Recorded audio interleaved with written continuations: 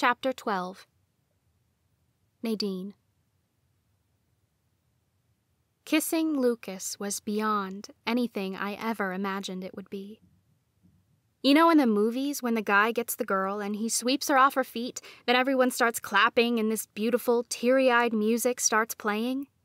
Then they cut forward a few months and he's carrying her out of the church on their wedding day. Everyone's throwing rice and is all happy. Then they drive off into the sunset and nothing can ever hurt them again? That's what Lucas's kiss felt like, but better.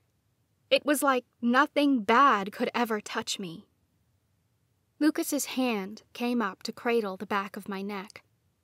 A fire ignited deep within my belly, and I relaxed into the kiss.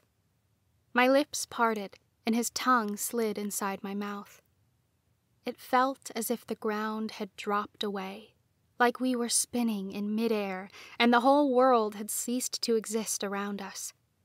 My heart lifted in my chest before the adrenaline settled in and sent my heart pummeling against my rib cage. My hands tangled in Lucas's hair, and I dragged him closer to me. He kissed me harder, like I was the very breath he breathed. My nipples hardened beneath my shirt, begging for more. Lucas drew away, and his soft eyes roamed over my face. I was frozen in place, unable to move, blink, or breathe. Several quiet moments passed as we stared deep into each other's eyes, until I thought my lungs might burst. It was the only indication I had that time was still moving forward. I'm sorry, Lucas whispered. I shouldn't have done that. I shook my head and finally took a breath. It's okay, Lucas. I'm glad you did. I hesitated as my gaze roamed over his bruised features. I longed to kiss him again, but right now wasn't the time. Let's get you to a hospital. The next few hours passed at an ungodly slow pace as Talia and I waited in the emergency room for Grant and Lucas. When they were finally released, Grant had four stitches above his eyebrow, and Lucas's broken nose had been set. We took the guys back to their dorm room, then brought them ice cream before turning in for the night. We didn't see them the rest of the weekend. I tried visiting Lucas on Saturday, but no one answered the door, even though I was pretty sure I heard footsteps behind it. I could hardly sleep over the weekend as the kiss replayed over and over again in my mind. Every time I thought about it, my heart lifted in my chest. And then I remembered that I hadn't seen Lucas in days, and my pulse quickened for entirely different reasons. He was obviously avoiding me again, and I was ticked off about it. One minute he's kissing me like his life depends on it, and the next, he falls completely off the map. I was getting really sick of his mixed signals. Tuesday morning, I woke with a terrible shooting pain in my left hand. My whole body was stiffer than normal, and it took at least 15 minutes of lying in bed, trying not to scream, before I could shift and get into a more comfortable position. Lupus was like that sometimes. I had good and bad days, and it was all totally unpredictable. Talia noticed I was lying in bed longer than usual. Hey, girl, are you going to take your bath this morning? My neck was so stiff I couldn't even work up the strength to shake my head. Screw my body. Why did it hate itself so much? Eventually, I told her. Well, you better hurry up, she said as she brushed her hair. Miriamic history is in half an hour. I groaned and reached for my phone on my bedside table. She wasn't lying. I think I'm going to skip today, I said. I didn't want to, since it was the one class I struggled the most with. But I hadn't skipped all semester, and I figured I deserved a pass at least once. Today just wasn't happening. Talia turned from the mirror and shot me a concerned expression. Are you going to make it to Conjuring Basics later today? Yeah, I'll make it. Talia frowned and grabbed her bag. Okay. Feel better. I scoffed. I'll try. It was another hour before I got out of bed, and another hour after that before I finished my bath and got dressed. I was feeling a lot better, but all I wanted to do was go back to sleep. I had a few hours before conjuring basics, and I needed to get some homework done before I went, but I couldn't bring myself to work up the energy. I couldn't recall a day this bad since before my diagnosis. Eventually, I got so hungry that I knew if I didn't head down to the cafeteria soon, I'd end up passing out before I got there. I ate, then headed off to conjuring basics. Before we jump into our next lesson, Professor Carlyle said, let's review what we already know about conjuring. Professor Carlyle was a short, elderly seer with salt and pepper hair and an equally gray cat who looked like he was on his last life. You'd think at first glance Professor Carlyle was too, but he had this energy about him that suggested he had many years left. He continued. Earlier in the semester, we learned that conjuring is bound by many rules. You can't conjure something out of nothing, and you can't make one thing disappear from somewhere and end up in another. Imagine a pocket universe that follows you around everywhere you go. To subconjure, you take an object from your hand and place it into this pocket universe. To conjure, you take something from that universe and place it into your hand. Professor Carlyle held out his hand, and a cane materialized out of nowhere. Conjured, he smiled brightly and did a little tap dance at the front of the room. At the end, he kicked the cane and made it spin around in his hand. It disappeared right in front of our eyes. Subconjured. See? Simple. A few people clapped at the demonstration, but it was half hearted. I couldn't wait until I had magic, so I didn't have to lug around my textbooks wherever I went. It'd be so convenient to have my wallet at my fingertips without having to actually carry it around. I mean, I'd be fine with it if the fashion industry just gave women pockets, but I guess that was more of a stretch than actual magic. What we haven't talked about yet this semester is conjuring's limitations, Professor Carlyle said. Let's say I wanted to fill my pocket universe to the brim. How many items do you think I could take with me? A hand raised at the front of the room. Five? The girl guessed timidly. Professor Carlyle pressed his index finger to his lips. Hmm, not exactly. Ten! Someone else shouted, and Professor Carlyle shook his head. A hundred! Another voice came. Professor Carlyle didn't stop shaking his head as more and more students piped up with their guesses, the numbers growing each time. I couldn't help but think that my classmates were idiots. This obviously wasn't the kind of answer Professor Carlyle was looking for. I raised my hand, and his eyebrows shot up. Miss Evers? The room went quiet, and I cleared my throat. Wouldn't it depend on the size of the objects, and not the amount? His eyes brightened and he smiled. Professor Carlyle had one of the most expressive faces I'd ever seen. Precisely. But how big do you think our invisible bag is? Could I, say, fit a car in it? Or an entire library of books? He looked directly at me, but I didn't know how to answer his question. Professor Carlyle clicked his tongue. No guesses? Some jock in the front row leaned back in his seat. I bet you could fit a car. Our professor cocked an eyebrow. You think so, Mr. James? Sure, he claimed. I'll bet you ten bucks after my evoking ceremony, I'll subconjure a car. Professor Carlyle smirked and stepped up to him with his hand out. You're on. The two of them shook on it. Then Professor Carlyle turned to the door at the front of the lecture hall. He stepped behind it and put a door stopper in front of it to keep it open.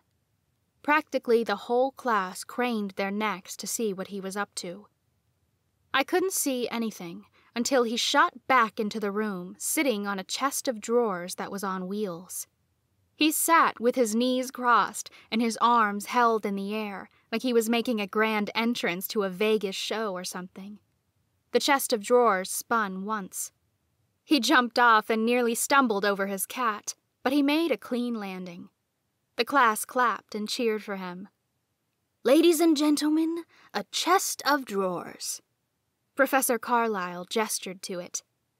It was dark mahogany and looked a lot like the dressers we had in our dorms, except it was longer and shorter. This is approximately the size of your unique pocket universe. So, by all means, Mr. James, if you can manage to subconjure a car, I'd be very interested to see that. Professor Carlyle turned back to the chest of drawers and conjured his cane, then started tapping it against the drawers. This is all the space you get, ladies and gentlemen. In my opinion, it totally beats a duffel bag and it definitely saves you money when you fly. The class chuckled. A girl at the front of the room raised her hand. What happens if you try to subconjure too much, if your space gets full? Let me ask you this, Professor Carlyle replied. What would happen if I tried to fill this chest of drawers too full? Well, the drawers wouldn't close, obviously she said. Exactly, Professor Carlyle said. It'll push back. Things will start spilling out. Simple as that. The jock eyed the chest of drawers. So, what happens if you subconjure a person? Professor Carlyle raised an eyebrow. Why, Mr. James? Do you have plans to kidnap somebody? James sent a nervous glance around the room at the people who were laughing. No, I just wondered, you know, could you survive it? The pocket universe. I don't know, Professor Carlyle answered. That's another limitation to conjuring. You can't subconjure a living thing. One of James's friends leaned over to him. There goes your kidnapping plans. Shut up, he shoved his friend. I raised my hand, and Professor Carlyle called on me. I'm curious. Can things get lost? Like, if I wanted to subconjure something to hide it from someone, would they ever be able to find it? Or say I subconjured a valuable family heirloom, but I died before I had a chance to pass it on. Would it be lost forever?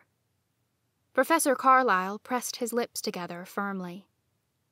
That's a very good question, Miss Evers. And this is why I advise you never subconjure anything of value. That said, there are ways to retrieve items from someone else's personal stash. However, it is a very complicated spell that requires more than one individual to perform and is only done on rare occasions. Why, Miss Evers? Is there something you'd like to retrieve?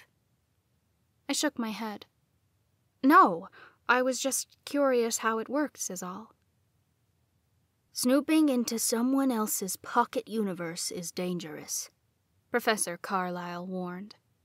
You may not like what you find. Don't let your curiosity get you into too much trouble, Miss Evers. I chuckled under my breath. Professor Carlyle didn't know me at all.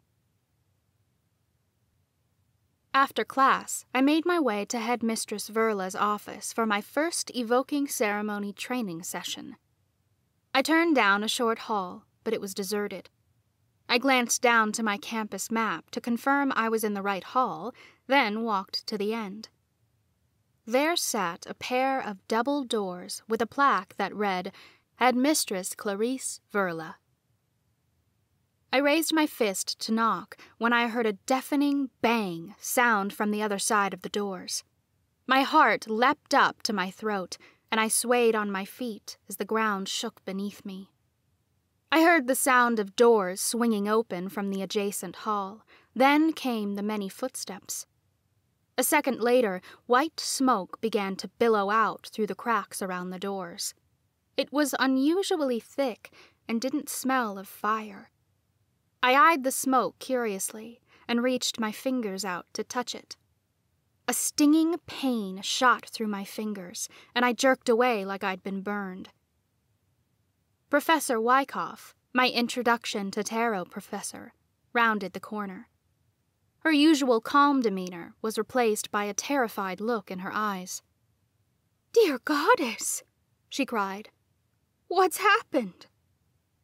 I, I don't know, I stammered, stepping away from the smoke creeping out into the hall. My fingers stung like I'd been attacked by a bee. Professor Wyckoff whirled around as two other professors came running. Get Professor Richards. The other professors went running to get help, while Professor Wyckoff turned back to me. She grabbed me by the elbow and spoke gently. Come, child, you must stay away. Wait, what's going on? I asked, terrified that I'd just encountered some sort of chemical weapon. Is Headmistress Verla going to be okay? What is that? Professor Wyckoff pulled me into the next hall and guided me to stand next to the wall to let a group of professors pass. I noticed Professor Richards among them, clutching a flask full of blue liquid. Tell me what you saw, Professor Wyckoff instructed. My jaw dropped, and I rubbed my aching fingers with my thumb. I think I was still in shock. I, I didn't see anything. I just walked into the hall when I heard a bang. Then I saw the smoke, and you were there a second later. Professor Wyckoff grabbed my wrist and inspected the ends of my fingers. They were bright red, but otherwise looked fine. She breathed a sigh of relief. Child, what are you doing in this part of the school? Voices yelled down the hall, and it took me a second to process her question. I came to meet Headmistress Verla. We have an appointment. Okay, she said with a frown. You stay right here, Miss Evers. I didn't really know what was happening, so I did as I was told. After Professor Wyckoff turned the corner to join the other professors, I heard them start to argue. We need to figure out who did this, a male professor said. Agreed, Professor Wyckoff replied. This is a threat. How do we know it's not just a prank? A second female professor asked. We don't, the first guy responded in a clipped tone. But until we know, we must treat it as an attempt on the headmistress's life. Professor Wyckoff gasped. Who would do that? I was breathing heavily, unable to process what they were saying. Was someone out to kill Headmistress Verla? Relax, I've got the perimeter secure, Professor Richards said. The antidote is working, but it will take a few hours. The sound of clicking heels caught my attention. I looked up to see Headmistress Verla breezing down the hall. Her black cat ran behind her, but he was so fat that he more or less waddled. I breathed a sigh of relief, grateful that she hadn't been in her office when that thing went off. Her eyebrows hung low over her eyes, giving her this dark look that seemed strange on such a beautiful woman. She walked past me, like she didn't even see me, and stomped straight up to the other professors. I inched my way along the wall to peek around the corner and get a good look at them. What in the name of Mother Miriam is going on here? she cried. A sting bomb, Professor Richards said. But not to worry, headmistress. This potion should take care of it in a few hours. He held up the blue potion I'd seen him running past with. Most of it was gone. Professor Wyckoff's jaw dropped. A stink bomb? No, Professor Richards replied. A sting bomb. It's a defense potion brewed using a stinging nettle. It's fairly harmless, but it hurts like a son of a bitch. Thank Alora Headmistress Verla wasn't in her office when it was set off. Did anyone see who did it? Verla demanded. Odin stepped toward the cloud of smoke and hissed. The professors all glanced to each other and shook their heads. Professor Wyckoff's eyes brightened, and she looked to me. My face paled as I was caught eavesdropping. There was a witness. Professor Wyckoff gestured to me. Headmistress Verla's face fell as she turned to me. Nadine, tell us what happened. Timidly, I stepped out from around the corner and joined the professors.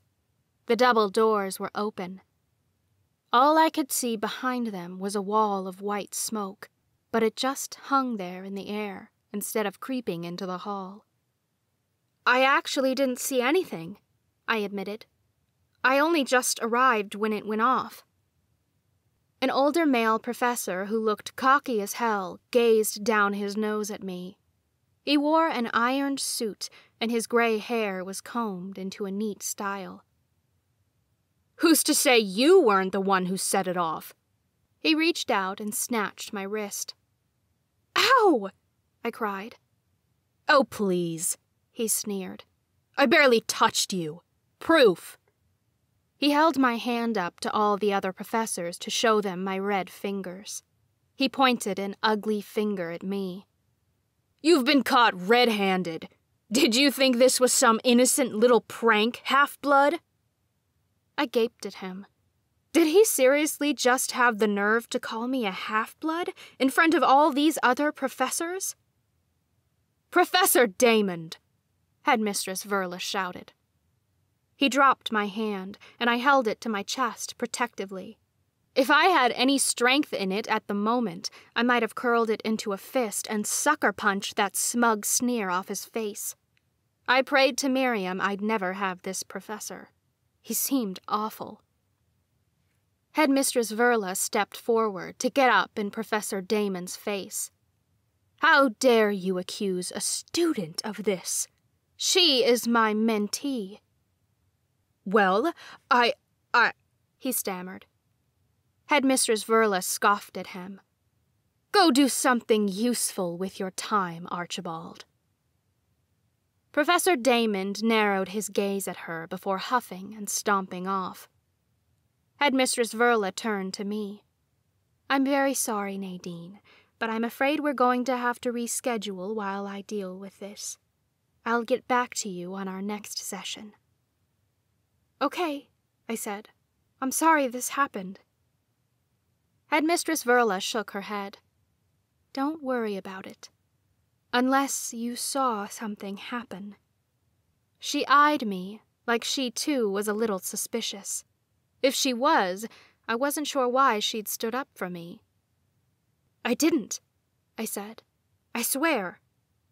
Headmistress Verla looked at me a moment longer, then dropped her shoulders. You may go. I walked away feeling really confused. Did Headmistress Verla seriously suspect me of trying to sabotage her? Why would I do something like that? The only person in this school I knew who had the balls to sabotage someone like that was Chloe. Speak of the devil. I exited a long hallway to see Chloe, Gwen, and Camille huddled in a group and snickering at each other. Can you say deja vu? They'd done the exact same thing after they broke into my dorm room. I stomped straight up to them. Chloe noticed my approach and shot me a death glare. She placed her hand on her hip. What's your problem? I crossed my arms and stood just inches from her. She was a lot taller than me in her heels, but I liked to think I intimidated her nonetheless. A sting bomb just went off in Headmistress Verla's office. You wouldn't happen to know anything about that, would you? Chloe scoffed and rolled her eyes. Please, I've been standing here for the last ten minutes. My girls will back me up. Camille pursed her lips in my direction. At the same time, Gwen tossed her blonde hair over her shoulder. It was the first time I'd noticed a cauldron tattoo on her chest. It definitely wasn't there before, which meant she must have gone through her evoking ceremony recently, and that Chloe now had a right hand alchemist to do her bidding. So what? You put a timer on it or something, I accused. Chloe shot an innocent look to the other girls. I don't know. Can you do that with potions? The other two shrugged in unison. Chloe leaned forward so I could feel her breath on my face. You don't know anything about this coven, Nadine. You don't want to leave on your own? Then I'll make you. My hands tightened into fists, but my fingers were still burning from the sting bomb. Is that a threat? Chloe stepped away without acknowledging my question. Good luck passing your evoking ceremony without any training. She flipped her hair over her shoulder and started walking in the other direction. I gaped at her. That was a confession if I'd ever heard one. No one had tried to hurt Headmistress Verla. Chloe had set off that sting bomb to sabotage my lesson. She knew I had it this week because Camille and Gwen had been in the metaphysical shop when Headmistress Verla and I talked about it. That bitch would do anything to drive me out of town, including ensuring I failed my evoking ceremony. And all for what? A dead feud between our grandparents? Get a life and stop trying to ruin mine, I shouted down the hall. Chloe continued on her way, swaying her hips as if she never heard me. I'd bet anything she was the one who'd raided the alchemy lab last week, too. Gah! I screamed, turning on my heel and storming in the opposite direction. I was passing by the cafeteria when I caught sight of Grant sitting alone at a table near the door. I walked in and plopped down across from him. He glanced up at me, but he didn't have any food in front of him. I shot him a curious expression. What's got your panties in a bunch? he asked. I huffed. Chloe's at it again. Grant frowned while he poked at something beneath the table. What'd she do this time? Well, I don't have any proof, but I'm pretty sure she's responsible for setting off a sting bomb in Headmistress Verla's office to sabotage my evoking ceremony training, I said. It does sound like her. He winced, then stuck his finger in his mouth and sucked on it like it hurt. I eyed him curiously. What are you doing? Oh, this? Grant held up a small device with digital numbers on it. I'm checking my blood sugar before I eat. I tilted my head, and the knot in my chest loosened. You have diabetes? He nodded as he took his bag from his lap and placed it on the table. It opened like a flat wallet and was filled with his medication. Not a big deal. I can hardly remember a time I didn't have it. I suddenly felt an instant connection with Grant that wasn't there before. Obviously, diabetes and lupus weren't the same thing, but I always got a jolt of excitement when I met someone with a chronic illness. It was like they were the only people who even remotely understood what I went through. How long have you known? I asked. Since I was 14, he replied as he grabbed a needle and started filling it with insulin. I was 15 when I was diagnosed, I blurted. I usually didn't talk about my disease to just anyone, but I felt like Grant would understand. He raised a curious eyebrow. Diabetes? I shook my head. Lupus. That's autoimmune, isn't it? He asked casually. I smiled. Usually I was met with, Oh, Nadine, I'm so sorry. Or, Have you seen a doctor about that? But Grant just wanted to know more, like I was telling him about one of my classes. Yeah, my doctor says it's common in the coven, I said. He injected his shot, then nodded. Yeah, it comes with being half human. A silent beat passed between us, but I broke it. Do you want to get dinner together? Sure, I just have to wait a few minutes for the insulin to kick in, he said. I folded my hands in my lap. I can wait. Are Lucas or Talia joining us? He shook his head. Lucas is meeting his mentor, and Talia has a study group. I frowned. I wasn't sure if Grant was covering for Lucas or if it was the truth. What's wrong? Grant asked, sensing my discomfort. I hesitated a moment, but I couldn't stand not knowing. Does Lucas really have a meeting with his mentor? Yes, Grant answered honestly. Why wouldn't he? I pressed my lips together. Well, I haven't seen him since. since our kiss, I wanted to say. Instead, I said, since the hospital. He has a habit of avoiding me, and I'm worried. Don't worry, Nadine, Grant assured me, but I sensed uncertainty in his tone. Lucas just needs time. My stomach sank. Time to decide how he truly feels, I thought. I tried not to let my disappointment get to me, but it was hard when all I could think about lately was that kiss. Lucas said he didn't want to be with me, then he kisses me. Like that. The best kiss of my entire life. What the hell was his deal? Well, I guess it's just us two then, I said. Yep, just us.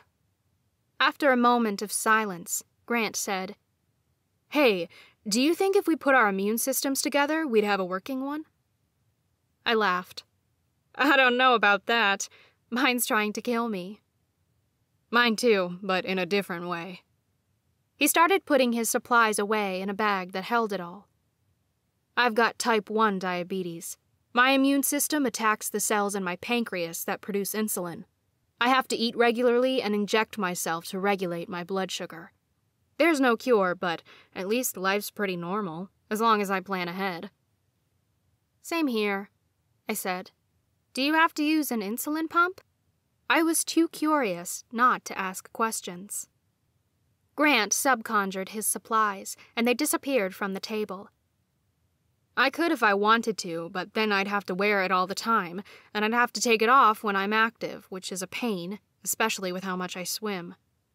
With the shots, it's in, out, and done, and there's a lower risk of infection. That makes sense. So, I'm curious about something. If mixed kids in the coven like us end up with autoimmune diseases, How'd the first generation survive? I asked. I mean, there was no treatment for this type of thing back then, and I'm pretty sure they weren't all purebred. Grant leaned forward, looking interested by the question. Back then, they didn't have their magic suppressed in childhood like we do now. They didn't? I asked. No, Grant said. Mother Miriam started suppressing our magic when she saw what a danger it could be to the children. That's when the evoking ceremonies began.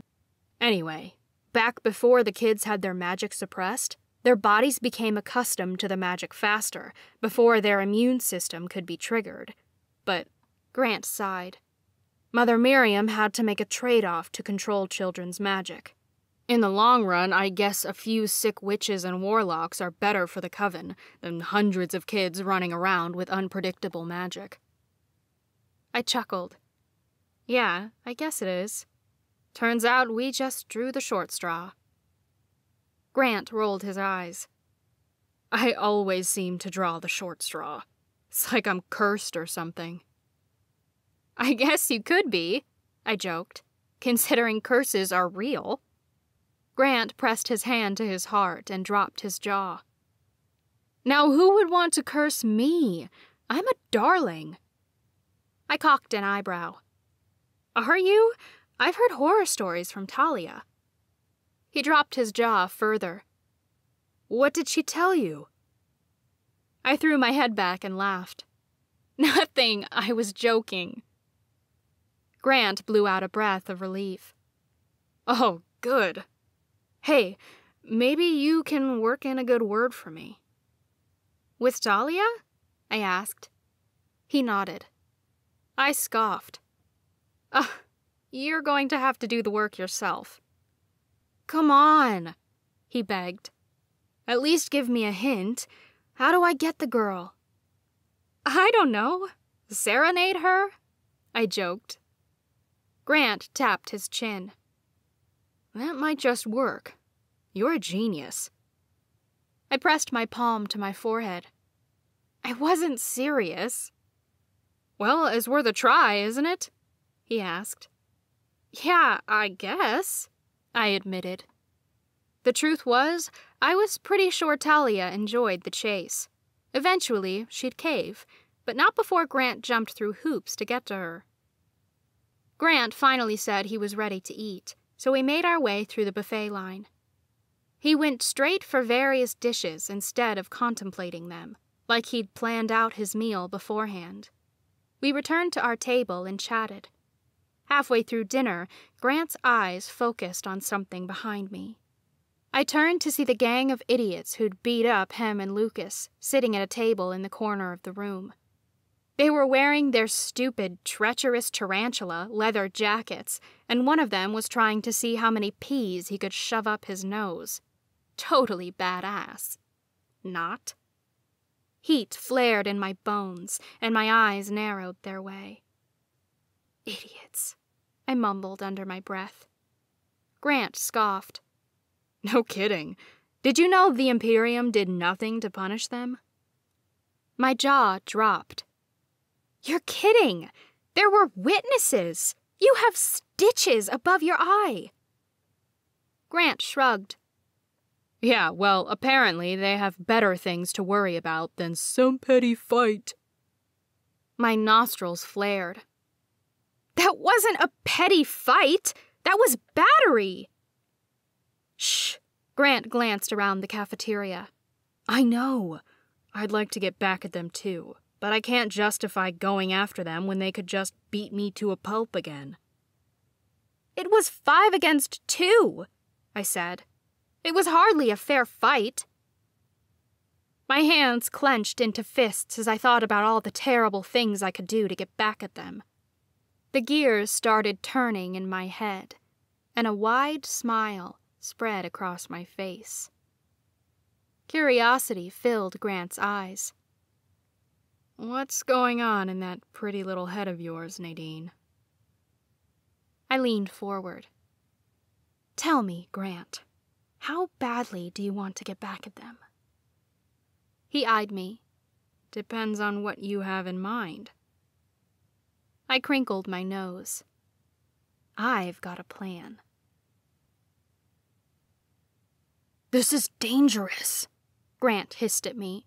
Lucas would kill us if he knew we were doing this. I smirked. Why do you think I didn't invite him? He grabbed me by the arm and pulled me behind a black sedan. I kept my gaze on the five tarantulas across the school parking lot. They were piling into Ryan's black sports car. It was past nightfall now, and the only light we could see by was the moon. I cocked an eyebrow at Grant. So what? I thought you wanted to get back at them. Not by following them, he said. Nadine, you don't know these guys. I rolled my eyes and zipped my leather jacket all the way up. I've known enough guys like them. Now let's go before we lose them. I hurried out of my hiding spot and raced a few cars down to my own vehicle. I unlocked the doors and tossed my backpack on the floor below the passenger seat. Grant hesitated, then ran after me and climbed in beside me. I threw the car into reverse. Did you see where they went? Grant pointed to the right. That way. I tore out of the parking lot and followed the tarantulas down the road. I caught up quickly, but was careful to keep my distance so they wouldn't notice my headlights following them. Lighten up, Grant. I nudged him in the side. I thought you, of all people, would be thrilled to get back at them. Hell yeah, but I don't want you getting in the middle of it, he said. I smirked. You have a lot to learn about me. Grant looked at me for a few seconds, then caved. Okay, Nadine. I'm all in, as long as you understand what you're getting yourself into. I scoffed. I'm not scared of these assholes. Grant clicked his tongue. I think we need to hang out more often. I already like you ten times more. I chuckled. That's because I'm awesome. Where are these guys going, anyway? I don't know, Grant said, but it looked sketchy to me. I glanced to either side of the road, but there was nothing but trees. I didn't recognize where we were. Wherever the tarantulas were going, it wasn't into town. The tarantulas turned into a long driveway. I slowed and tried to take in as much as I could about the property, but we could hardly see anything from the road. All I saw were more trees. What the? I whispered. Hairs rose on the back of my neck, and I was getting a little creeped out. Whatever this was couldn't be good, which meant I definitely had to check it out. I pulled off to the side of the road and cut the engine. What are you doing? Grant glanced back to the dark driveway. I smirked at him as I opened my door.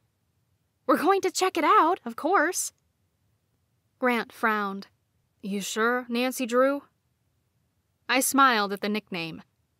Positive. I shoved my car keys in my pocket, then grabbed my bag and swung it over my shoulder. Grant stayed by my side as we entered the woods and crept through the trees. What do you think they're doing back here? he asked, looking amused. I shrugged. Sacrificing babies? Grant chuckled. Probably. I half expected to walk in on them around a bonfire, conducting some dark ritual. Instead, we came upon a run-down house with their car parked out in front. It looked like nothing more than a small weekend cabin, no bigger than two bedrooms. I'd kill to know what they were doing inside. I swung my bag off my shoulder and opened it. Contents clicked together and fell to the ground. My heart lurched at the noise.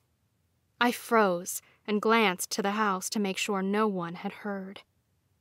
Shh, Grant hissed. He looked down to all the boxes and aluminum spray cans I'd run back to my room to get after dinner. What is all this, Nadine?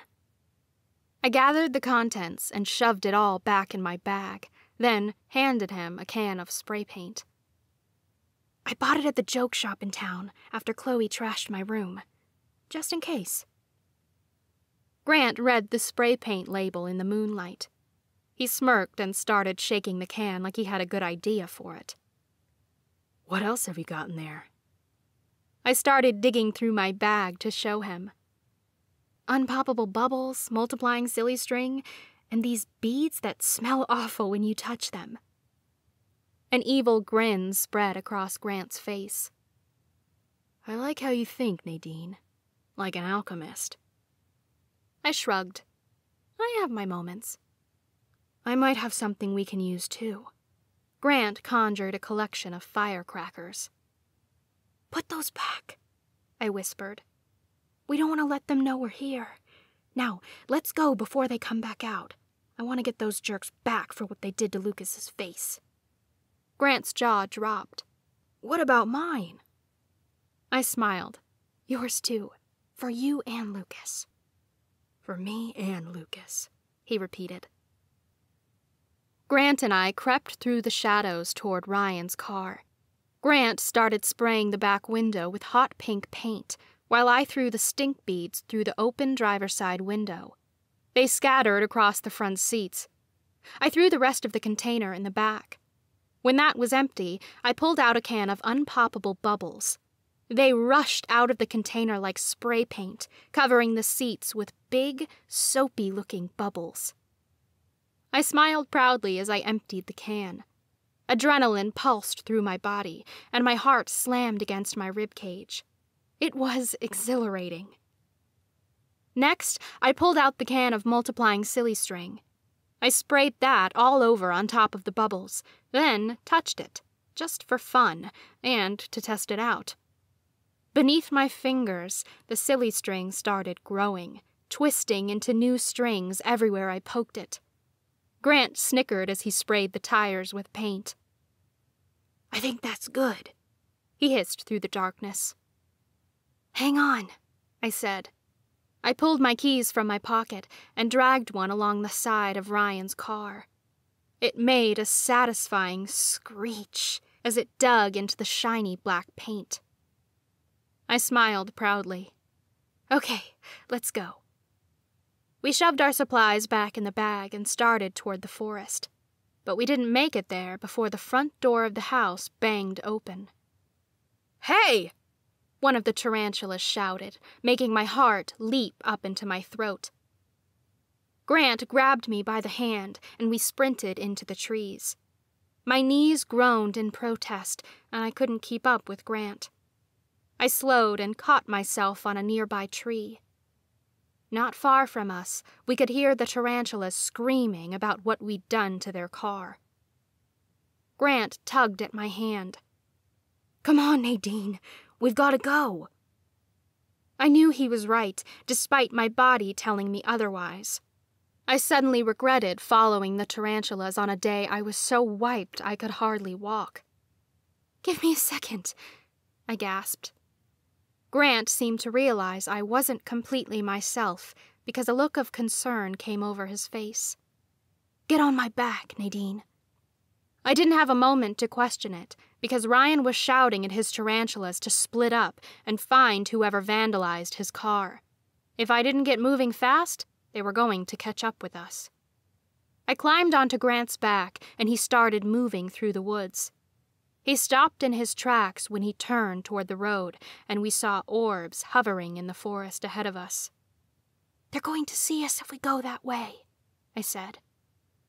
I have an idea, Grant whispered. He turned around in the opposite direction and doubled back toward the house. What are you doing? I hissed. They're not going to look for us over there, he pointed out. Good point. Grant moved quietly through the trees toward the back of the house. From what we could see, Ryan was angrily trying to clean out his car, but the multiplying silly string was getting tangled in his hands. He swore and flailed his arms around angrily, making it clear he was going to strangle whoever had done this. I thought it was hilarious. The other four tarantulas were in the trees, looking for us, without a clue that we'd slipped past them. Grant set me down. I steadied myself against a tree and sat on the ground. He crouched beside me, keeping close watch on all the tarantulas. Are you okay? Grant asked. I was a little light-headed and could feel that the blood had drained from my face.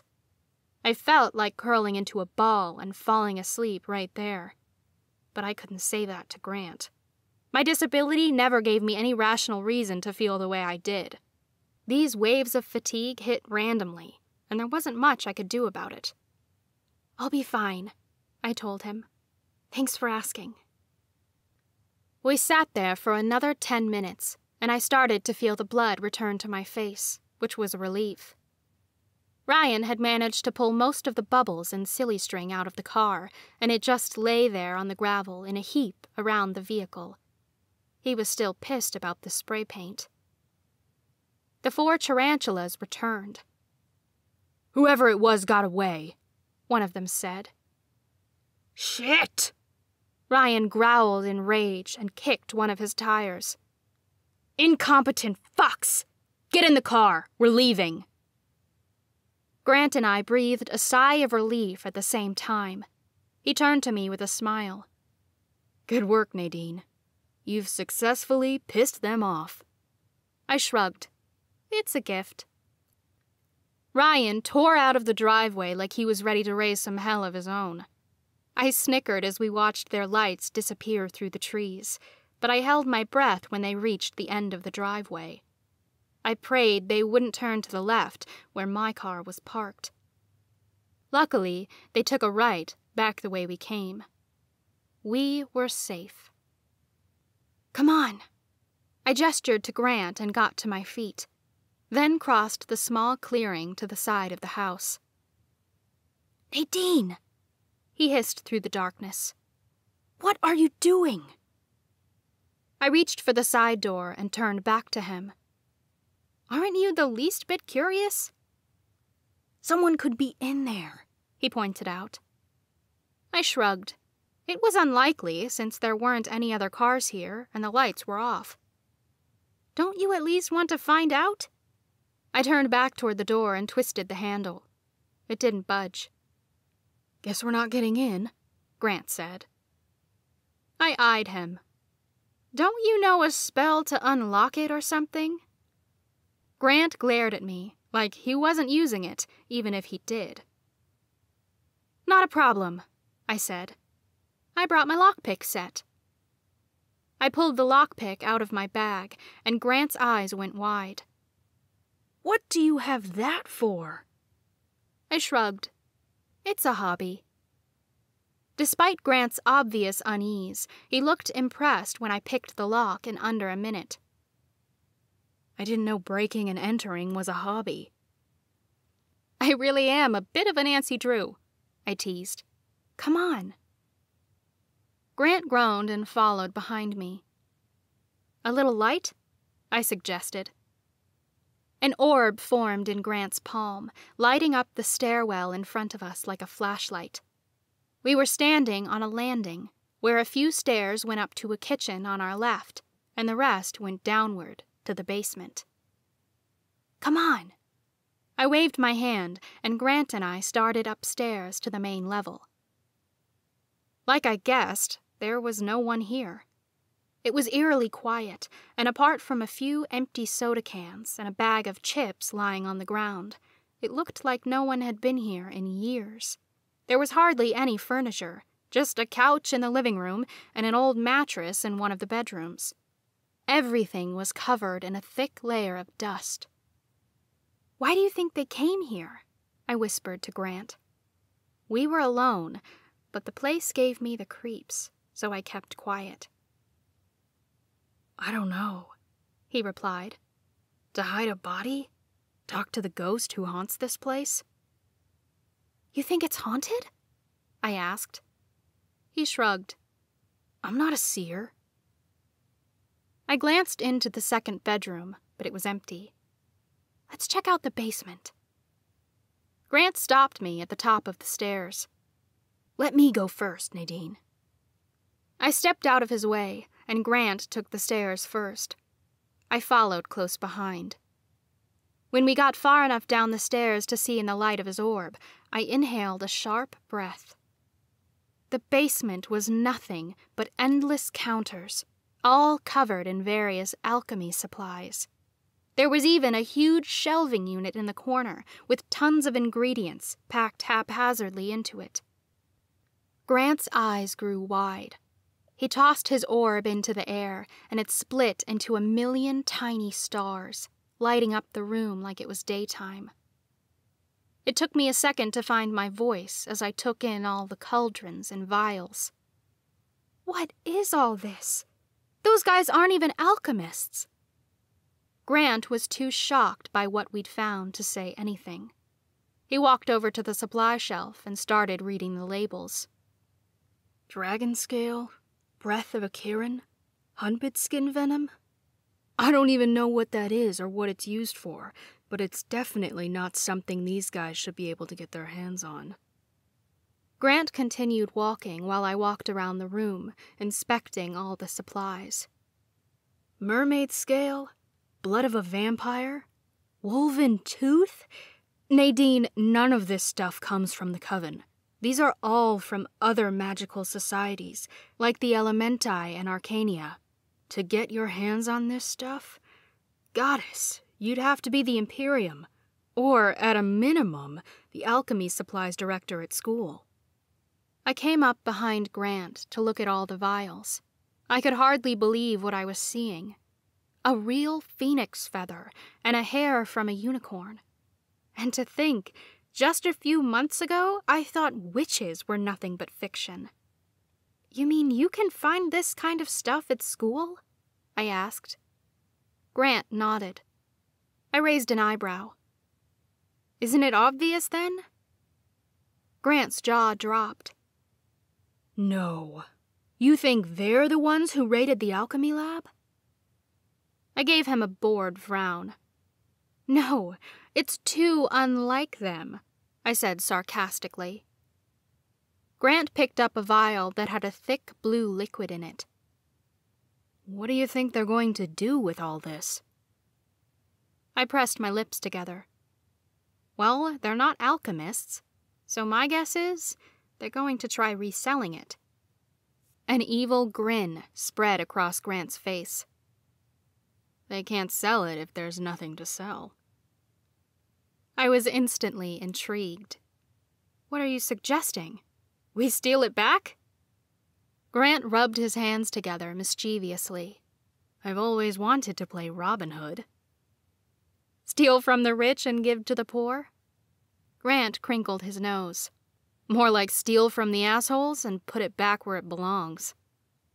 I smiled. Count me in. Chapter 13 Lucas. You did what? I growled. Grant sat on his bed and sucked air through his teeth. He knew he was in deep shit with me. Nadine and I followed the tarantulas to an abandoned house and robbed them. I paced around the room, my hands fisting at my sides. Is that a question, Grant? He shook his head.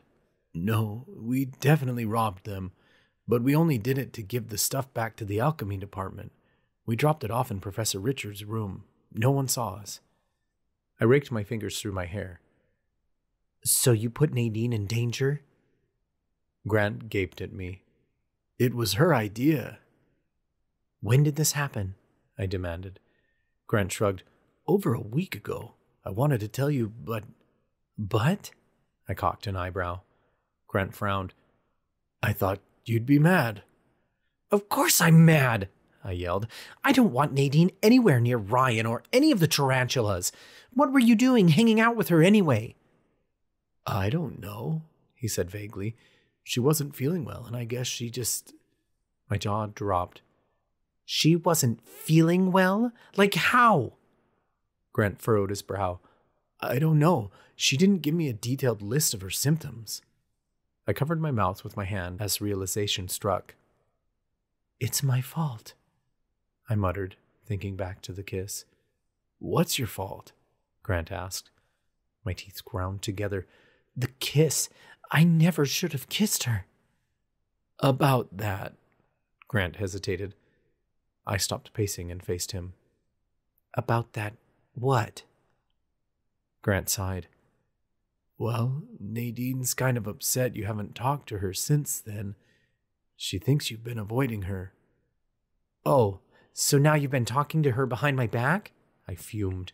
Today was not a good day. My temper was all over the place. Come on, Grant said. You know it's not like that. I had been avoiding Nadine, but I only did it to protect her. I still hadn't decided if I was summoning the Reapers at the Reaper Moon and risking the abyss. And if I didn't, I couldn't take things any further with Nadine and make her the Reaper's shadow. I have good reason, I said. I know that, Grant told me, but Nadine doesn't. You should talk to her. I groaned. You know what happens when I talk to her. You turn into a lovesick puppy? Grant teased. Shut up. I grabbed my pillow and threw it across the room at him. Grant checked the clock on his nightstand. It's almost noon. You should go ask her out to lunch. You should go ask Talia out to lunch. I sat back like a child. Grant crossed his arms. Tell you what, I'll one up you. I'll serenade Talia if you have just one lunch with Nadine. I scoffed. That I'd like to see. Grant shrugged. The sooner you go ask Nadine to lunch, the sooner I can get to serenading. I groaned, but I snatched my hoodie up off the bed anyway. Fine, I'll do it. I could hear the sound of Grant laughing in delight as I left the room. I shoved my arms through the sleeves of my hoodie and sauntered down the hall with the hood up. This was going to go absolutely fantastic. Not. I raised my hand to knock on Nadine's door, but I hesitated. After waiting two weeks since the kiss to talk to her, she probably never wanted to see my face again. Goddess, what was I thinking? Girls were so emotional. She probably took it super personally, which I guess I couldn't blame her for. Before I could talk myself into knocking on her door, it swung open. The sound of piano music spilled out into the hall, and Nadine's bright eyes stared back at me. When I saw her, it was like a dark storm cloud lifted from above my head. My hood fell to my shoulders. She was so pretty, with her hair down in waves and tight, skinny jeans hugging her curves. How had I managed to steer clear of her for two weeks? This girl drew me in like a magnet. She stumbled back a step, surprised to see me standing there. Lucas? Nadine, I am. Fuck, why couldn't I talk? I spit it out before I could make a total fool of myself. I came to see if you wanted to come to lunch with me. Nadine's features hardened. She didn't say anything for several long seconds. I half expected her to yell at me, considering the death glare she shot my way. It was preferable to the silence. I had no idea what she was thinking. So you're not avoiding me? She finally asked sharply. Ouch. Well, I'm here, I replied. Nadine hesitated, but her tone softened. I was just headed down there anyway. Hang on. She left the door open and hurried back inside the room.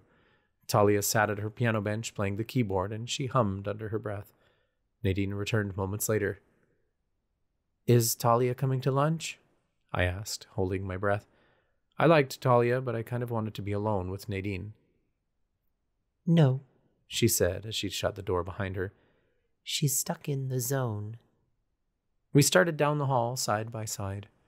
I noticed she was clutching her fist tightly. She was holding something. What's that you've got there? She bit her lip and looked up at me. It's for you. Nadine held her fist out, and I placed my hand beneath it. For me? I asked in surprise. Nadine opened her hand, and a small, cool object fell into my palm. It was a blue stone.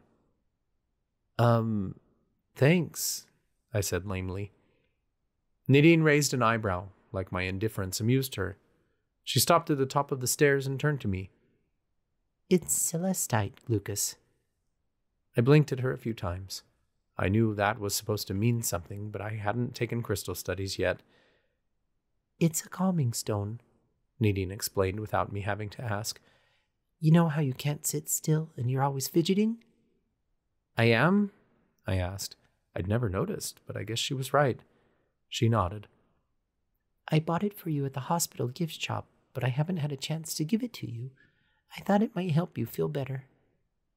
My heart instantly melted at the sentiment. I didn't care what the stone was meant for. The fact that it came from Nadine made all the difference.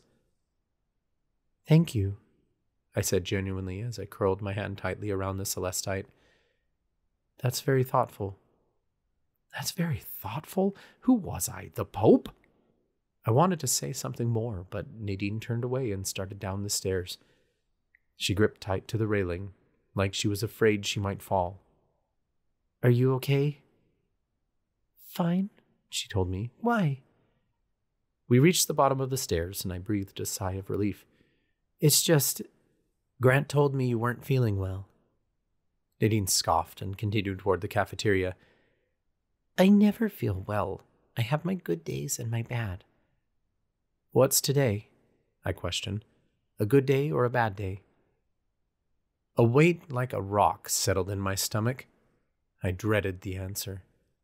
Nadine frowned. How about we don't ask questions we don't want to know the answers to? Now that pissed me off. I grabbed Nadine's hand and stopped her just outside the cafeteria. She scowled at me and jerked away. I gaped down at her for a second, shocked that she was so offended by my touch. I guess after avoiding her so long, I deserved that. I do want to know the answer, I assured her. I always want to know how you're feeling, Nade. She crossed her arms and her eyes darkened. Really? Is that why you haven't spoken to me in two weeks? You want to know how I feel, Lucas? I feel confused. I feel abandoned. Holy shit. Nade, I. I feel like I did something wrong and I don't know what it was. Angry tears rose to her eyes, and it was like a knife through my heart.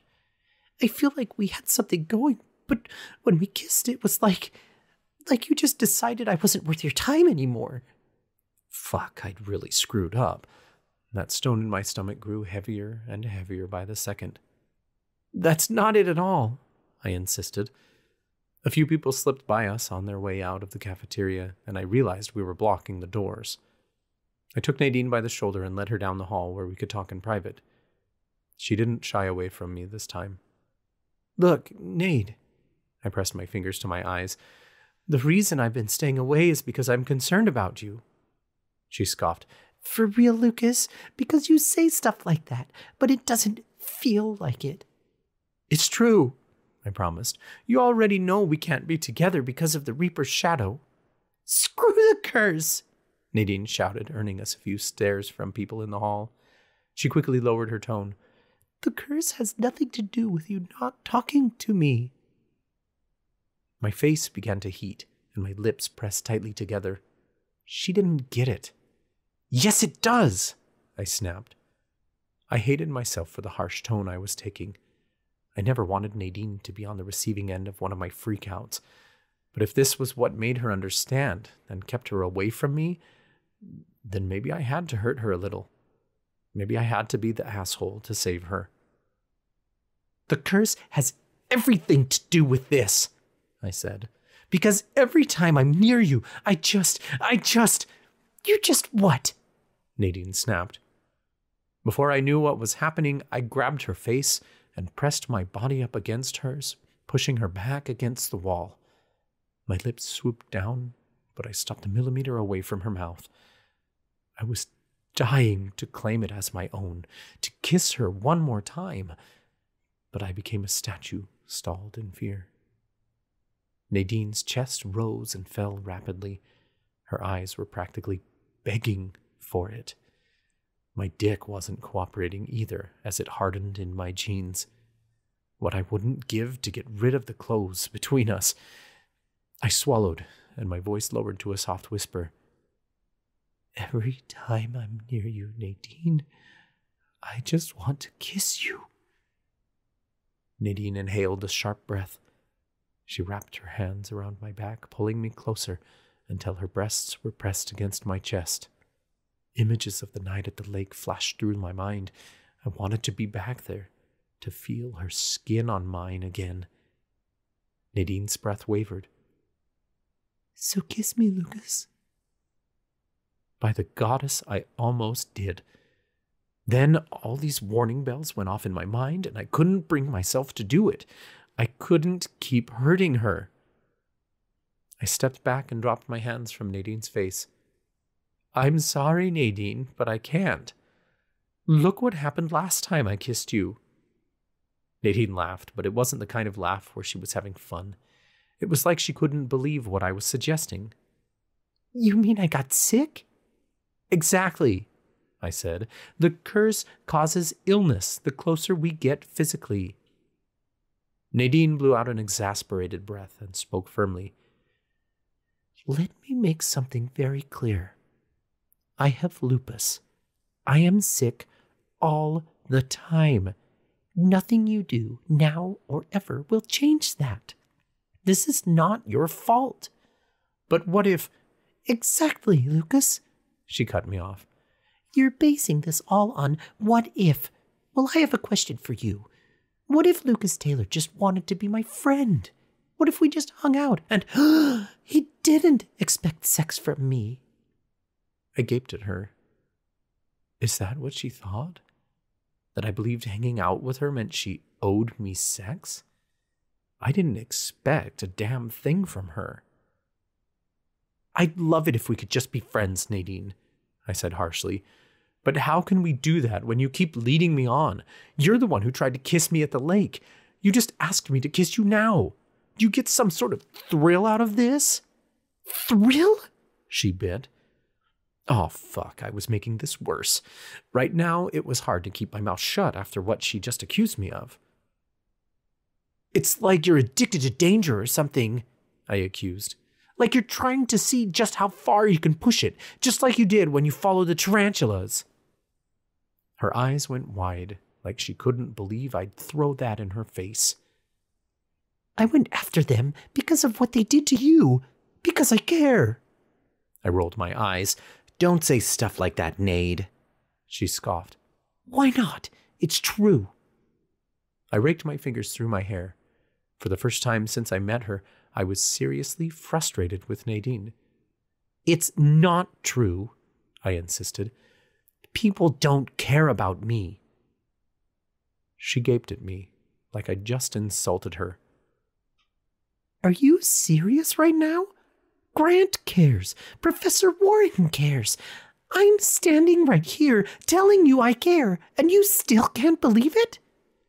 No, I can't, I growled. I can't believe you would put yourself at risk just to be with me. She pursed her lips. Maybe I would. Why? I cried. You know the risks of getting involved with me, and you'd still want to take things further? Maybe you're worth it, she argued, fuming. But I'm not. The further we go, the sicker you get. You must love the pain. The hall went dead silent. For a second, it was as if time stood still. Then I realized what I said, and my stomach dropped. Nadine's lips pressed into a thin line. You think I like being in pain? You think I'd like being disabled? I sighed. Come on, Nade, I didn't mean. Screw you, Lucas, Nadine spat.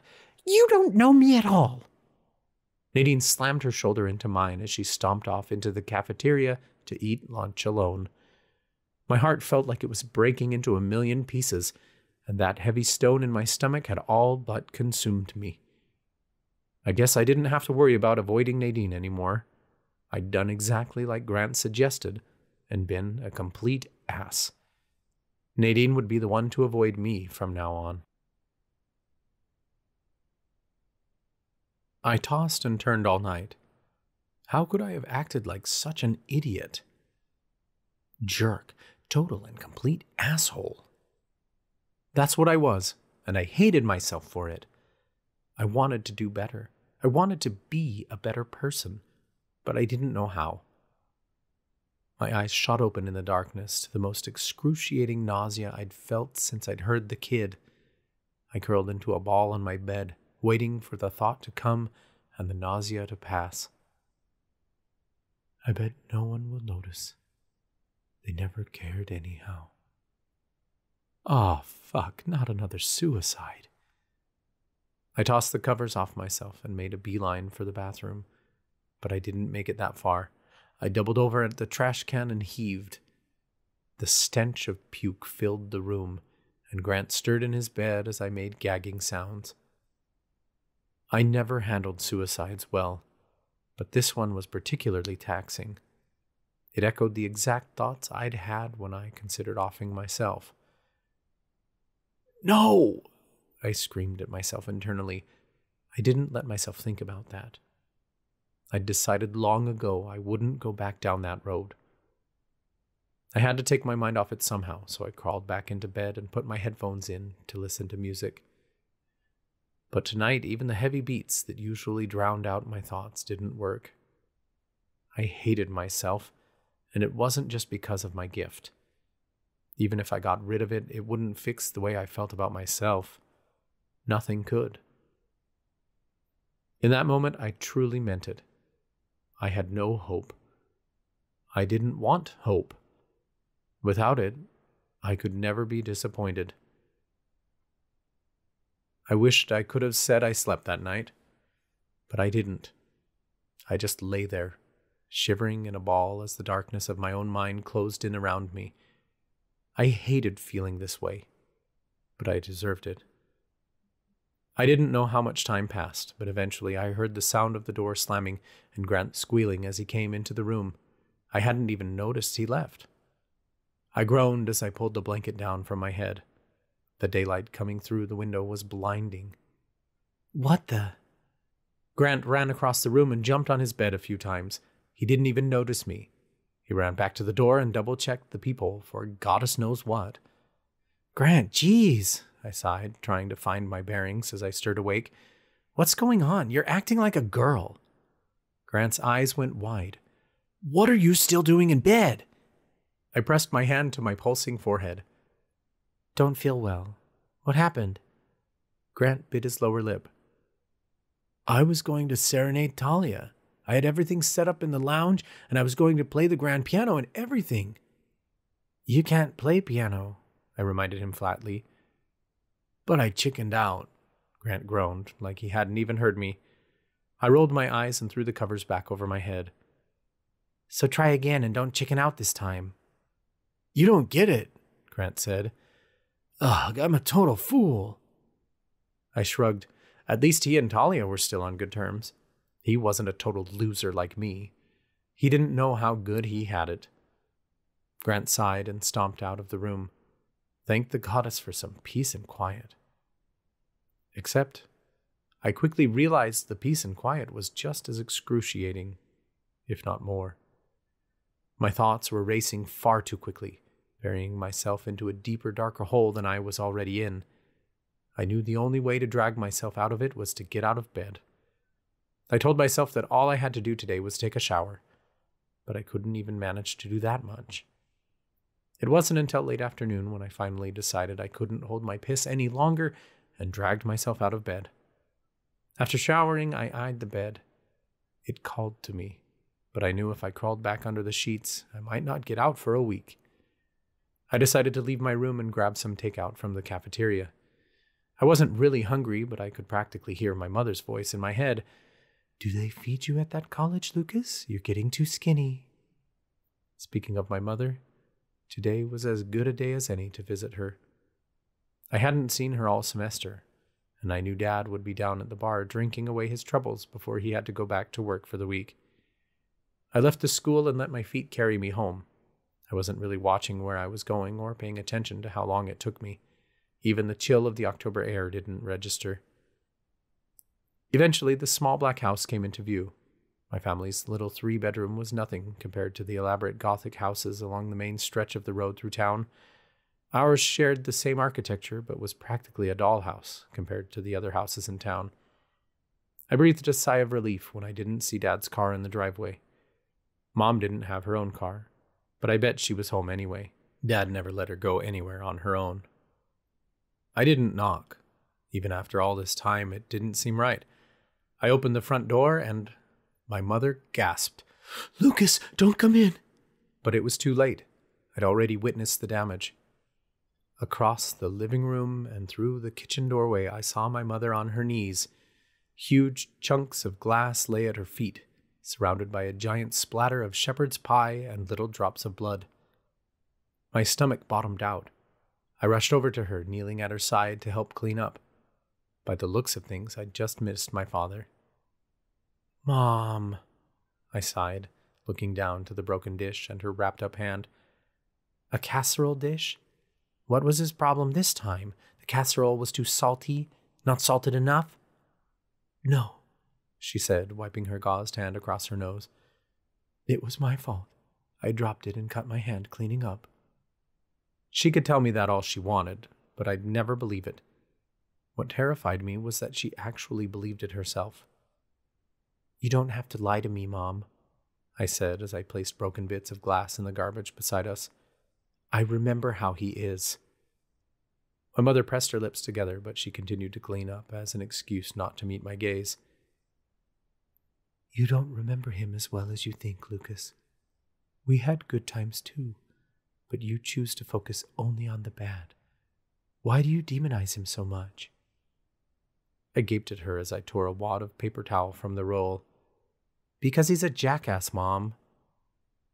Before I could blink, my mother huffed and snatched the paper towel from my hand. She looked as if she might slap me, though I knew she'd never lay a hand on me. How dare you!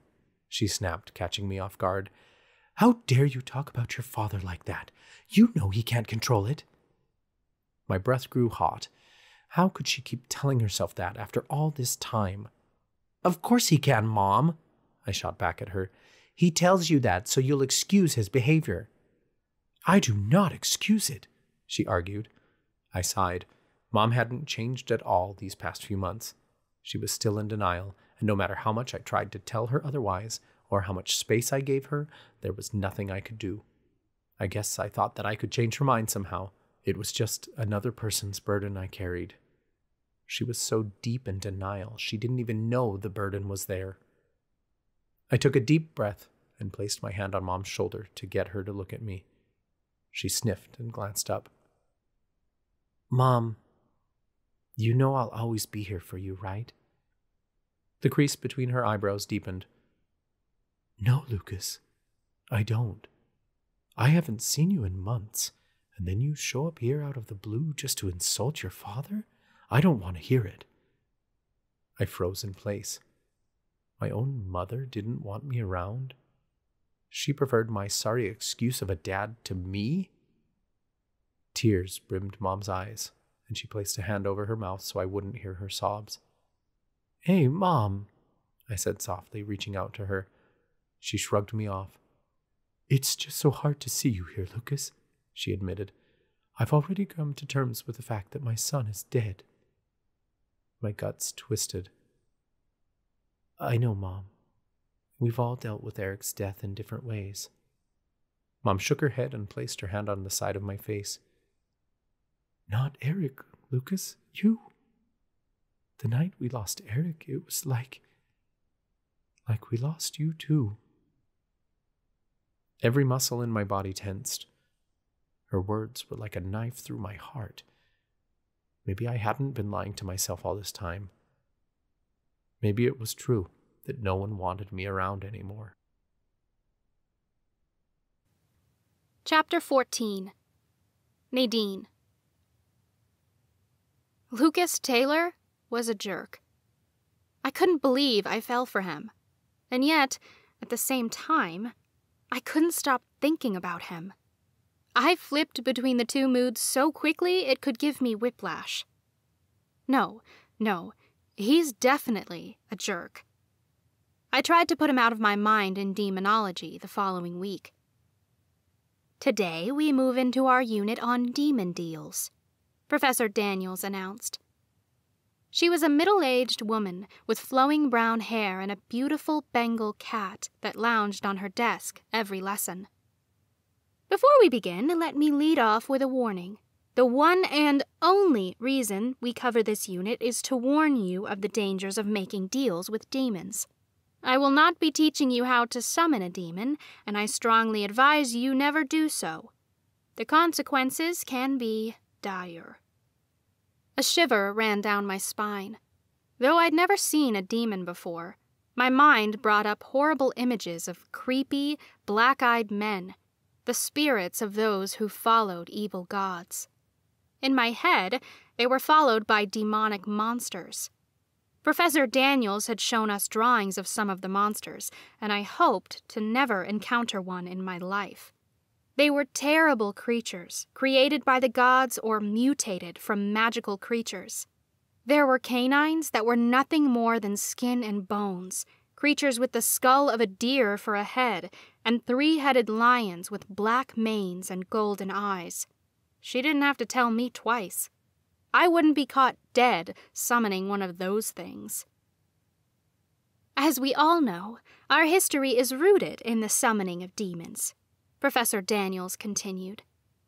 With demon blood in our ancestry, it is easier for Miriamic people to summon demons than it is to summon other spirits, as the demons are more willing to show up. That said, demons only appear when they can strike a deal that will benefit them. Someone spoke up from behind me, though I didn't see who. But what about Santos? He helped Mother Miriam, even though there was nothing in it for him. Professor Daniels cocked an eyebrow. Is that something you'd wish to risk? Demon deals always come with a price. I raised my hand. I was too curious not to get in the middle of a discussion. What kind of price? Can you give an example? Chloe shot me a scowl from across the room. What, I wasn't allowed to talk now? I ignored her. Professor Daniels hesitated, then cleared her throat. An extreme example might be making a deal for more magic. This kind of deal would require. She hesitated and got a faraway look in her eye. Well, it'd require a soul. My muscles tensed. There was something deep and dark in her tone that suggested such a thing was worse than giving up your own soul. Almost like. like you'd have to kill to make the deal. Who could do such a vile thing like that? Headmistress Verla called me into her office that afternoon. She stood from her desk and straightened her blazer when I walked in. Odin purred from his spot on her desk. Nadine, I'm so glad we finally get to prepare for your evoking ceremony.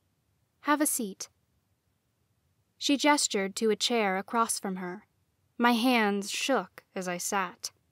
I shouldn't have been so nervous, but I was. My evoking ceremony would determine my magic and where I fit within the coven. I couldn't mess this up. Headmistress Verla rounded her desk and leaned against the corner, placing her hands in her lap. I'm sorry we had to cancel our previous lesson. How are things going here at school? I relaxed a little as she spoke in a casual tone. They're fine. My history class is a lot to take in, but I'm really enjoying all the others. The corners of her lips turned into a frown. Is that something I can help with? I could set you up with a tutor. No, I said quickly, though I appreciated the kind gesture. Let's get started, then. She returned to her seat behind her desk and stroked Odin's fur. He closed his eyes and swished his tail, enjoying the gentle massage. Let's begin with any questions you have. It'll help me get a feel for what we need to cover. Headmistress Verla spoke to me like I was her equal. I should have felt better about it, but it put me on edge. Did I perhaps remind her too much of my mother? I didn't want to think about my mom, so I pushed the thought out of my head. What exactly happens during an evoking ceremony? I asked. Headmistress Verla gave a bright smile, like she was happy to answer the question. It's quite simple, really. You'll lie on the ground in a circle of five candles, one to represent each of the castes. Another witch will perform the ceremony by repeating an incantation. Who will that be? I asked. You? She gave a slight nod. If you want it to be, but you can ask anyone you choose, as long as they've already been through their ceremony. Your grandmother, for instance, would be a perfect example. I let out a deep breath. I'd really like for Grammy to be there with me. Can other people be there, or just the one witch? You can invite anyone, she answered. Some witches throw huge parties for their ceremonies, while others prefer to keep it strictly to family and friends. I was already forming a list in my mind of who I wanted to be there, but the list pretty much stopped at Grammy, Talia, and Grant. Lucas's face flashed through my mind for a second, then I remembered that I was mad at him. I shifted in my chair. What happens after the incantation is spoken? You will fall into a trance, Verla explained. This trance is so deep you won't even realize you're in it. Then how can I prepare? I balked. Nerves ignited deep within my belly. How could I pass the test if I didn't know I was being tested? Verla held up a hand to calm me down. Nothing to fear, Nadine. If your heart is in the right place, you will pass. I swallowed. What if my heart wasn't in the right place? I didn't even know what that meant. What if. I trailed off. I had so many questions I didn't even know which one to start with. Verla raised a curious eyebrow, and I nodded my hands in my lap. What if I decide not to do it? Verla frowned. Why wouldn't you go through with your evoking ceremony, Nadine? Because I'm scared. I don't want to fail. I can't let Grammy down. Instead, I just shrugged. If you don't go through with this, you won't receive your powers, Verla stated. Is my birthday my only chance? I asked. Verla pressed her lips together and nodded regrettably. It's the one and only night the veil lifts for you and allows you to contact Mother Miriam. Contacting her on any other night would be nigh on impossible. A knot formed in my chest. Usually, I wasn't so afraid to take chances, but this was different. This was terrifying. Verla eyed me, and her features softened. Nadine, what's wrong? Perhaps I can ease some of your worry. My eyes locked on her cat so I wouldn't have to meet her gaze. I took a moment to breathe, then forced the confession out. What if. What if I don't have the power to be part of the coven? Verla furrowed her brow. What do you mean? I forced down the lump in my throat as my anxiety reached the surface. Well, I'm only half witch. My mom was a witch and my dad was a human, right? So what if I don't have enough power to pass Mother Miriam's test? Amusement crossed Verla's features for a moment before settling into a sympathetic expression. I assure you, Nadine, Mother Miriam doesn't work that way. As long as you have her blood running through your veins, she will accept you as any other. When a witch has a child with a human, their children have the same potential as the parent. You can be just as strong of an alchemist as your mother, Nadine. You think I'll get alchemy? I asked. It runs in your family, she stated. Mother Miriam almost always assigns families to the same caste, as the coven is very family oriented. In some instances, she may assign you a different caste if she sees fit, but it's quite rare. What about if the parents are from different castes? I questioned. Can you end up in two? Verla shook her head. No, there's never been a witch or warlock assigned to more than one caste. Mother Miriam will pick the one that's the best fit for you, regardless. So, what do I have to do to become an alchemist? I asked. I'd like to run you through a few scenarios, Verla said. Of course, we can't predict what scenarios Mother Miriam will put you in, but we can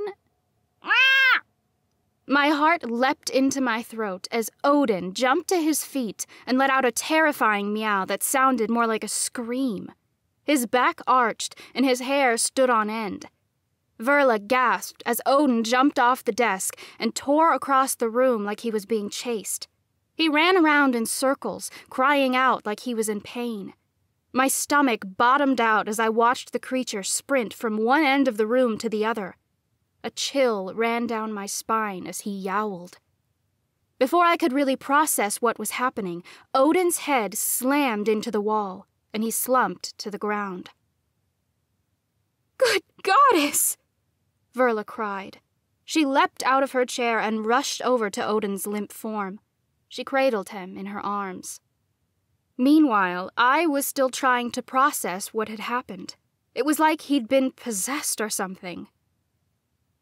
I cautiously stood and draped my bag over my shoulder. Is he okay? Headmistress Verla kept her head down and she stroked Odin's black fur. She shook him, but he didn't move. I. I have no idea what happened.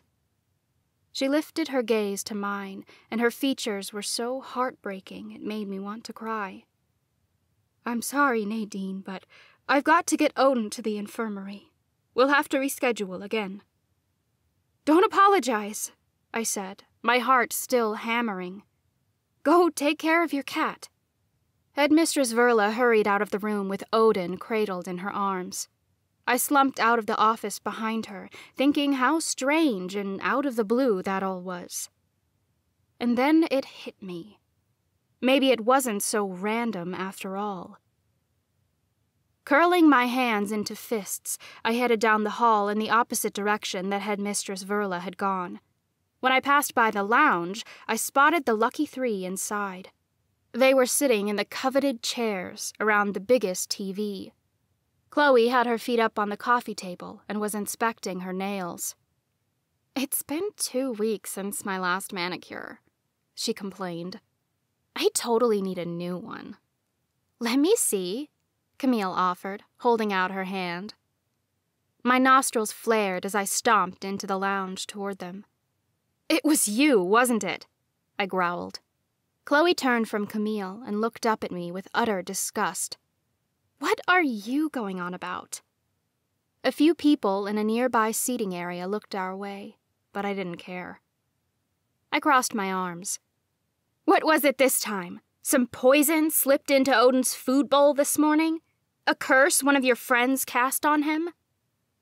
Chloe rolled her eyes and stood so that she was a mere step away from me. I seriously don't know what you mean. I narrowed my gaze at her. I know you had help.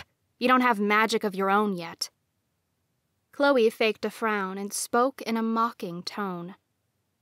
Oh dear, didn't you know I don't need magic to get my way?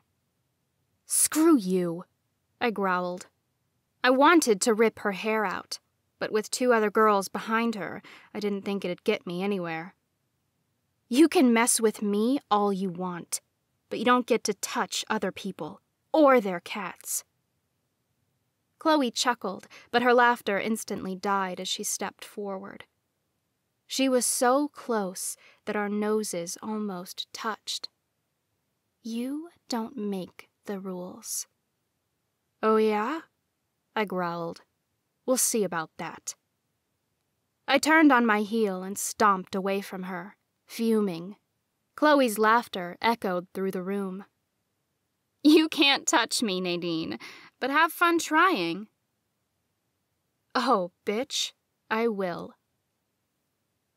I didn't really know where I was going until I passed through the main foyer and saw Talia.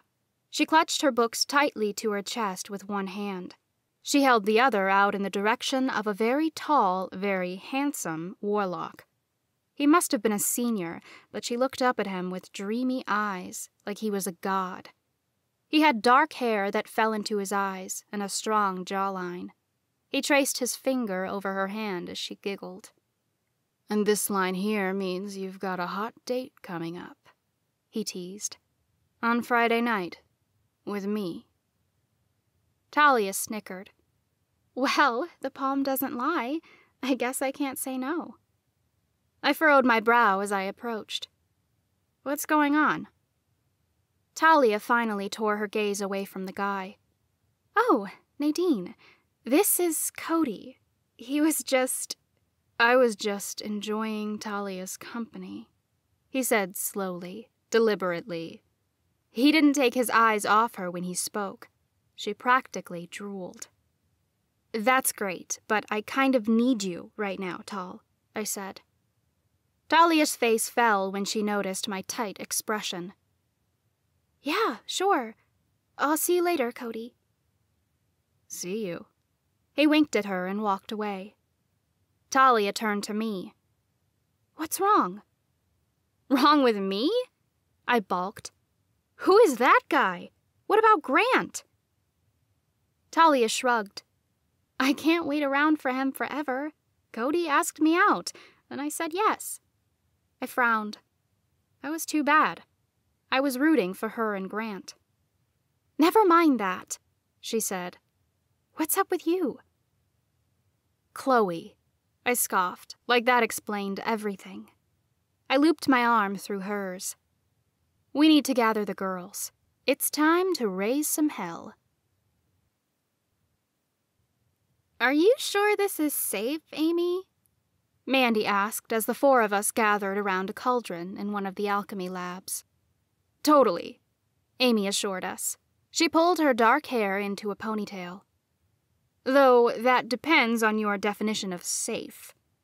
Mandy was sitting on one of the tables, swinging her feet beneath her and tapping the tabletop with her long, manicured fingernails.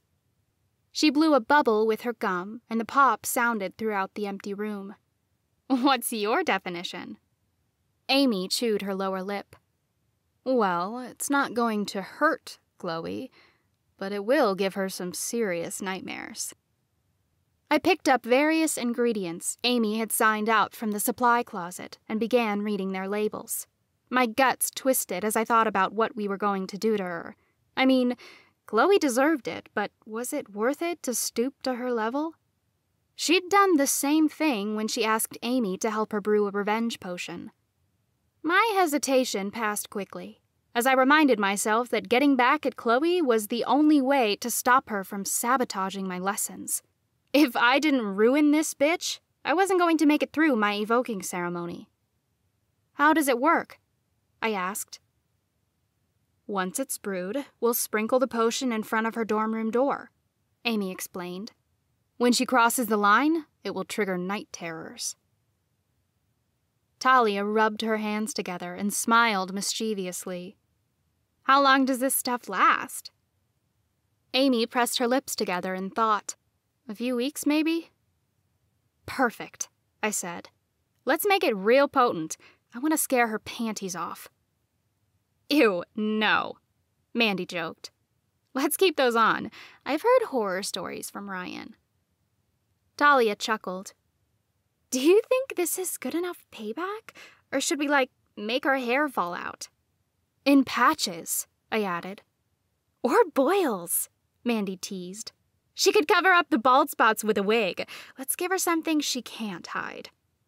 Ooh, or hair, like all over her body. Talia laughed. Like Bigfoot. I snickered. How about a beard? Come on now, Amy joked. You're getting a little out of my pay grade here. I calmed my laughter. Okay, nightmares it is. Perfect, Amy said. Nadine, I need an extra hand. Talia, can you get me a spoon from the wall over there? What about me?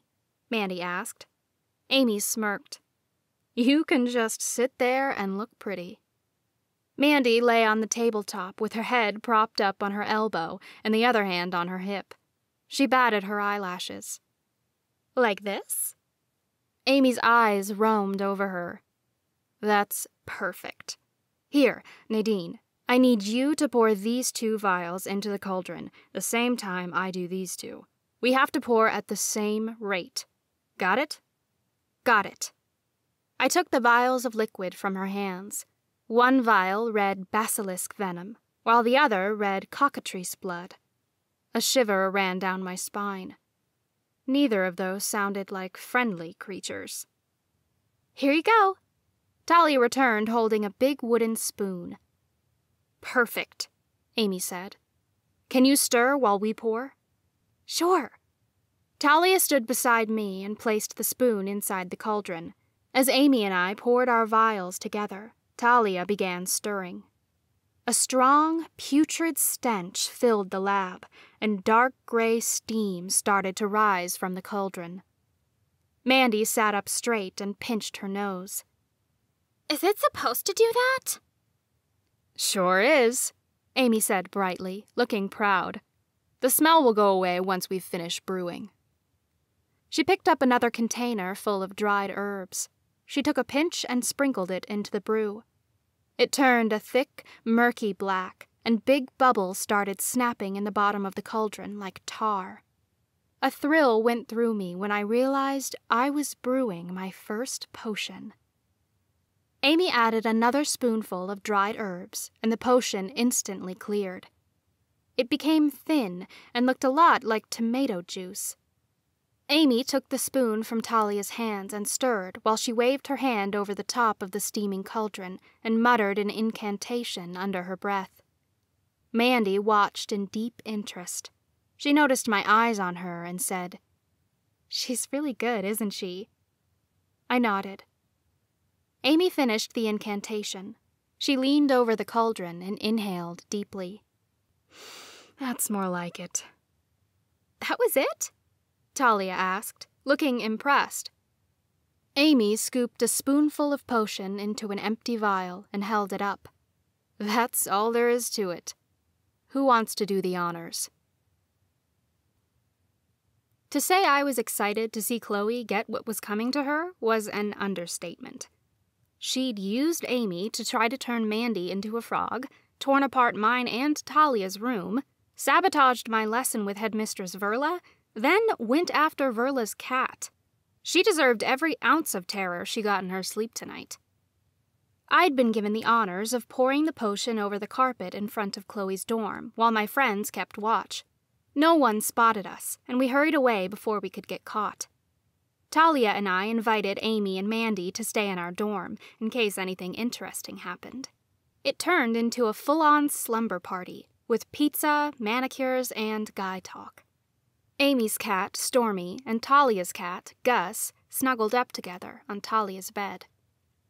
Mandy had twisted my hair into a pair of French braids, and she was working on painting Amy's nails.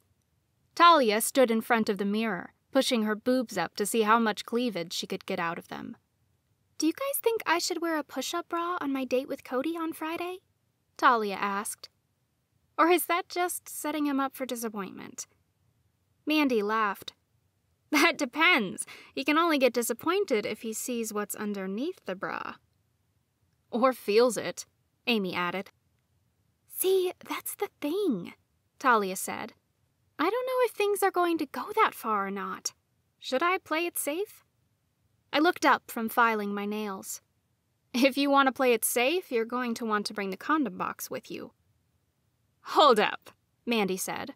Condom box? Talia smirked and went to her dresser. She opened her jewelry box and a bunch of condoms spilled out. Yep, we had to restock after the Lucky Three trashed our room. Oh, that explains all the condoms, Amy said. Either of you need one? Talia offered. Mandy scoffed. That would be a miracle right now. I'm going through a serious dry spell. You? Talia held out a condom toward Amy. Amy crinkled her nose from where she sat on the floor. That's kind of useless for a girl like me. What do you mean? Talia asked. Amy raised her eyebrows. I thought you knew. Talia tilted her head to the side. Knew what? That I like girls. Amy glanced from Talia's shocked face to mine. She burst out in laughter. Oh, goddess, you guys, you should see your faces. I quickly righted my expression. I didn't mean to assume anything. No, it's fine. Amy assured me. I really thought you guys knew, just as long as you're still my friends. Of course we are, Talia said, placing the condoms back in the jewelry box. It just means more condoms for us. Amy chuckled. You can have all the condoms you need, girl. I'm not going to use them. Before anyone else could say anything, a high pitched scream echoed down the hall. It shocked me at first, but my pulse quickly slowed as a proud smile spread over my face. Looks like it's showtime. Talia smiled mischievously and headed for the door. Mandy screwed on the cap to the nail polish, and Amy blew on her fingers. We all followed behind Talia as she opened the door. Down the hall, we could hear the sound of doors swinging open. Gwen rushed out of one of the dorm rooms as the scream came again. She pounded on the door next to hers and shook the handle. Chloe? Chloe, what's going on? Camille stepped out of the room behind Gwen in nothing but tiny shorts and a skimpy tank top. What was that? Chloe! Gwen screamed again, pounding on the door. Chloe's door swung open, she looked like a total mess, with no makeup on and her hair in disarray. Her silk nightgown hung off her at an odd angle. What in the hell are you doing, Gwen? It's like one in the morning. Gwen blinked a few times in shock. You were screaming. I thought. You thought wrong, Chloe snapped. Her eyes scanned the hallway, and she noticed a bunch of girls watching curiously. She raised her voice. What are you looking at? Go back to sleep, losers! A few people murmured to their roommates as they shut the doors. I, on the other hand, stepped out into the hall and crossed my arms. I leaned against my doorframe, proudly admiring our handiwork. Are you okay? Camille asked Chloe. Yeah, just a bad dream, Chloe admitted. I haven't had a dream like that in. She cut off as she noticed me standing there. She pushed past Gwen and Camille, her nostrils flaring. What did you do, Nadine? Me? I asked innocently. Whatever do you mean, Chloe? Mandy and Amy snickered from behind me. You cursed my sleep! she accused, pointing a finger in my direction. A few girls were still peeking through the cracks in the doors. Good. Let them enjoy the show. I hoped Chloe looked as crazy to them as she did to me in that moment. It was so satisfying to watch her stand there, shaking. I tilted my head to the side. How could I do that, Chloe? I don't have magic yet. She turned her angry gaze on Amy. It was her! Me? Amy feigned. You really think I'd do anything to you after you kidnapped my cat and threatened to kill her? Chloe's eyes darted from door to door. She noticed a few onlookers. I would never threaten a cat, Amy. Everyone knows that. Heat flared deep in my belly. No way was she getting away with such a bold faced lie. I straightened and stepped forward.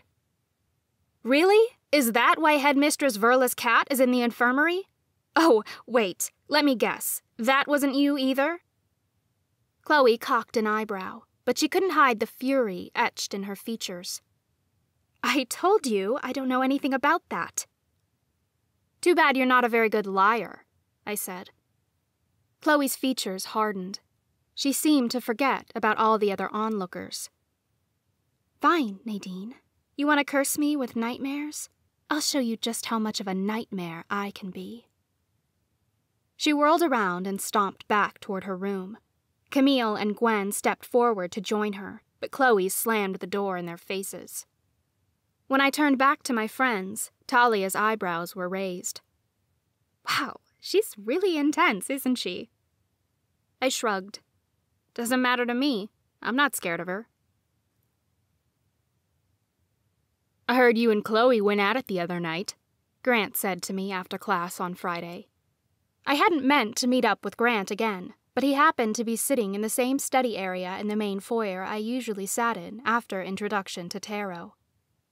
I scoffed as I settled into one of the plush red chairs. Believe me, if we went at it, she'd have a chunk of hair missing. Honestly, I couldn't believe she'd gone all week without retaliating. At least Verla's cat was back to normal, but I still didn't know what Chloe might do next. I'd been watching my back for days, and she had yet to strike. I figured it was all part of some elaborate plan to put me on edge. It was working. Between my feud with Chloe and everything going on with Lucas, I barely had a chance to breathe all week. I didn't want to ask Grant about Lucas, so I asked about Talia instead. So, when are you planning to ask Talia out? Grant frowned. About three weeks ago. Every time I get close, I chicken out. Why?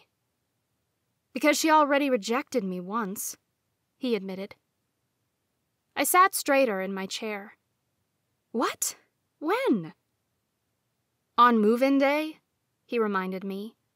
I asked her out, and she said we should all go out for muffins instead. I'm afraid she'll reject me again. I wouldn't call that a rejection, I told him. She's been waiting for you to ask her out again and has gotten sick of waiting. She's got a date with some guy named Cody tonight. Grant groaned. Cody White. Are you kidding me? How am I supposed to compete with him? Grant sank down in his chair. She never would have gone for me anyway if she's got guys like Cody asking her out. Hey, don't say that, I scolded. Grant ran his fingers through his dark hair. Damn it. I missed my chance, didn't I? No, I reassured him. She can't date him forever. You don't know that, he grumbled. Grant's eyes went wide as they connected with something behind me. He sank even further in his chair until he was practically hiding. What? I turned around to see what he was looking at. Speak of the devil, he murmured. My eyes landed on Talia. She looked really cute in a casual red dress that fell to her knees and black boots. She wore her hair up in a high ponytail. Cody walked alongside her and tugged playfully at the ponytail. You look like a freshman with your hair up, he told her. You should wear it down. Talia reached up and touched her ponytail. You think so? Yeah, you'd look so much hotter, he said. Here, let me show you. He reached into her hair and pulled the elastic out of it. Talia's hair fell around her shoulders. She ran her fingers through the strands to straighten them. How's this? Perfect, Cody said, shooting her a smile. Let's get out of here. Can I have my elastic back? Talia asked. Cody looped it over his wrist. And risk you putting your hair back up? No way. It's mine for the night. Talia walked alongside Cody toward the doors. She noticed us as she was passing and waved. Good luck, I mouthed. As soon as Talia was out the door, Grant straightened. What a jackass. I raised an eyebrow at him. Is someone a little jealous? Grant's face fell. That's not what I meant. The way he took her ponytail down like that? It's an asshole thing to do. It was harmless, I argued. Grant crossed his arms. If I were dating Talia, I'd let her wear her hair any way she chooses. Before I could respond, Grant's face fell as his eyes connected with something else across the foyer. Uh oh. I turned to see Lucas across the room. My heart lifted in my chest, then started pounding furiously. I hadn't seen him since that day I snapped at him by the cafeteria. I hoped he didn't come over here to talk to Grant. I didn't know what to say to him. And then I saw her. I didn't know who she was, but she was walking alongside Lucas and laughing. She was a tall blonde with legs that went for miles and a tiny little waist. Her hair flowed around her in perfect curls. She looked like she belonged on the runway. Who's that? I asked Grant before I could stop myself. Lena? he asked. She's nobody, a necromancer in one of his classes. They're writing a paper together. Grant said it like it should have eased my nerves, but it did the exact opposite. If she's nobody, why did you say, uh oh, when you saw them? I demanded.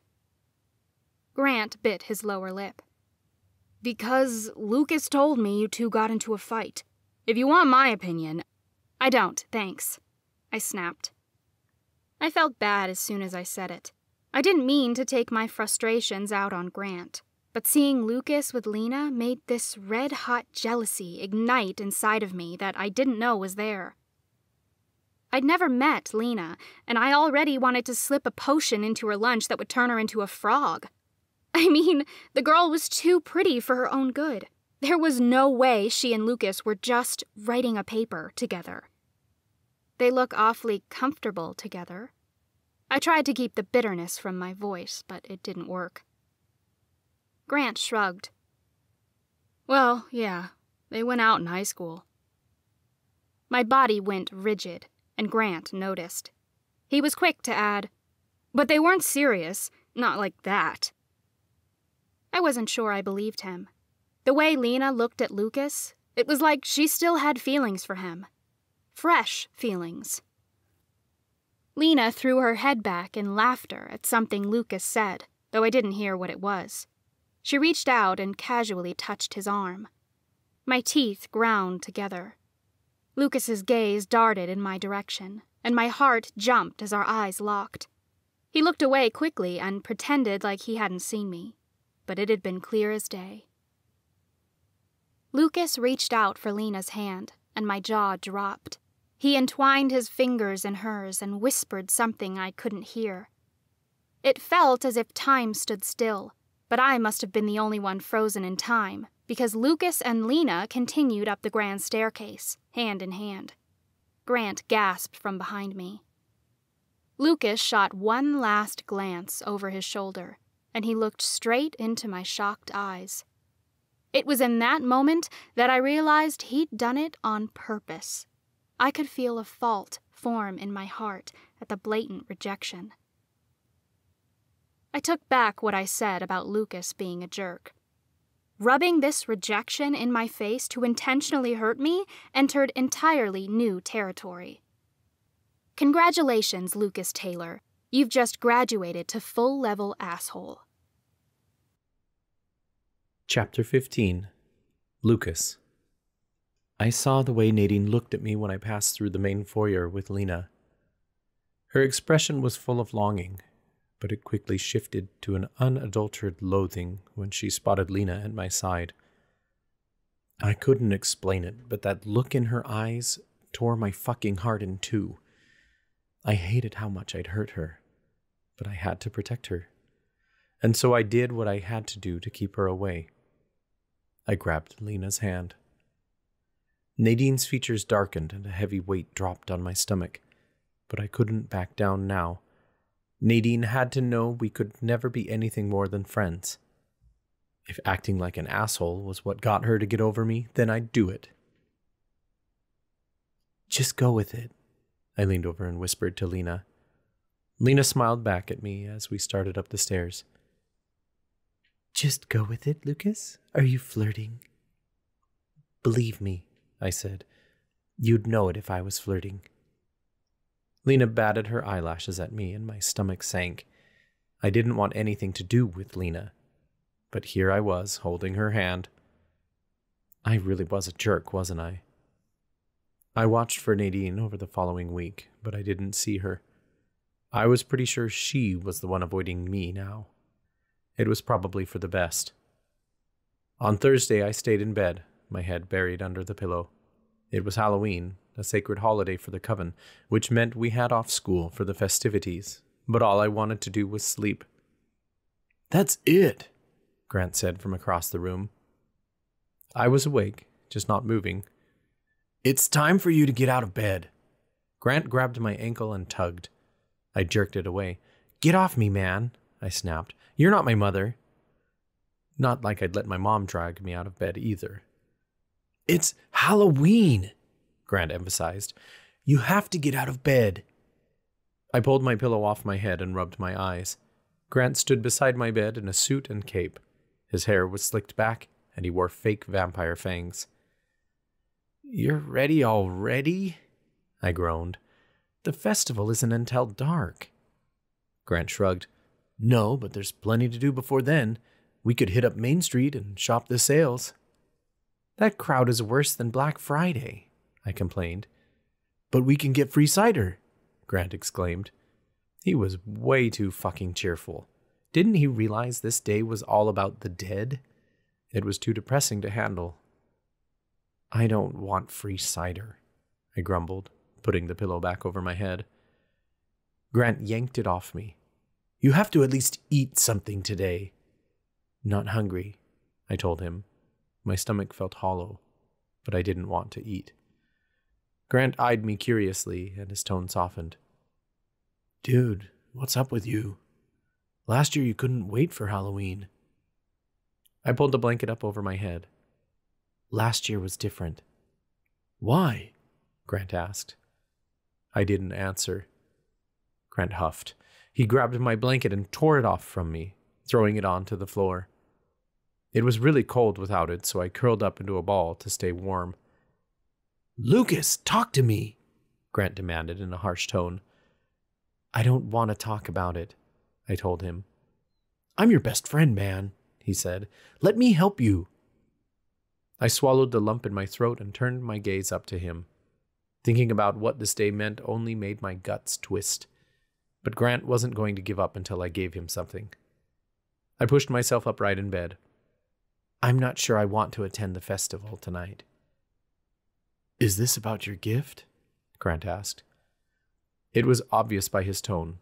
He worried I'd faced too much death this past year and didn't want to celebrate. But that wasn't it at all. I shook my head. Then what? Grant asked, spreading his arms out in question. You love Halloween. The hay rides, the apple bobbing, the costume contests. You could even go to one of those seer booths and. Grant stopped in his tracks and realization crossed his eyes. Oh, he said flatly, eyeing the fallen expression on my face. You don't want anything to do with the spirits today. I curled my arms around myself because it felt like my guts would spill out otherwise. There's a reason I haven't gone to a psychic since he died. The words felt heavier than I thought they would. He died. Eric was gone. I knew it, and still it was hard to wrap my head around, because he wasn't totally gone. His spirit was out there somewhere. I was just too afraid to figure out where. You don't want to talk to him, Grant whispered, sinking into a spot on the couch. It's not that, I told him. It's just. I hesitated. I wasn't good at sharing my feelings. With Grant, we could talk about girls and crap like that, but I couldn't talk about the heavy stuff. I couldn't talk about my brother. The truth was, Eric hadn't reached out to me in the past year. If he wanted to talk to me, he could have contacted a medium and relayed a message. But he hadn't which either meant he was at peace with everything that happened, or he ended up in the abyss. It was easier to believe he was at peace. I'd rather not seek out confirmation. You don't have to visit a seer, Grant said. Just dress up and go to the festival with me. That's all I ask. I shrugged. I don't know, Grant. I'm not feeling very festive. Here's an idea, Grant said brightly. The veil's thin tonight, which makes seances super easy. You'll get an A for sure. I cocked an eyebrow at him. You want to help me do a seance for my afterlife studies class? For sure, Grant said. It'll be fun, and you have to do it sometime this semester. I sighed.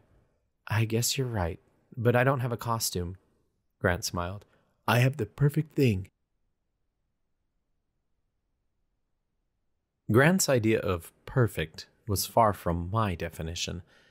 I lifted the hem of the robe I wore, ready to tear the freaking thing off because I couldn't stop tripping over it. It was one of the black robes we wore the night of Nadine's initiation. Grant said I should dress as a reaper. Not cool, I'd told him rather harshly. I didn't mean it as a joke, Grant promised. It's an easy costume. I grumbled about it all day before finally giving in. At least I could hide beneath the hood. It was dark by the time we finally left the dorm. I held the celestite stone Nadine had given me in my hand. It was supposed to calm me, and our goddess knew I needed some serious help in that area. So far, it didn't seem to be working.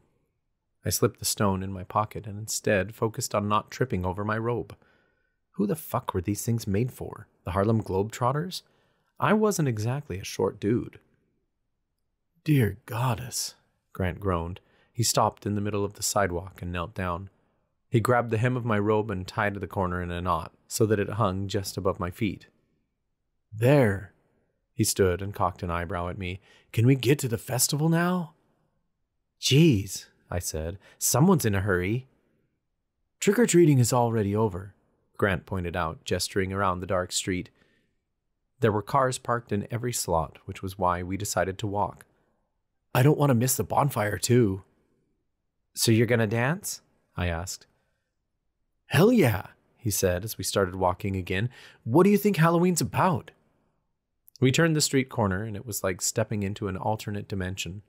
The last street was so quiet and deserted, but Main Street was bursting with life. All the shops were open, and there were strings of orange and white lights above us. People walked up and down the road, since it was blocked off to cars. They were dressed in creepy costumes like ghouls, demons, and scary clowns. I saw at least a dozen people in costume as slasher film villains, and there was an entire family dressed up as characters from the Addams family. One girl had done her makeup to look as if her skin was falling off. Her boyfriend made it look like his head had been severed. Everywhere I looked, there was some sort of dead something or other a dead bride, a dead prom queen, and a dead nurse. One kid walked around looking like a talking ventriloquist doll, which was creepy as hell. I even saw a girl dressed up as a Ouija board, with a planchette painted on her eye and the letters on her chest. A trio of girls from school had dressed up as the Sanderson sisters from Hocus Pocus. I noticed Lena was the one dressed as the pretty blonde. Up and down Main Street, the shop owners had gone all out with decorations. Skeletons hung from signs, and cobwebs had been stretched across windows. Jack o' lanterns of all shapes and sizes were set up along shop stoops or on bales of hay in front of windows. We passed by the four Imperium priestesses.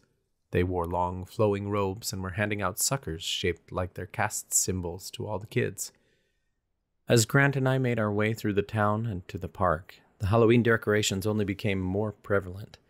Plastic bats had been hung from the trees, and fake blood was smeared all over tree trunks. The vendor booths in the park were even more elaborate than the shops on Main Street. One looked like a gingerbread house, and a lady dressed as an ugly old witch invited kids inside for candy. A haunting melody came from the bandstand, and I could see the bonfire burning down by the river. Candy! Grant cried, he ran over to the first booth and grabbed a handful of chocolate from the bowl sitting there. He subconjured it, then grabbed another handful and shoved it in his pocket. I eyed him with a frown, and he stopped dead in his tracks. He pulled the candy from his pocket and held out a piece to me. Sorry, bro, did you want some? No thanks, I said. Grant shrugged. More for me. So, you want to start with apple bobbing or the hay bale maze? They're both for kids, I pointed out. Grant clapped me on the shoulder. There's a kid inside all of us. It's your fault if you refuse to embrace it. Grant really wanted to do the apple bobbing, so we wove through the maze of booths to find it. Each booth had a different activity, like pumpkin painting or pumpkin carving. There were photo booths, pumpkin tosses, and all sorts of carnival games with Halloween themes. One booth had aisles made out of hay bales, and people were rolling pumpkins down them at plastic bowling pins. Beside that, miniature pumpkins had been set up on a giant checkerboard. Not far from us, a Halloween movie was playing on a projector, and the kids were snuggled in blankets on the grass watching. If the booths weren't hosting some activity, they were selling food. My favorites were the hot dogs wrapped in dough and made to look like miniature mummies, and the jello shaped brains. Grant stopped at the apple bobbing booth and rolled up his sleeves. Watch the champion at work. Yes, Grant, because they give out trophies for apple bobbing, I teased. He frowned. They should.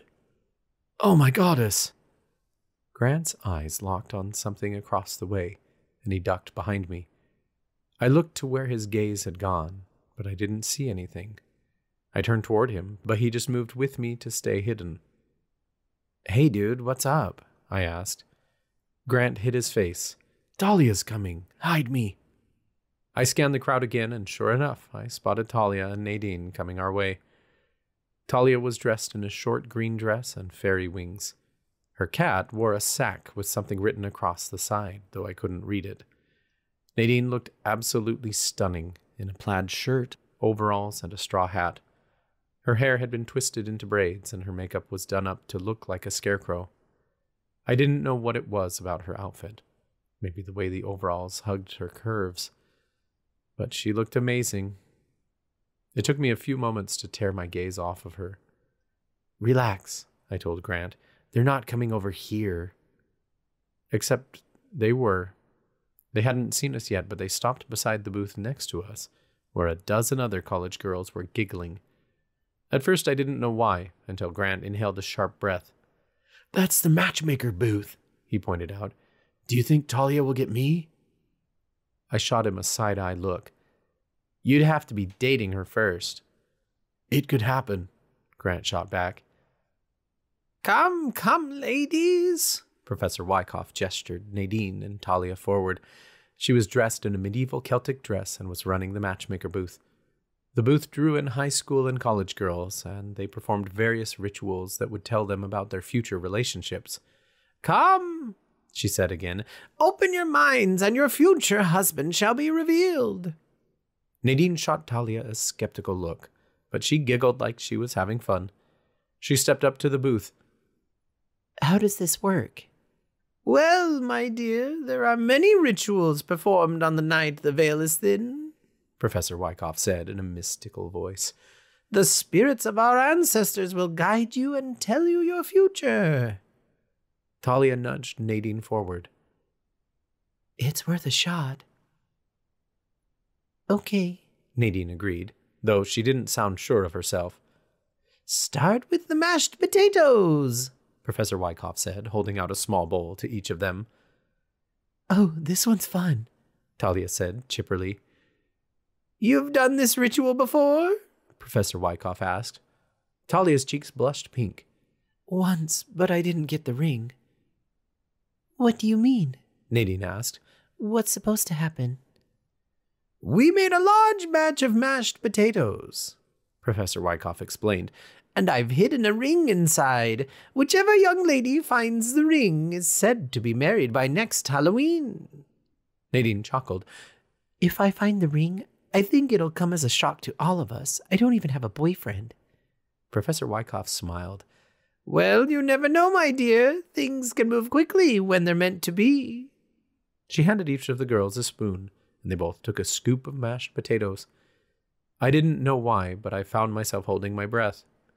I breathed a sigh of relief when Nadine swallowed. No ring to be found. Nadine handed back the bowl. No ring, but that was delicious. Thank you, Professor Wyckoff said. Not to worry, my dears, we have plenty of other rituals for you. Professor Wyckoff offered them a bowl of hazelnuts. In this ritual, you'll name each hazelnut for each of your suitors. You'll place them into your fire at home. The nut that burns to ashes will represent your future husband. Nadine hesitated. Oh, um, I don't really have any suitors right now. Grant stiffened beside me, like he hoped Talia might take a hazelnut and name it after him. But she refused the bowl as well. We don't have a fire in our dorm.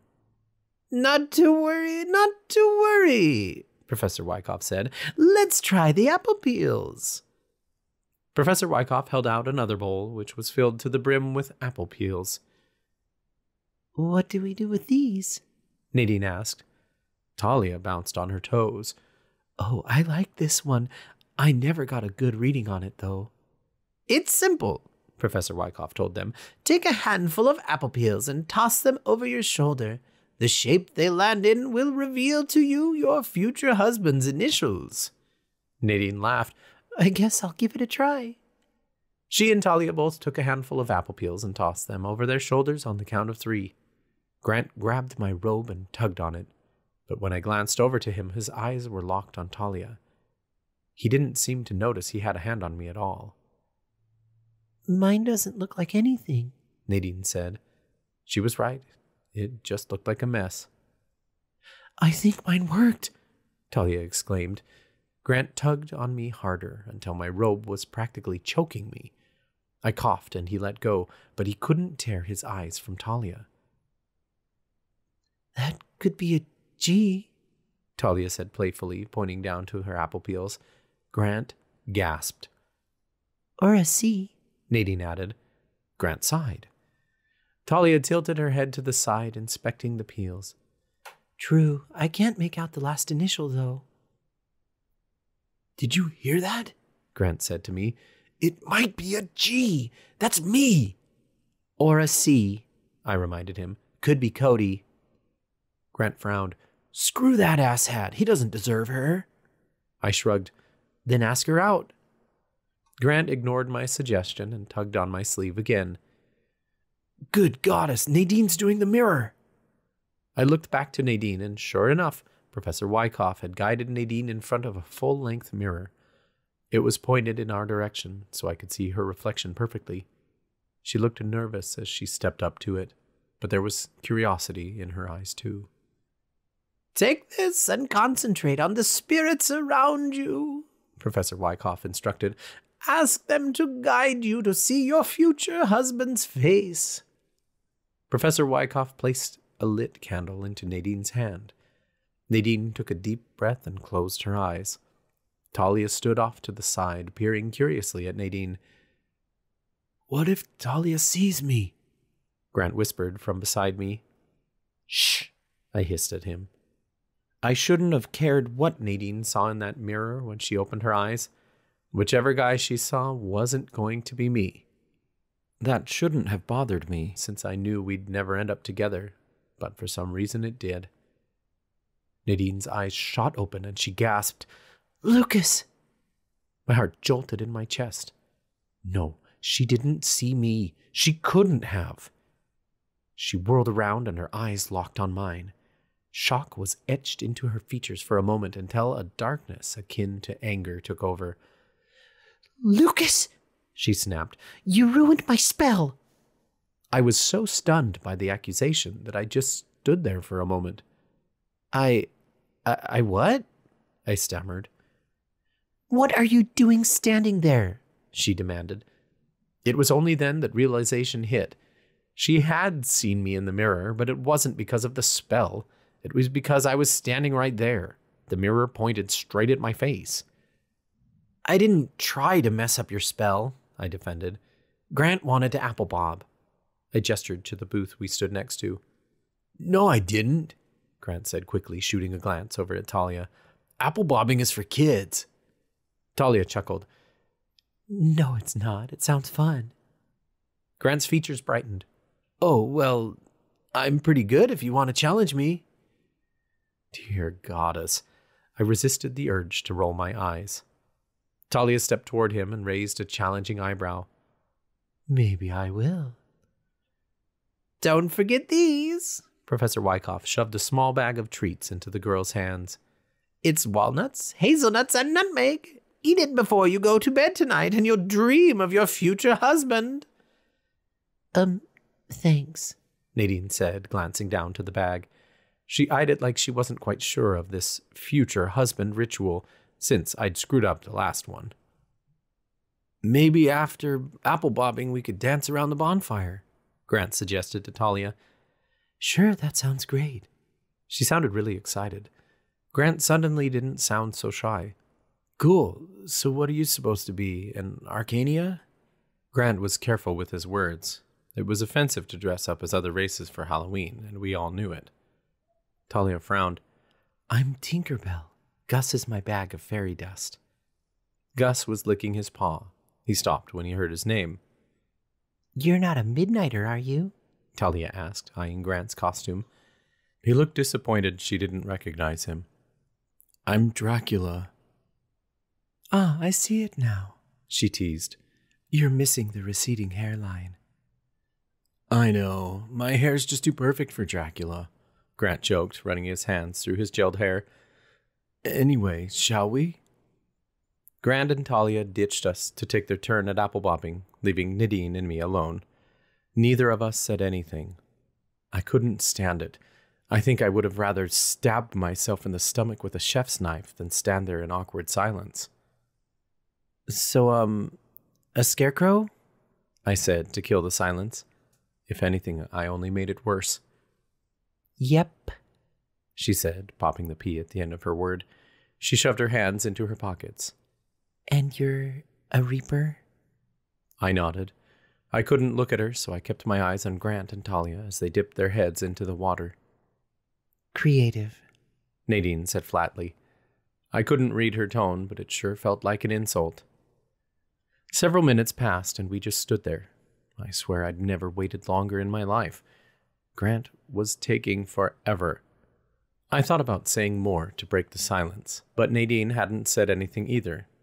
I got the feeling she didn't want to talk to me. I wanted to apologize, but I could hardly find my tongue. Something told me that'd just end in a fight, and I didn't want to ruin her night.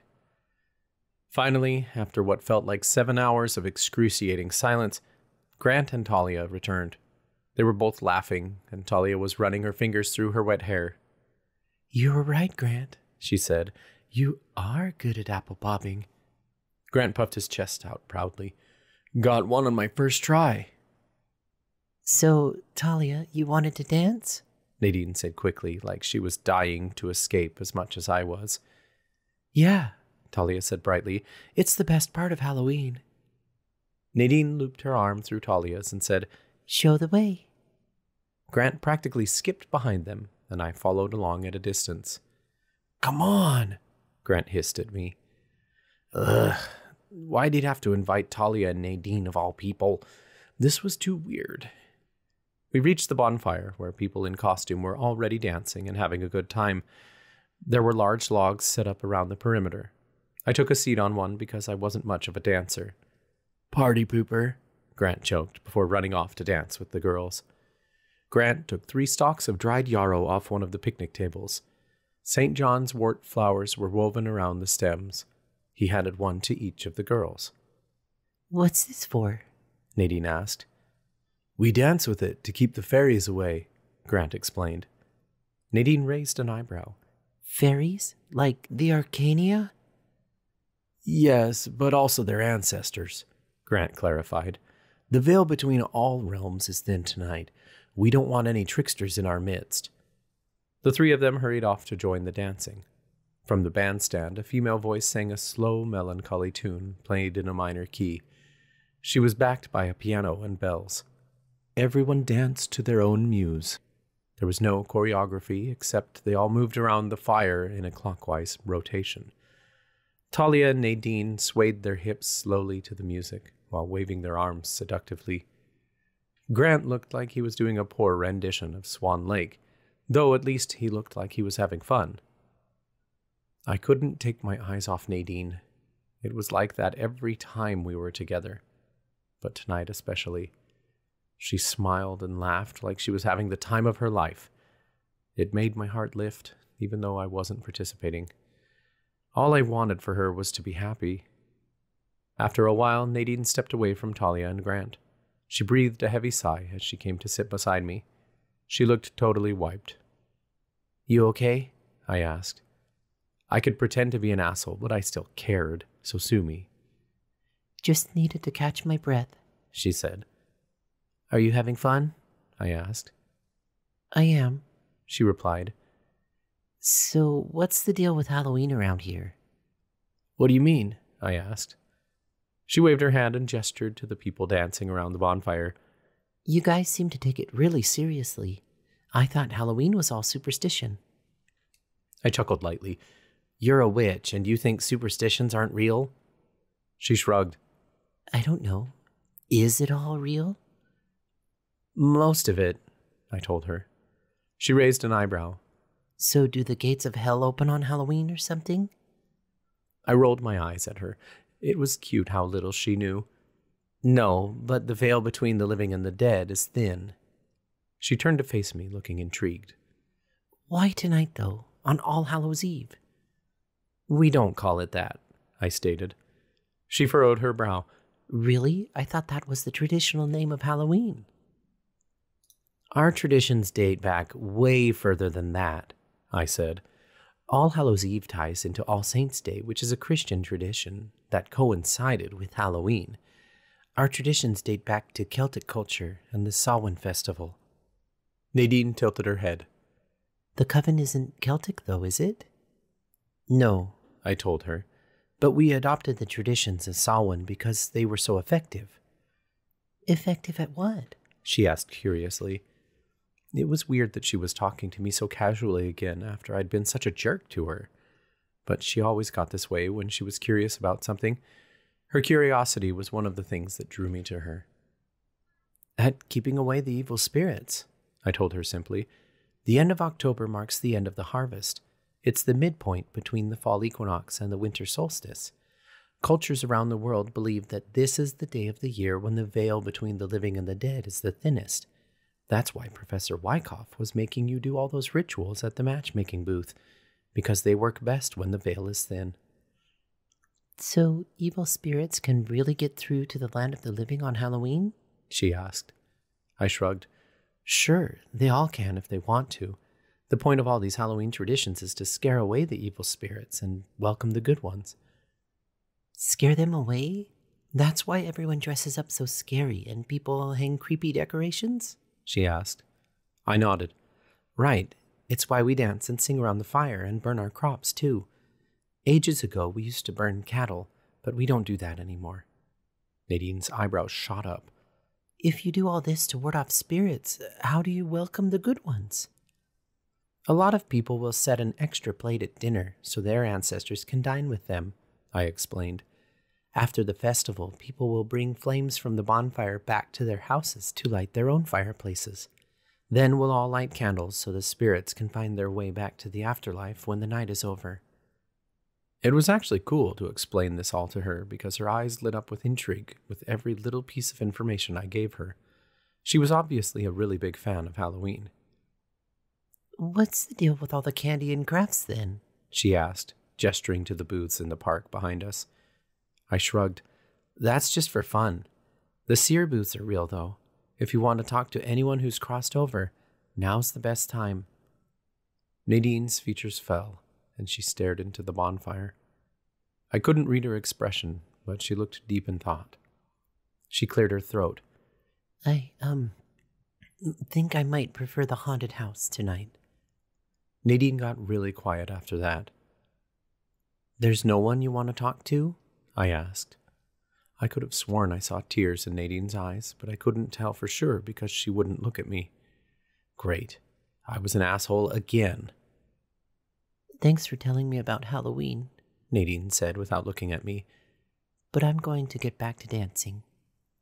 Nadine stood and walked over to Talia and Grant. She barely danced, though. She picked up Gus and made it look like he was the reason she wasn't dancing. But I could tell she was really tired. Lucas, a voice hissed through the darkness. It was so chilling that it made me freeze on the spot. I glanced around, wondering if anyone else had heard it, but everyone kept on dancing and laughing. Lucas, the female voice sounded again, louder this time. I whirled around and I nearly fell out of my seat when I saw a woman dressed in black crouched at my level. Her face was only inches away from mine. She was dressed as a night hag, a creature of lore who could invade your dreams and cause sleep paralysis. She wore a black veil over her face, but red eyes glowed from beneath it. What do you want? I asked. Fear not, child, for I am only a seer, she said. I knew it was a costume, but I'd be damned if it didn't scare the living daylights out of me. A spirit has visited me tonight, she whispered. He has seen the future, and he has a message for you. The woman reached out and pressed a piece of paper into my palm. When I glanced down at it, I saw it was a tarot card. Not just any card, either. Death. My stomach dropped to my toes. I glanced back up at her. Is this some sort of joke? She shook her head. Death follows you wherever you go, Lucas. A shiver ran down my spine. Of course it does, I snapped at her. I'm the Reaper's apprentice. What does this mean? The card could literally mean anything. I dealt with death on the daily. But I knew the death card had many other meanings. Usually it wasn't literal. You must stop this, the seer warned. Stop what? I demanded. Lucas, Grant called. Instinctively, I looked toward him. He waved his hand in my direction as he passed by me. Come dance, it's fun. Grant turned back to Talia and grabbed her around the waist. She giggled as he bared his fake fangs and pretended to bite her cheek. I ignored him and turned back toward the seer. But she was gone. The card still sat in my hand, but it was as if the woman had never existed. Whatever. I was sure it was nothing more than a joke. I tossed the card into the grass behind me, and it tumbled in the wind.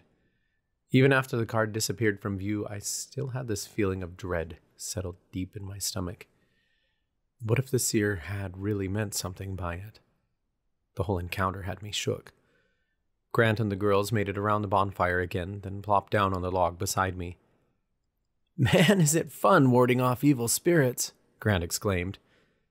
Gus had fun, Talia said, stroking her cat's head. Nadine shot a glance my way, but she didn't say anything. Silence settled over our group, and I could feel the awkwardness creeping in again. I just wanted to get out of there, away from the creepy seer and away from this awkwardness with Nadine. I cleared my throat. Well, Grant, we should probably get going.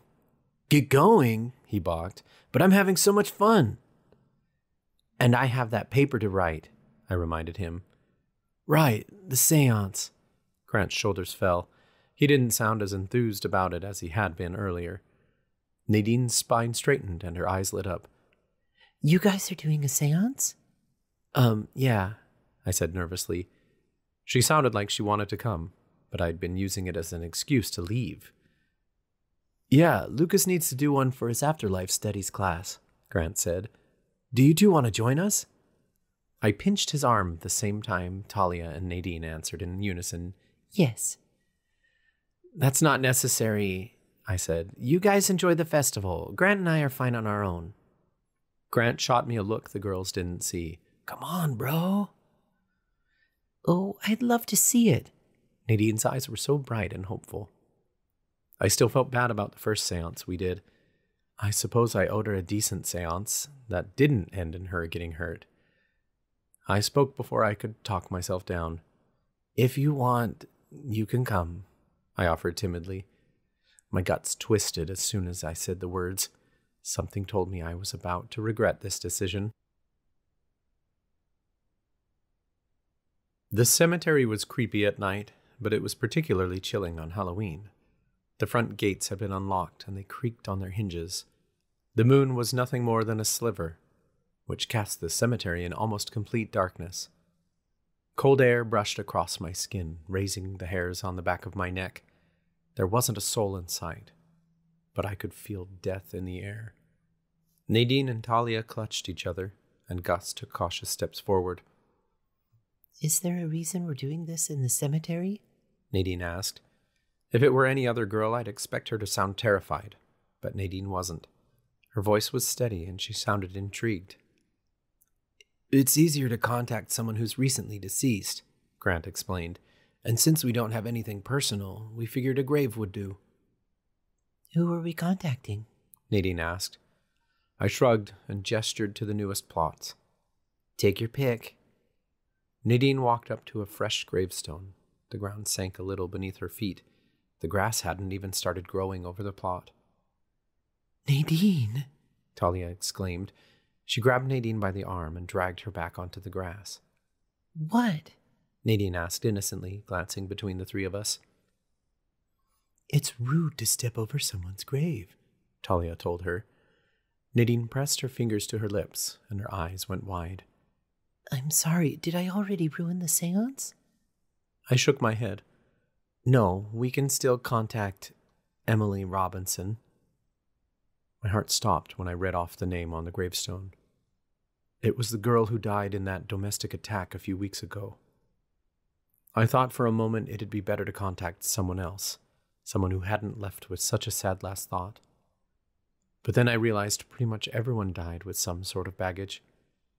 Emily was as good of spirit as any to contact. I eyed the date on the stone, then glanced down to the freshly turned earth. Something about it made me feel uneasy, though I couldn't put my finger on it. Talia's face fell. What is it, Lucas? Do you know her? I cleared my throat. No, let's get this over with. The four of us sat around the gravestone, being careful not to sit directly on Emily's grave. Gus snuggled up in Talia's lap, looking positively content. Anyone happen to have a candle or two on them? I asked. I'd totally forgotten about it before we left.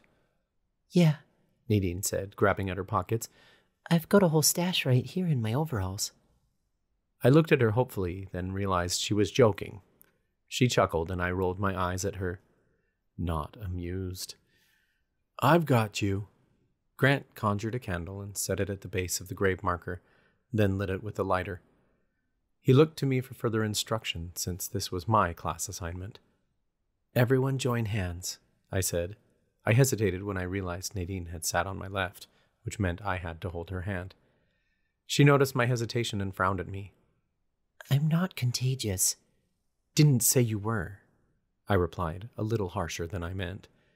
Nadine's eyes narrowed. She looked like she was about to say something, but thought better of it. She didn't want to get kicked out of the seance. I took her hand, but I must have squeezed a little too tight because she winced.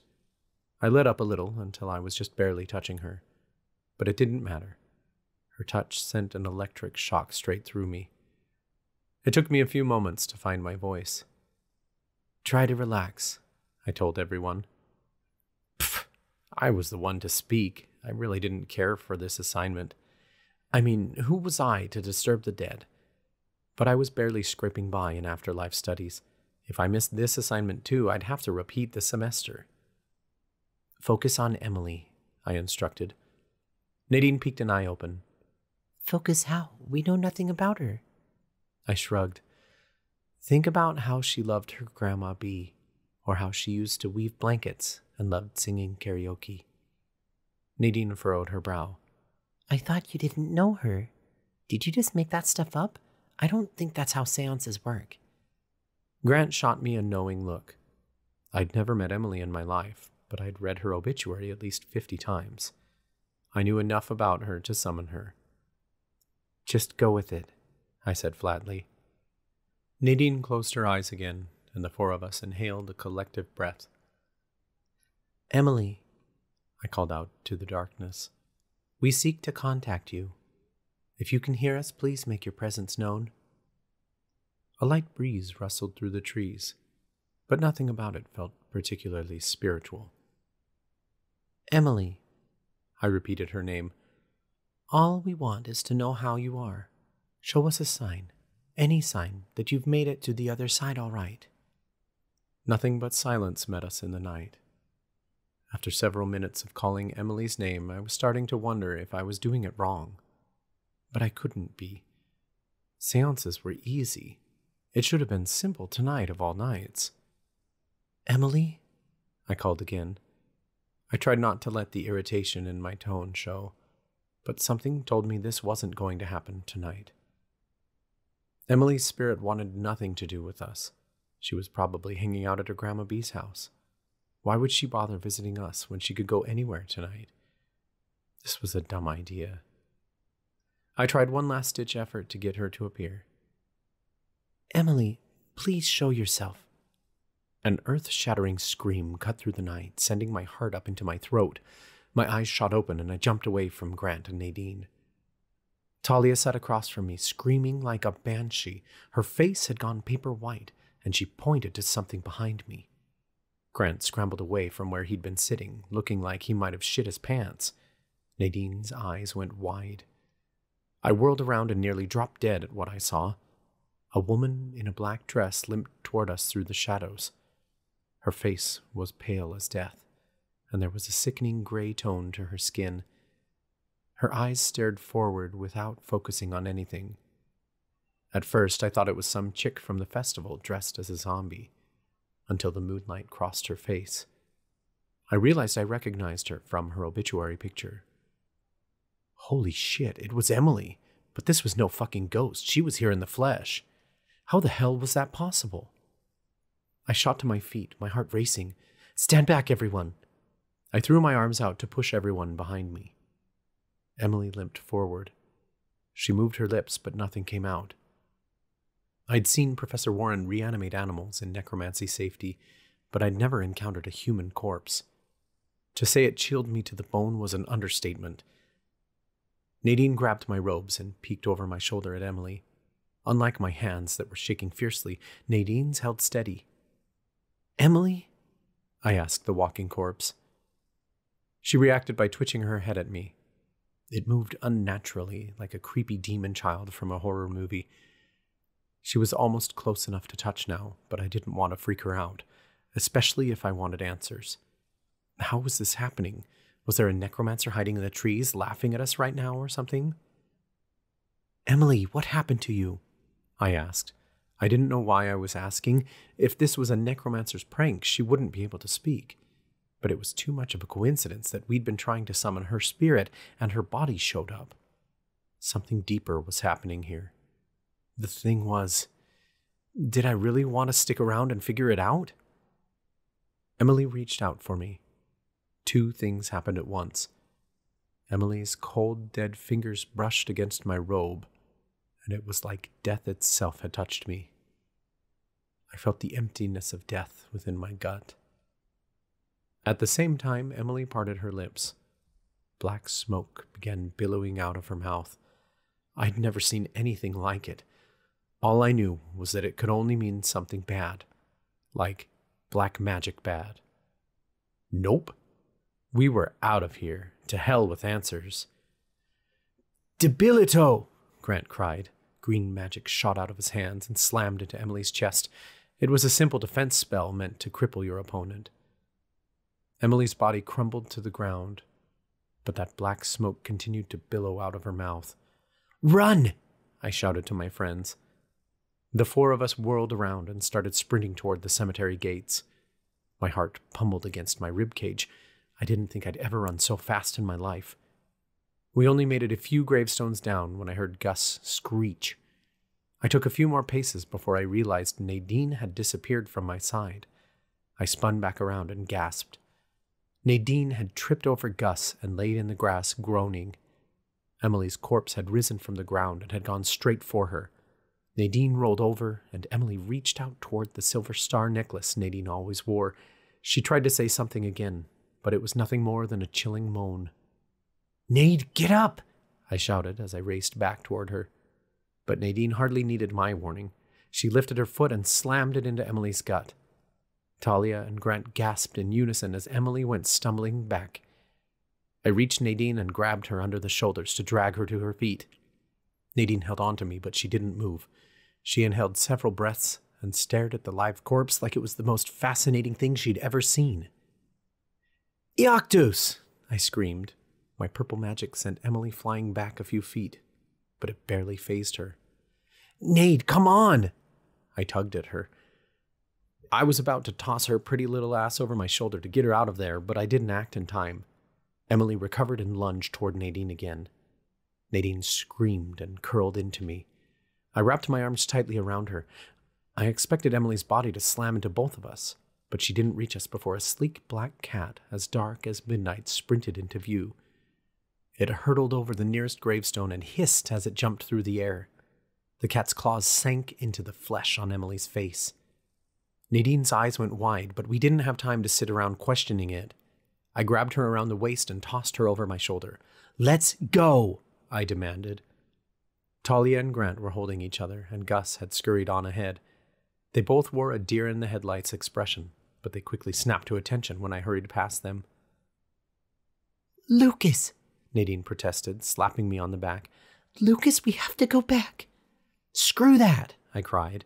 We were almost to the front gates now, and there was no way I was going back to face that dark zombie. Sure, she moved slowly, but there was something terrifying about her. Whatever this was, was way out of our pay grade.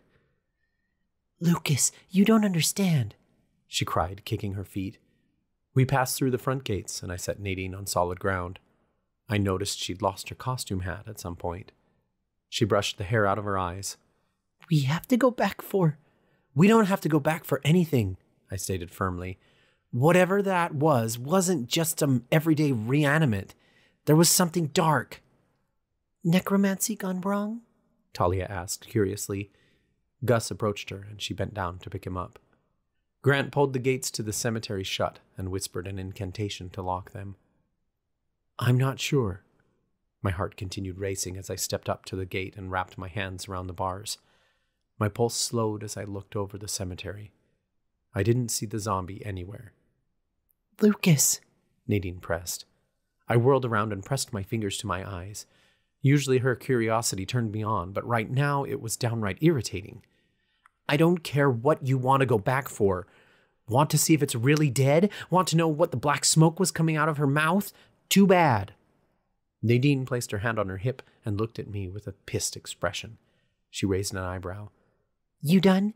I was going to say we have to go back for the cat. She saved us. Are you kidding me? I balked. That cat can clearly take care of itself. The rattling of the cemetery gates startled all four of us. Emily had returned from seemingly out of nowhere, and she was violently shaking the cemetery gates. Her features twisted into rage, and she moaned at us like she was some sort of rabid animal trying to escape. The four of us took a collective step back. She can't get to us, Talia stated, though her voice shook.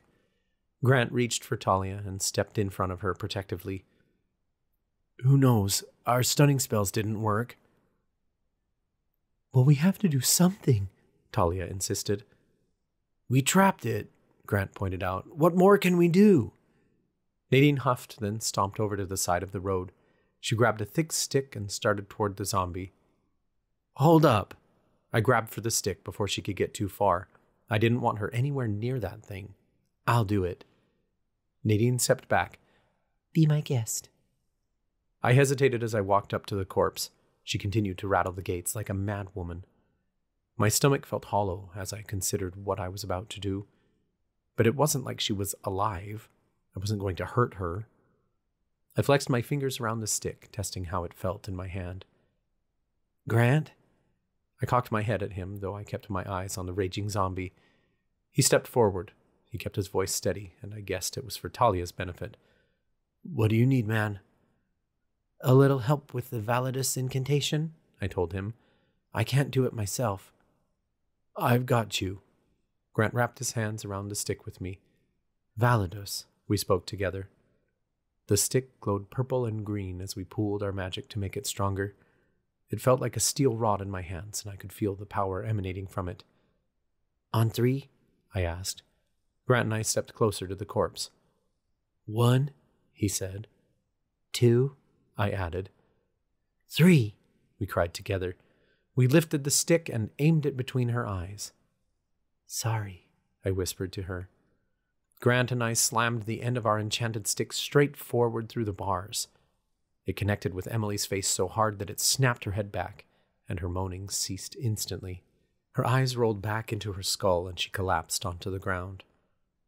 I thought that was the end of it until her back arched instantly. The sound of bones snapping met my ears, and black smoke erupted out of her eyes, mouth, and ears. It swirled into a ball above her head, and a high pitched shriek that wasn't quite human echoed across the cemetery. Get back! I screamed, my heart racing. The four of us stumbled down the road, but we couldn't take our eyes off the strange phenomenon happening in front of us. Then, all at once, the smoke dissipated and the shrieking stopped. I gasped for breath as my heart rate slowed.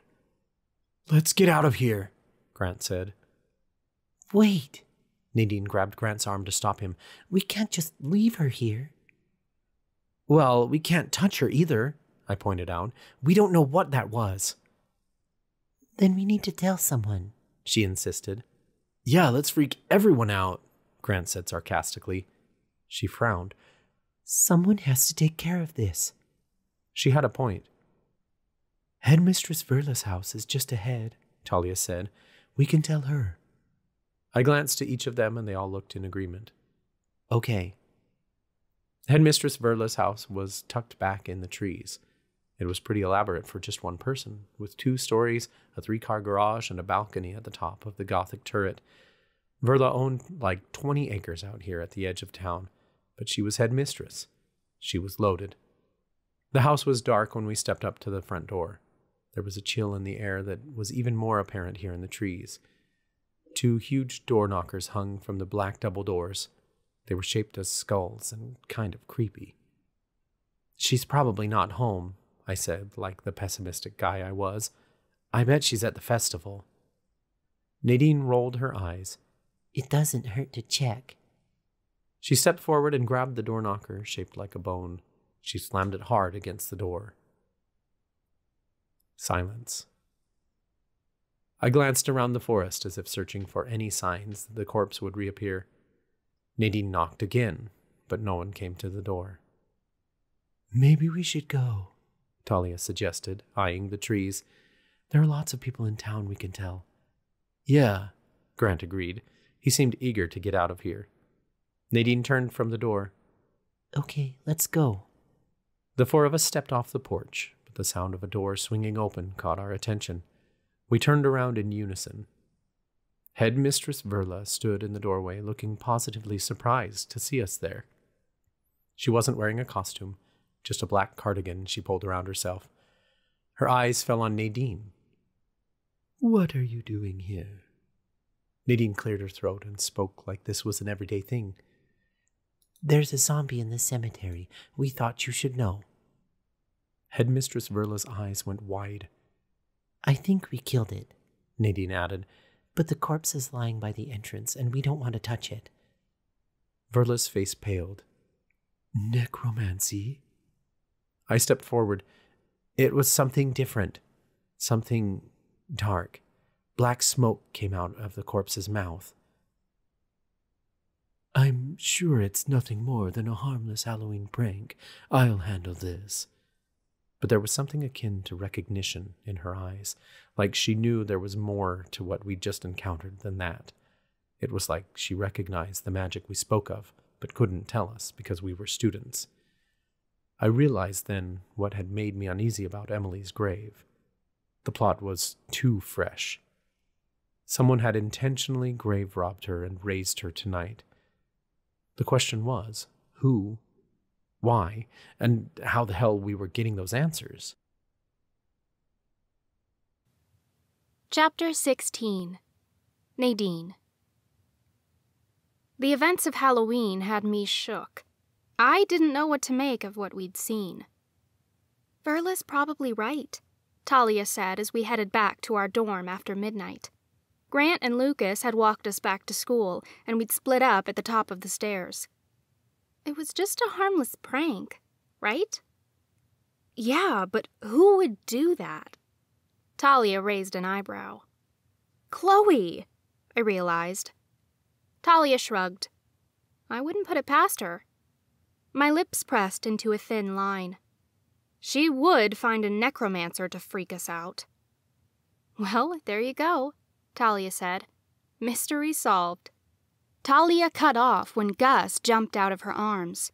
He ran down the hallway toward a black cat that sat just outside our door.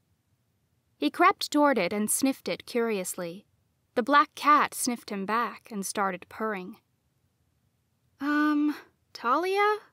I said as we got closer. I couldn't take my eyes off the cat, or rather, kitten. It looked only a couple of months old. It had a short black coat, and there were no unique markings on it, but there was something about those piercing green eyes. Is that the cat from the cemetery? She took a cautious step forward. I think it is. What's it doing here? I asked. It had to be more than coincidence. There was something about this cat that left me enamored. I had the strangest feeling the cat felt the same connection with me. It looked up at me, then walked over and started rubbing itself against my leg. My heart melted, and I bent down to pet it. A warm sense of peace settled over me. She's so sweet. Talia eyed me curiously. Nadine, can you describe to me what you feel? I stroked the kitten's fur.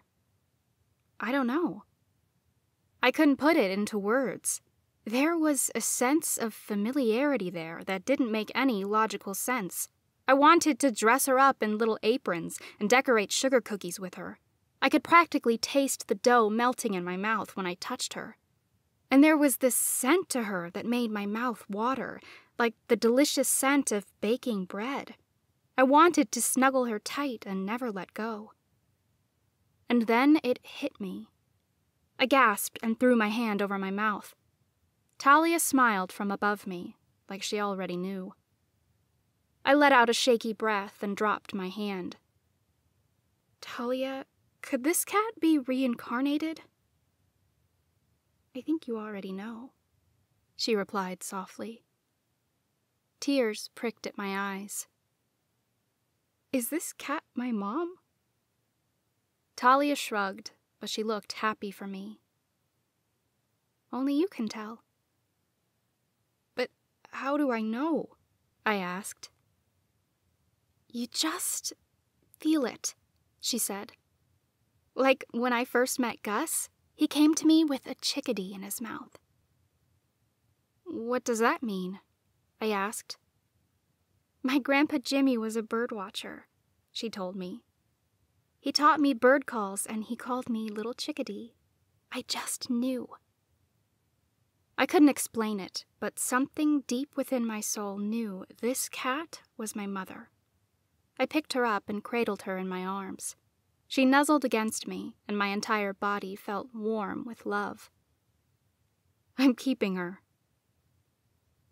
Talia and I entered the room, and I sat on my bed and stroked the kitten. Does she remember me? Not quite in the same way, Talia explained as she began to strip off her costume. It's the same soul, but she's still a cat. She'll have a strong connection with you that spans lifetimes, but you'll create new memories with her. A strong connection? I questioned. Why do you think she protected you in the cemetery? Talia pointed out. And that you wanted to go back for her. It's probably how she found your dorm room, too. Reincarnated cats are different from regular cats. They have a high sense of intuition that will draw them to their loved ones, and they'll act to protect them. I pressed my nose into the kitten's fur, inhaling the sweet scent that reminded me of my mom. A tear fell from my eyes and soaked into her fur. For a moment, all my fatigue washed away, and I knew without a doubt that my mom had returned. She was here to take care of me again. I sniffled. I guess that's why the seance didn't take. My parents' souls must have been reincarnating or something. Talia looked thoughtful as she placed her costume on the hanger. That might explain it. The kitten began kneading at my stomach. I swooned. Oh, so what do I name her? Do I name her after my mom? Talia pulled an oversized t shirt over her head. It's customary to give them a new name. It differentiates this life from their last. Hmm, I mused.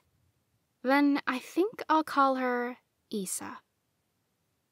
Talia sat on her bed and stroked Gus. Isa? That's pretty. It's my mom's middle name, I told her. I squeezed Isa tight to my chest. I'm so happy to have her back. Isa turned out to be a godsend over the next week. My symptoms had flared so bad I couldn't get out of bed and ended up missing a few days of class. She kept me company while I waited for the pain to settle. By Friday, I was feeling better. I went to demonology in the morning, then headed to Introduction to Tarot after an early lunch. I noticed Chloe walking my way. I slowed my steps so I wouldn't run into her, but she did the same thing. We ended up at the classroom door at the same time. Chloe stepped in front of it so I couldn't pass and placed a hand on her hip. At my feet, Isa hissed. That a girl. I heard you were sick, Chloe sneered. I shrugged. I'm always sick. What's your point? She narrowed her eyes. You don't look sick to me. Good goddess, didn't this girl have anything better to do than to torment me? If you could tell I was sick, it wouldn't be called an invisible illness, I snapped. If you want to be invisible, you might as well just leave Octavia Falls, she said. It's too bad. I'd kind of been hoping that's what happened to you. I scoffed. You really think your stupid Halloween prank could scare me away? Her lips tightened. I don't know what you're talking about. You said the same thing about Verla's cat, I reminded her. She rolled her eyes. Okay, maybe I slipped something into his food, but I didn't do anything on Halloween. I take Halloween very seriously. Right, I said sarcastically, dragging the word out. I didn't believe her. You would never break the rules. Black magic's way outside of your comfort zone. Chloe's gaze darted up and down the hall, as if making sure no one else heard.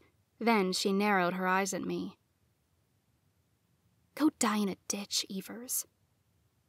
She whirled around and entered the classroom. I just laughed from behind her, while Isa let out another hiss. That a threat, Chloe? I called. Or are you working on casting a curse? She ignored me and pulled her tarot cards out of her bag. She started shuffling through them as I took my seat. She pulled a card from the top and started laughing so loud that the other students stopped talking to look at her. Chloe turned the card toward me and beamed. It was the death card, but I didn't really care. I knew she'd picked it deliberately to try to freak me out, but I was totally at ease. I pretended I didn't see it and faced the front of the room. Isa purred in my lap. Class continued like normal. We were studying the symbolism in various cards within the suit of wands, which was all pretty easy to pick up at this point in the semester. At the end of class, I waited until everyone else had left, then approached Professor Wyckoff. Nadine, she said brightly, what can I help you with? I missed a couple days of class, and I was wondering if there was any makeup work to do, I said. I noticed you were out of class, she said solemnly. Is everything okay? Fine, I told her. Just been feeling a little under the weather. She frowned. Must have been a nasty little bug. I chuckled under my breath, though she didn't notice. Yeah, it's pretty awful. At least you're better, she said. I mean, it could be worse. Could be chronic. My stomach sank at her words. She had no idea. Yeah, I said flatly. I didn't have the energy to explain to her that it was chronic. I quickly changed the subject. So, is there any makeup work? We studied the Ace of Wands through the Ten of Wands, she told me. But there's no homework. Okay, thanks. I turned and left the room with Isa in my arms. I knew Professor Wyckoff had been trying to make me feel better, but I couldn't get her comment out of my mind. Who was she to assume what I went through? I was walking back to my dorm, barely paying attention, when I passed through the foyer. Tons of students were hanging around, but it wasn't until Isa growled lowly that I actually paid attention. I lifted my gaze and saw Lucas chatting with that blonde chick, Lena, next to the fireplace. She laughed at something he said, which was dumb because he wasn't even that funny. When she laughed, she reached out and touched his arm. He glanced down at her fingers, but he barely acknowledged that she touched him, like it was totally natural for those two. Lena pushed a strand of hair behind her ear and fluttered her eyelashes at him. I just stood there, frozen, watching, my stomach turning into knots. If he held her hand again, so help me. Lena's eyes darted around the foyer, and for a second, they landed on me. She didn't look at me long, but something sparked in her eyes when she saw me. I couldn't even explain what it was. Jealousy, maybe? Which made no sense because if anyone was allowed to feel jealous, it was me. Lucas clearly didn't have a problem hanging out with her. Lena said something I couldn't hear. The next second, she reached up and placed her hand on the side of Lucas's face. She leaned in and planted a kiss right on his lips, in the middle of the fucking foyer. I went completely still, and the room spun around me. Rejection settled like a knife in my gut. This was a hundred times worse than when he held her hand. This was confirmation of everything I'd worried about the first time I saw them together. Lucas didn't want me. But apparently, he didn't care about the Reaper's shadow curse when Lena was involved. Those two could have it all. How could I have been so stupid? Why had I fallen for Lucas in the first place? And why the hell was I so mad that he was kissing Lena? It wasn't like I owned him. Rationally, I knew that, but deep down, I felt a connection there that screamed of possession. He was mine, and I was his. We were two broken puzzle pieces that fit perfectly together, if only he wanted to. Except Lucas didn't want that with me. He wanted it with Lena. Screw him. He didn't know what he was missing out on. I was going to have to get him to see that for himself. I couldn't make sense of what dark energy overcame me in that moment, but I felt nothing like myself. Jealousy, rage, and revenge bubbled up inside of me. All I knew was I had to do something to let off some steam. I whirled toward the stairs. One second I was stomping toward the banister, and the next I was in my room. I hardly knew how I'd gotten there. Talia was playing music at her piano, but stopped abruptly when I entered the room. Something wrong? A maniacal laugh bubbled out of my throat. Try everything. I just saw Lucas kissing that bitch, Lena. Talia's jaw dropped. He didn't. He did, I stated. And I'm getting back at him. I dropped Isa off on my bed, then flung open my dresser and went for the skimpiest outfit I could find. I pulled on a black crop top and matching shorts that showed off my ass cheeks. I didn't even know where the outfit had come from, but I felt empowered in it.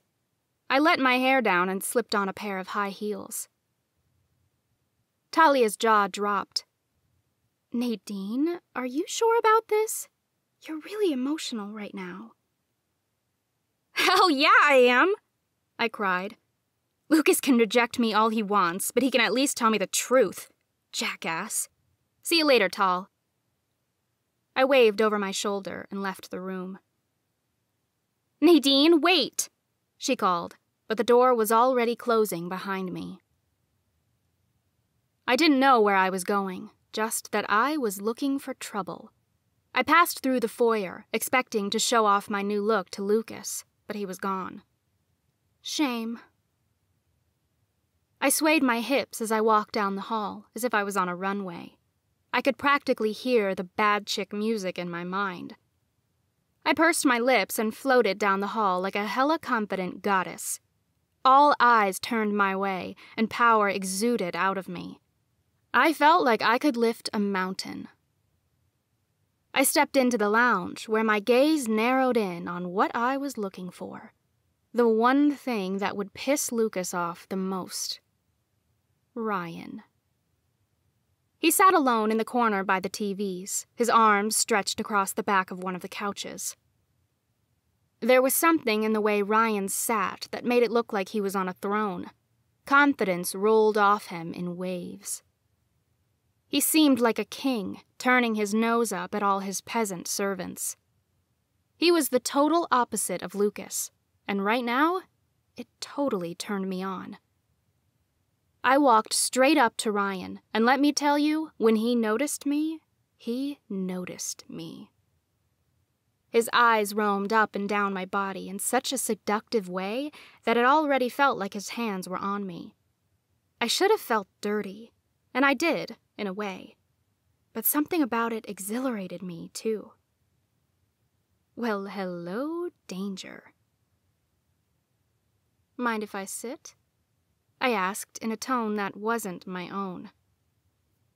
Ryan straightened his spine, and his eyes traveled straight down to lock on my breasts. Go ahead, sweetheart. He gestured to the cushion beside him, but I didn't take it. I caved to the bad girl inside of me and sat straight on his lap, wrapping my arms around his neck. Where have you been hanging around, handsome? I asked. Ryan wrapped an arm around my waist. I could ask you the same thing. Have we met? I found it hilarious he didn't recognize me, considering I nearly ran him over with my car. But that was the kind of guy he was. He only noticed a girl if she was spewing sex pheromones his way. I ran a finger across his chest. I think I'd remember you. Ryan smirked. I'll give you something to remember. How about a broken jaw? My heart fluttered at the sound of the voice, and I couldn't help it when a smile spread across my face. I turned to see Lucas standing there, his hands curled tightly into fists. A dark shadow crossed his eyes, and he looked like he was about to strangle Ryan. My, my, my. Looks like Lucas couldn't handle a little jealousy after all. And it thrilled me. Chapter 17 Lucas. Lena was kissing me. What the hell? One second we were talking about our class assignment, and the next her lips were on mine. I'd kissed Lena before, back when we were dating in high school, but this was different. This was empty.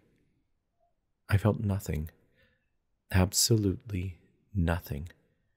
Her lips were cold, and her hand felt like ice on my face. For all I knew, she could have been a ghost. It took me a few seconds to realize what was happening, because no way was Lena fucking kissing me.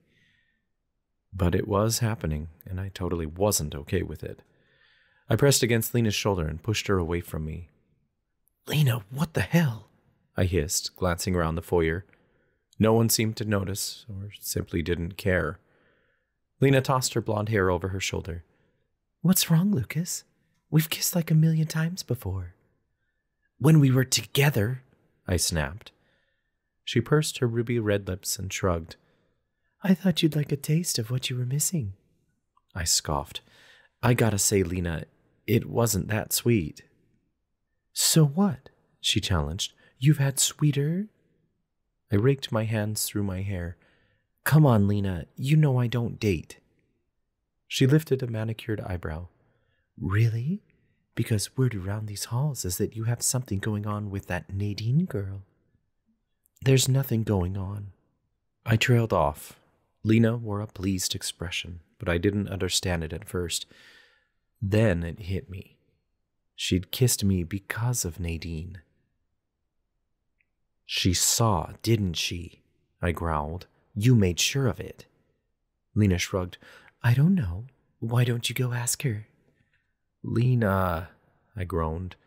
I started to walk away because I just couldn't take her right now, but I realized a second later I had more I wanted to say. I whirled back toward her. You know what? I'm not some piece of property you can go around marking. You know I don't think that, she said, but there was no emotion behind her voice. She was as cold as ice. Always had been. What do you want with me anyway? I demanded. You know nothing will ever happen between us. She just stood there staring at me with complete confidence written across her face. Then it hit me. If she couldn't have me, no one could. To hell with her. I could hang out with whomever I pleased. I stomped away from Lena and headed down the hall in search of Nadine. I'd never seen her in the foyer, so I didn't know which way she'd gone. Heck, I didn't even know for sure if she'd seen. It could all be a stupid manipulation tactic from Lena to get me to tell Nadine I kissed another girl. Yeah, I got that I was supposed to be playing the asshole, but I wasn't that kind of asshole. I had to explain to her what happened. I wandered down the hall and checked the cafeteria, then tried a couple study areas, but I didn't spot Nadine. I turned around and headed in the other direction toward the lounge. My stomach flipped when I caught sight of her, but it immediately dropped when I noticed everything else about the scene. It was all wrong. Nadine was dressed in a sexy little number that left little to the imagination. It seemed like something Chloe or Lena would wear, but not my sweet Nade.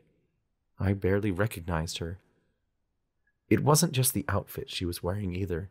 It was the look in her eyes I'd never seen before. Something dark and sinister lurked beneath the surface, like she was under some sort of spell.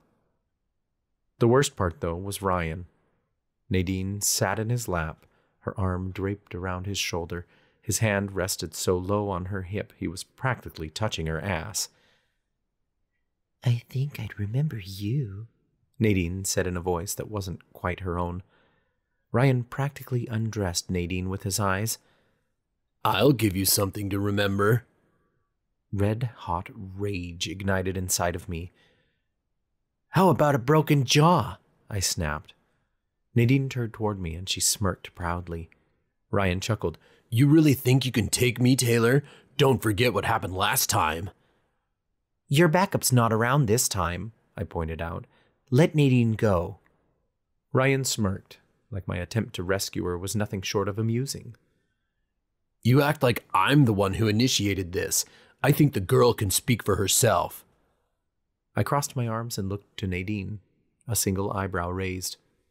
Nade? She practically beamed. Ryan and I were just hanging out. Ryan and Nadine would never just hang out. Someone must have slipped her a potion or something. You're not thinking straight, I insisted. Let's go. I reached for Nadine's wrist, though I was careful to be gentle with her. Nadine got to her feet, but so did Ryan. He took her other wrist like he was laying his claim on her. She glanced between the two of us, looking mildly pleased. Ryan puffed out his chest. You're gonna have to fight for her. Thwack! My fist connected with Ryan's jaw before he could finish his sentence. Hell yeah, I was going to fight for Nadine, and I was going to get a good swing in before he went all telekinetic crazy on me. Pain shot through my knuckles, but it was worth every ounce. Ryan's head snapped backward and his eyes rolled into his skull. His body slumped onto the couch. A girl sitting nearby gasped, while the guy next to her beamed at the sight of a fight. Nadine's eyes went wide as she looked down to Ryan's unconscious body. Lucas! At first, I thought she was scolding me, but she turned to me with an expression of exhilaration written on her face. I shook my hand out. Lucky shot, I guess. Let's get out of here. I took Nadine's hand and we hurried out of the lounge. She followed without resisting. I dragged her into a dark, empty room down the hall and took her face in my hands. I searched her eyes for dilation, but they looked normal. And yet I couldn't help but get lost in them. Once my eyes began to roam her features, I couldn't look away. Nadine shot a glance toward the door. Um, Lucas, what are you doing? I'm checking to see if you've been drugged. What? Nadine slapped my hands away. I haven't been drugged. Then what the hell is wrong with you, Nade? I snapped. Heat flared deep in my belly just thinking about her with Ryan. She crossed her arms. Nothing's wrong with me. That was all me back there. This isn't you, I argued. I eyed her up and down. The new look was stunning, but it wasn't her.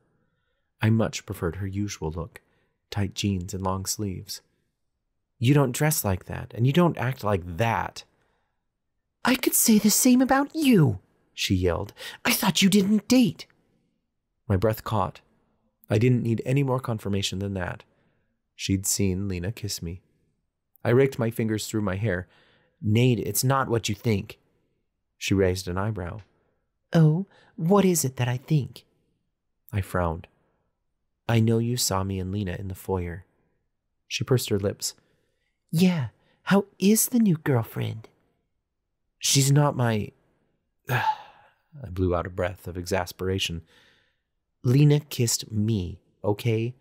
I didn't kiss her back, and I'd never want to. Nadine's features fell and she blinked a few times. Oh, well, that's. She trailed off, looking deeply contemplative. A few moments passed before I broke the silence. So, do I get an explanation, or. Where is that motherfucker? A voice sounded down the hall, cutting me off. Instinctively, I grabbed Nadine's shoulders and pressed her up against the wall, pushing both of us deep into the shadows. The two of us held our breaths as we listened to the sound of Ryan's footsteps pound down the hall toward us. I finally let out a breath when he passed. It was only then that I became acutely aware of how close Nadine and I were. I'd sandwiched her between myself and the wall, and I could feel her heartbeat against me. Her breasts were pressed firmly against my chest, and my jeans started to tighten. I jumped away from her quickly and I cleared my throat. My eyes darted around the room. Anything not to look her in the eyes while my dick calmed the F down. It was the first time I noticed what room I'd dragged her into. It was one of those fitness rooms, complete with those big yoga balls, towels, and a shelf packed full of rolled up yoga mats. My eyes fell on a box marked Lost and Found, and I noticed a black fleece and yoga pants inside. I grabbed them and shoved them at Nadine. Put these on. She gaped at me. I'm a big girl. I can wear whatever I want. I looked to her arms, which were covered in goosebumps, then shrugged. Suit yourself. She wrapped her arms around herself like she'd just noticed how cold she was. She glanced to the clothes, then narrowed her eyes at me. I'm only doing this because I'm cold. She snatched the clothes up and started putting them on. I peeked out into the hall. Ryan stood at the end of it, his hands curled into fists. He twitched his fingers, and the door next to him swung open. A loud bang sounded through the hall. I whirled back to Nadine. Ryan's coming. She zipped up the fleece and shrugged. Then we're going to have to make a run for it. My gaze roamed over the room. Want to take the window? Nadine smirked.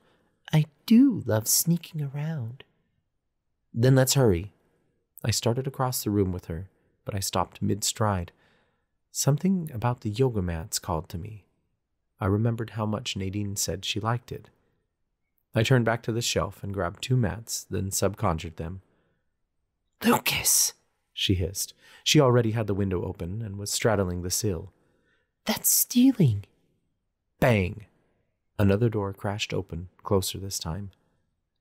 We'll bring them back. Let's go. I nudged Nadine out the window and she jumped to the ground. I stuck my head out the window to see her catching her balance. You okay? I asked. Nadine didn't get a chance to respond. Taylor! Ryan growled behind me. We hadn't been quick enough. I whirled around just in time to see Ryan lifting his hand toward me. A dark ball of defensive magic formed inside of it. I wasn't sticking around to see which spell he wanted to use on me. I jumped out the window and landed in the grass beside Nadine.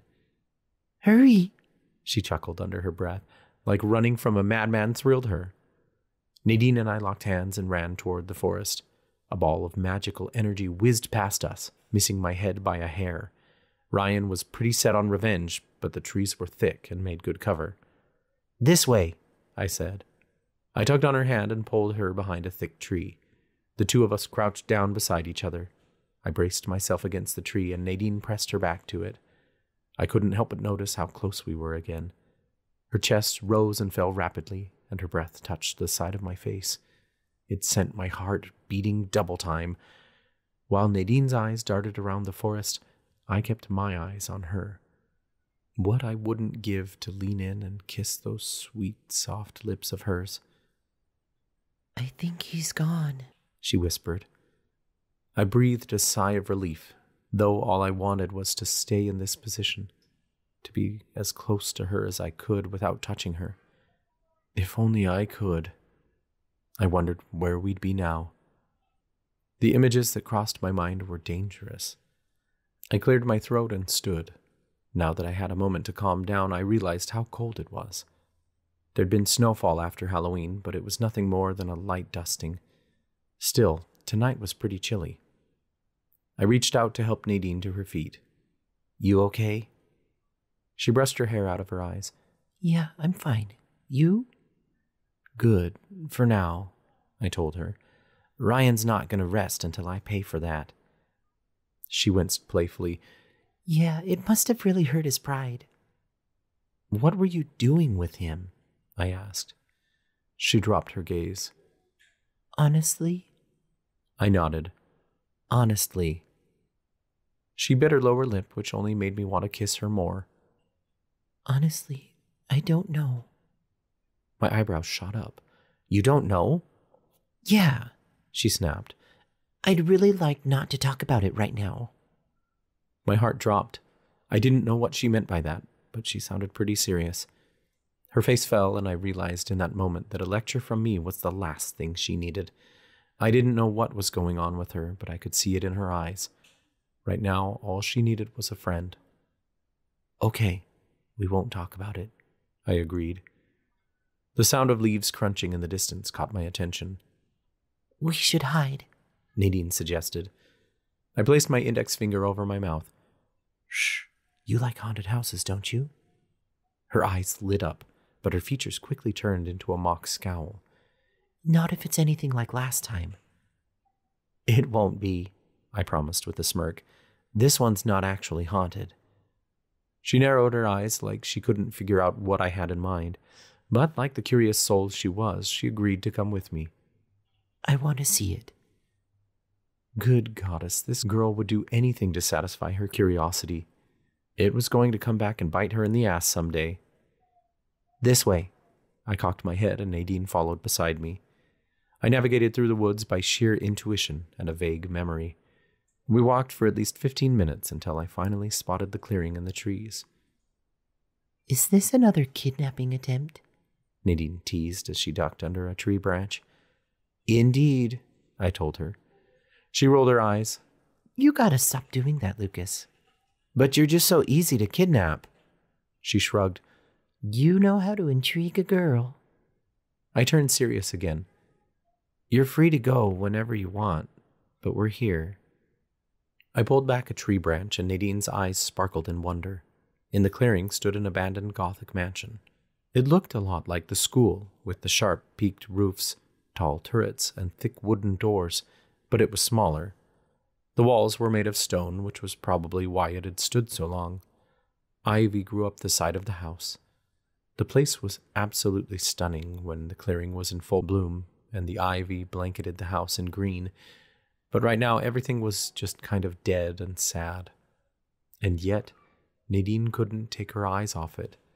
It was like she saw beauty in the house I couldn't quite see myself. Wow, she breathed. This place is amazing. Can you imagine if someone fixed this place up, how beautiful it would be? Yeah, I bet it was really nice when it was built, I said. Want to see inside? Nadine nodded eagerly. We stepped up to the house and entered through the front doors. Hardwood floors spanned in front of us, and the banister that led upstairs was intricately carved, interweaving all the five caste symbols in a beautiful work of art. There wasn't any furniture, and all the cupboards were bare. Like on the outside of the house, ivy grew on the inside too, weaving its way through broken windows and overtaking practically everything. Nadine's jaw dropped. This architecture is amazing. Look at the archways and crown molding. What is this place? I explained as we walked through the rooms. It used to belong to one of the headmasters of the school. It was abandoned when he died. Legend has it the house will only reveal itself to those who wish not to harm it. Her eyebrows shot up. I guess that's why it makes a good hideout from Ryan. Exactly, I stated. That idiot would fuck this place up. Anyway, Grant and I found it last year. Nadine reached out a hand and ran her fingers across the wall. How often do you come back? I haven't been back, I admitted. We explored, saw what there was to see, and left. But this place is just so beautiful, she whispered. It was. But it was just a house, and it was on the cusp of collapse. Nadine's eyes continued to wander as we entered the sitting room. It was my favorite room in the house because of the massive fireplace. The black mantel was intricately carved, making it the clear centerpiece of the home. The rest of the room was empty, save for a pile of firewood someone must have brought in a few years ago. There was a thick layer of dust over all the firewood, though it hadn't started to rot. Nadine drew a breath when she saw the fireplace, then turned to me. Are you sure the house isn't haunted? She sounded a little disappointed. I'm sure. Let me show you. I took Nadine's shoulders and guided her to stand in the middle of the room. Close your eyes. Nadine did as I instructed and inhaled a deep breath. I found myself walking in a circle around her, inspecting her features from every angle. She looked so at peace, so alive and eager for answers. There was this spark inside of her that glowed bright, and like a moth to a flame, I couldn't resist being drawn in. She took another calming breath. Now what, Lucas? I stopped behind her. We were so close we nearly touched. My pulse quickened, though I resisted the urge to pull her into my arms. What do you feel? I whispered in her ear. I could have sworn I saw her shiver, but it must have been from the cold. I feel at peace she finally said. I feel like I could be happy here forever. There's this warmth inside the house, like it was built on happiness. But there's something missing.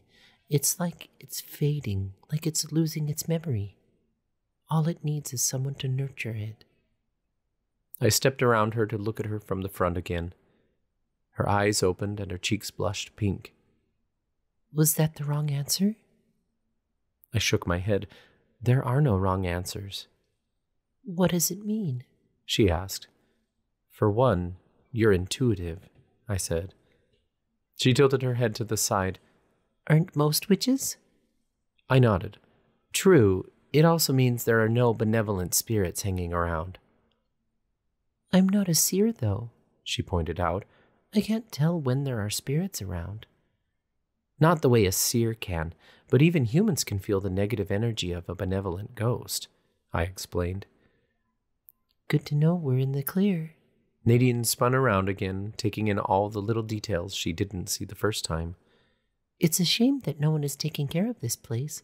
I just want to sweep it or something. I've got it. I stood in the middle of the room and raised my hands. Peppermint patty and grass so green make this room sparkling clean. Purple magic swirled out of my hands, causing dust to rise off the floor. It gathered into a cloud at the base of the fireplace, then swept up through the chimney and out of the house.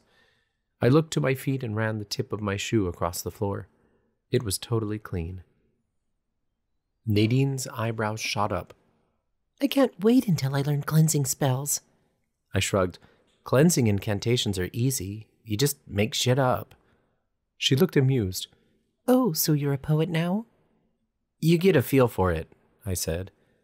Nadine wrapped her arms around herself. You cold? I asked.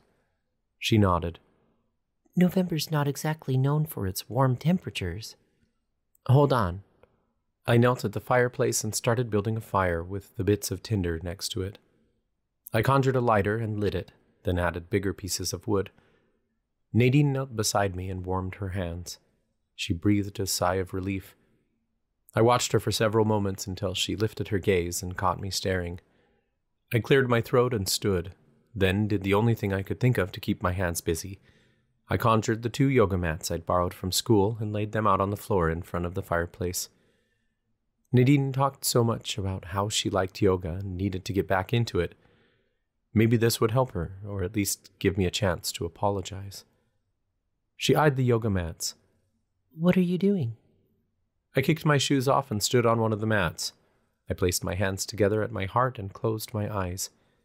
I lifted one foot and tried to balance on the other, but my balance was shit. I stood back on two feet and peeked an eye open.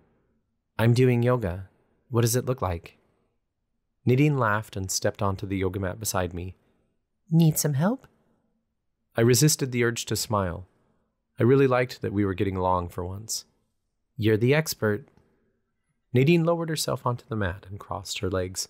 I mirrored her posture. Let's just breathe for a minute, she suggested. Nadine went silent. For the first minute or so, it was really hard not to let my mind wander and my body wiggle. But the longer Nadine just sat there breathing, taking in the moment, the more I came to appreciate it too. I felt grounded, rooted right here with Nadine. My mind wasn't on my gift, my brother, my mom, my classes, any of that. I was just right here, drinking in every second I could with Nadine. How could I have been such a jerk to her? She didn't deserve any of that. She deserved to be loved. Nadine shifted and got onto all fours on the mat. She arched her back, pointing her belly toward the floor. I couldn't help but steal a glance at her ass, which made my pulse quicken. Do you know any yoga? Nadine asked, snapping me out of it. My eyes shot back up toward her face. No. This is cow pose, she told me. Then you arch your back the other way. She brought her chin inward and curled her spine. And you have cat pose. I tried it along with her, and I was surprised at how much it stretched my back. It actually really felt good, like I could breathe easier. Nadine walked me through several other simple poses downward facing dog, cobra, and my favorite, mountain, since we just stood up and it was really easy. She explained each one until she seemed to disappear into her own little world, Soon she was moving slowly to her own muse, without speaking to me at all. She stopped in a pose that had one foot forward and the other pressed firmly to the floor. She held both arms out parallel to the floor. What's this one? I asked. She inhaled a deep breath like she was enjoying herself. Warrior two. Feels good, doesn't it? Yeah, I whispered. It felt really good to be around her Nadine opened her eyes, then stepped out of the pose. She straightened her fleece and sat on the ground again. Thanks for doing this, Lucas. I forgot how much it helped. I didn't even realize what I was doing when I sat beside her and took her hand. I began massaging it like she said she liked. I knew her joints always hurt, and I just wanted to help. I shrugged. I didn't do anything. She got really silent after that, but she didn't pull away from me. She just let me run my fingers over her hands. They were so soft and small. She seemed so fragile. Do you have any other poems? Nadine asked to break the silence. Poems? I asked, then realized she was talking about spells. You mean incantations? No, she replied. Like actual poems. You seem like you'd be good at them. I kept my gaze on her hands and shrugged. Deep down, my heart warmed. No one had ever said I'd be good at poetry, and I really wanted to impress Nadine. I knew whatever came out was going to sound like shit, but I just started spewing words without thinking about it. Your eyes are like the stars twinkling so bright. Your smile is like the sunrise bringing light to night. Your laugh is like the soundtrack to Alora's great divine. But if one thing lights the world at all, it's your soul that really shines. My cheeks flamed when I realized what I just said. Did I seriously just improv poetry in front of Nadine? She must have thought I was such a nerd. She didn't say anything at first, which made me really nervous. I lifted my gaze to hers, and that's when I noticed her eyes sparkling with tears. My stomach twisted into knots. What's wrong? She shook her head and pulled her hand away from mine to wipe her eyes. Nothing. It was really good. I was stunned.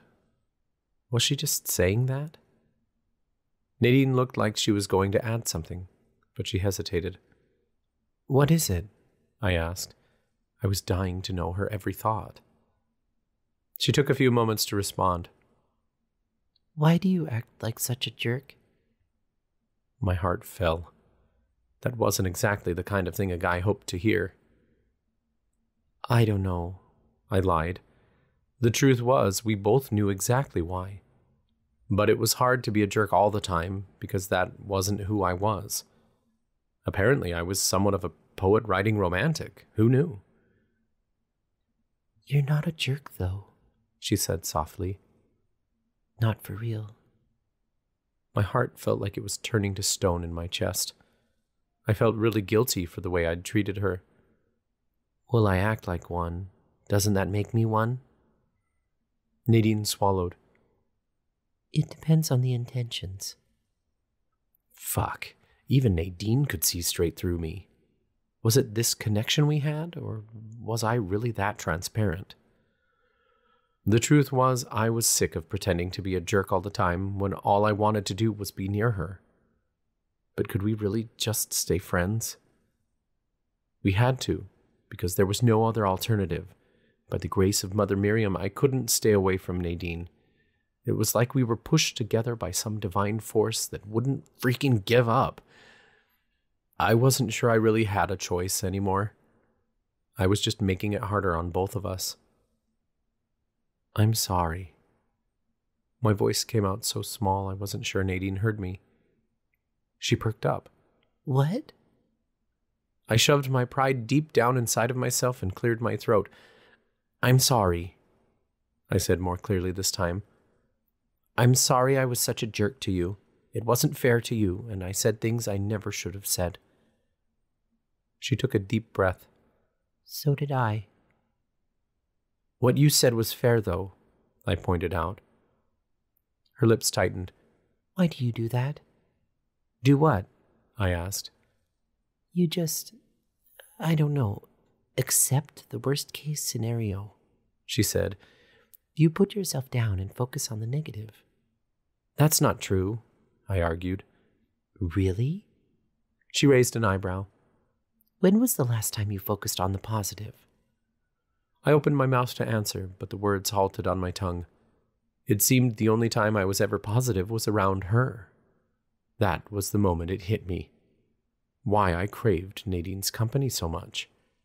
When I was around her, I felt a positive spark in my heart. She literally brought to life parts of me I long thought were dead and buried. I wasn't just bullshitting with that poem earlier, she literally brought light into my life. I didn't know how to tell her that, so instead I answered her first question. I guess I act like a jerk as a defense mechanism. Nadine's shoulders dropped, and sympathy crossed her face. I wish you didn't feel like you had to defend yourself. The knots in my abdomen eased. Her words were a relief, an invitation to let life flow through me instead of bottling it up all the time. It was strange, like she was going against everyone else's unwritten rules. Another reason why I couldn't keep myself from falling for her. It's okay, Lucas, she whispered. You don't have to defend yourself around me. You don't have to hide. Neither do you, I assured her softly. She nodded her hands together in her lap. So you've noticed? Noticed what? I asked curiously. Her voice cracked and it broke my heart. That I hide. That there's this piece of me that I push deep down inside until my walls crack and she comes flooding out. She? I wasn't sure where she was going with this. Sure, sometimes Nadine acted out of character, like earlier with Ryan, but she spoke as if she was hiding a secret identity or something. Nadine didn't look at me when she spoke. She doesn't have a name. I just know she's not me. Oh shit. I had no idea that Nadine was hurting this much.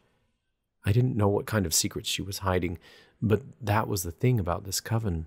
It was full of secrets. If there was one thing I learned as the Reaper's apprentice, it was that everyone had secrets. I wanted to know Nadine's, but I feared if I pressed her, it'd only push her away. In what way? I asked, trying my best to be gentle with her. Nadine kept her gaze on her hands. I've learned to control it, mostly. But sometimes this dark side of me just comes out, and I can't stop it until she's satisfied. All I wanted to do was rip the demons out of her and make them my own. I reached out and gently brought her chin up so she'd look at me. Our eyes searched each other's for several long moments before I finally spoke.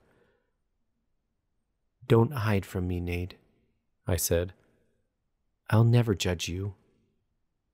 A smile touched the corners of her mouth. Then suddenly the confessions started spilling out. It's hard to explain, but I've always felt like I had this darkness inside of me. When I was a kid, my teachers called me a problem child. If I got upset, even over the littlest thing, I'd freak out. Someone sat too close to me, I'd hit them. Someone took the jump rope I wanted at recess, I'd pick a fight. I can't tell you how many times I was sent to the principal's office. I got kicked off the bus for pulling a girl's hair out. My parents eventually started homeschooling me when I stopped doing my work. She continued like she couldn't stop herself. I went through a couple years of therapy, but it was really my lupus that changed me. I guess on some level it was a sort of a blessing. My diagnosis was a huge wake up call. I had to learn to control myself to keep my symptoms from flaring. It was like the angrier I got, the more pain I felt. She took a breath. Eventually, I returned to public school for high school. I learned how to control my temper, but it still comes out sometimes. I just wish I could get rid of it, you know? It's not me. Like when I almost ran Ryan over with my car, or how I acted with him today. I don't even know why I did it. It already feels surreal, like a dream. I pressed my lips together, contemplating her story. That darkness she spoke of was far from the Nadine I knew. I'm sorry, Nade, I said. No one should have to deal with that. She shrugged like it wasn't that big of a deal, but I knew she was underplaying it. Constantly watching her own behavior had to be taxing on her. It is what it is, she said. Can I ask you something? Anything, I replied. She spoke slowly, like she was choosing her words with care. What's the deal with you and Ryan? Do you two have a history or something? Oh boy, here we go. I didn't really want to talk about it, but Nadine didn't want me to hide around her. Just the opportunity to lay it all out there on the table was freeing. I wanted her to know everything. I just hoped it didn't change her opinion of me. I sighed. Ryan and I were buddies in high school. We formed the treacherous tarantulas together. Nadine's eyebrows shot up. You were a tarantula? I chuckled. I wasn't just one of them, I was their leader. Nadine's jaw dropped further. Lucas Taylor, the lone wolf in a gang? Who would have guessed? I was shocked by her reaction. She didn't look like she thought less of me. In fact, she eyed me up and down like the thought intrigued her. Maybe even, dare I say it, turned her on. I wasn't always a lone wolf, I said, but the tarantulas weren't always the low-life gang they are now. When we formed, it was about brotherhood. We stood to protect other people. When we saw something we didn't think was right, we'd stand up to it. You know, guys pushing other people around in the locker room, pressuring girls in the hallways, that sort of thing. That sounds incredible, Nadine praised. She looked at me with dreamy eyes, like she was picturing me walking down the halls in my leather jacket and whipping other kids into shape. What happened to the group? After graduation, Ryan got into the drug scene, I explained. Shocker, she said flatly. Right? I chuckled. Anyway, he got the other guys to agree to dealing. They were all enticed by the money and the drugs, but I couldn't do it. I tried to stick it out, but then they pulled this sick prank on Grant and stole his insulin. That was the last straw. I left the group, and they've had it out for me ever since. They call it a betrayal, but I call it a mutiny. Nadine frowned. I'm sorry, Lucas. I had no idea. I shrugged. It's good, I guess. I've got Grant now, and he's a better friend than all five of the tarantulas put together. He is cool, she agreed. A silent beat passed. Neither of us knew what to say next. Nadine hesitated, then broke the silence. So, what were you like before the tarantulas ditched you? Were you happier? The question hit me hard in the gut. Was I happier? Yes and no. In a different way, I admitted. But a lot has happened since then. There are other reasons that I'm so. I don't know. me. You can tell me, Nadine offered. You didn't judge me, and I'm not going to judge you. I knew Nadine was being honest, but I had a hard time talking about this at all. I pretty much tried not to think about it myself, but pushing it down made the memories stew, made them that much more painful.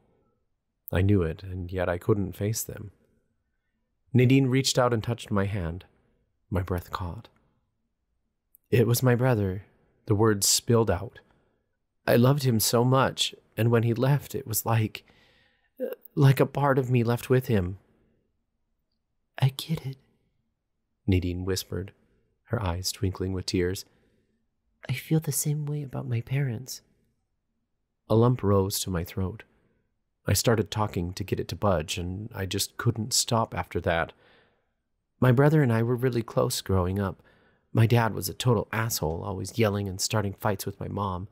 She excuses his behavior because he never touches her, but he gets his work in. He's a mentalist, has telekinesis.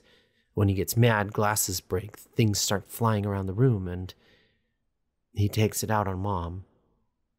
Nadine's hand went to her mouth. The worst one was when Dad got in one of his fits. Mom says she tripped, but Eric and I both knew Dad used his magic to push her down the stairs.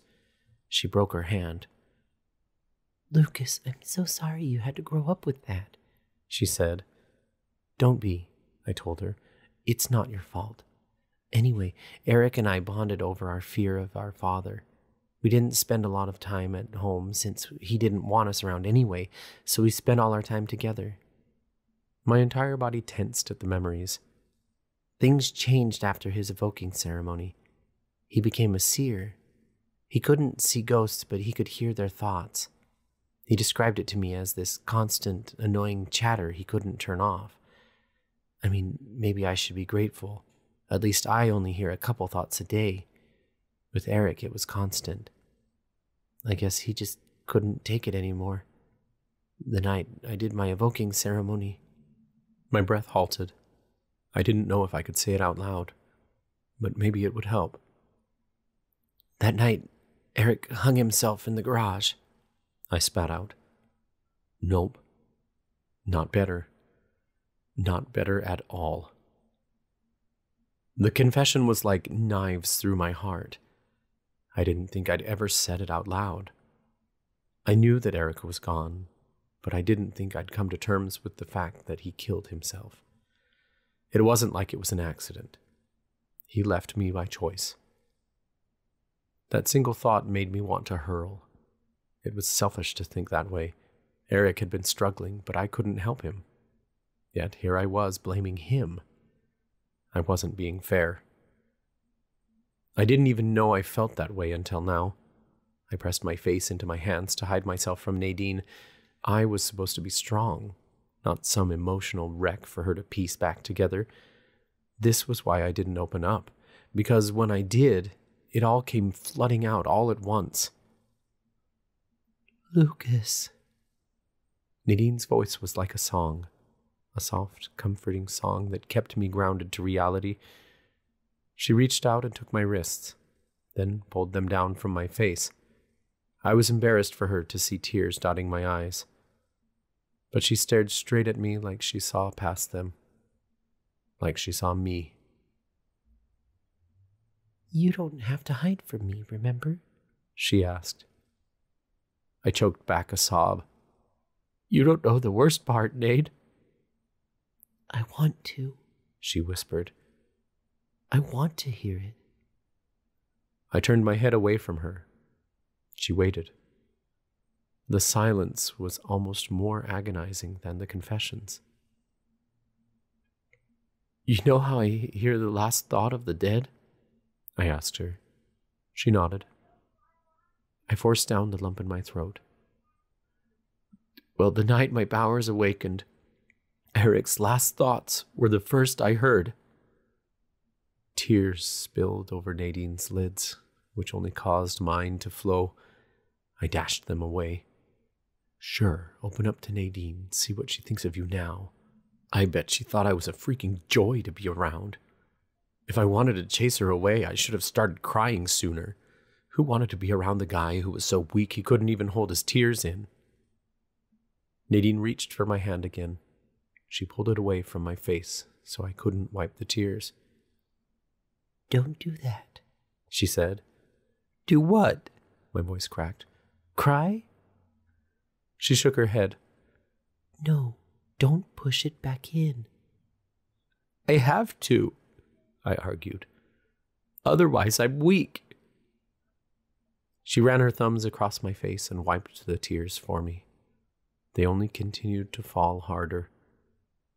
Crying doesn't make you weak, she said. It's an opportunity to grow. I laughed nervously. And you call me the poet? Shh, Nadine whispered. Let's not talk. And then the strangest thing happened. Nadine crawled into my lap. I didn't know where it came from, but here she was, snuggling close to me. Not because she wanted something from me, but because she wanted to comfort me. I wondered for so long what that might feel like for someone to love me unconditionally and expect nothing in return. It was the most amazing feeling in the world. But it felt wrong, too. It felt like I was stealing from her. Stealing what? I didn't know. This moment, perhaps? She could be anywhere, doing anything right now, and she chose to be in my arms. I wrapped her close to me, holding her to my chest, and yet somehow it felt like she was holding me. Nadine's rosy scent surrounded me, and her warm body sent the chill away. Though my eyes were closed and my nose pressed into her hair, I could swear I could see the light radiating off of her. Peace washed over me. And for the first time in my life, the tears stopped on their own. I didn't have to force them. I drew away from her and whispered, Why are you doing this, Nade? She looked into my eyes, which made my heart melt. I never knew how freeing it would be to hold her in my arms like this. Doing what? she asked. Why are you here with me? I questioned. Why do you like me? Nadine shrugged, but it was obvious she was stalling. There was an answer behind her eyes. I just couldn't read it. I like being with you, Lucas, she finally said. But why? I pressed. She sniffed. When I'm with you, I forget that my parents aren't alive.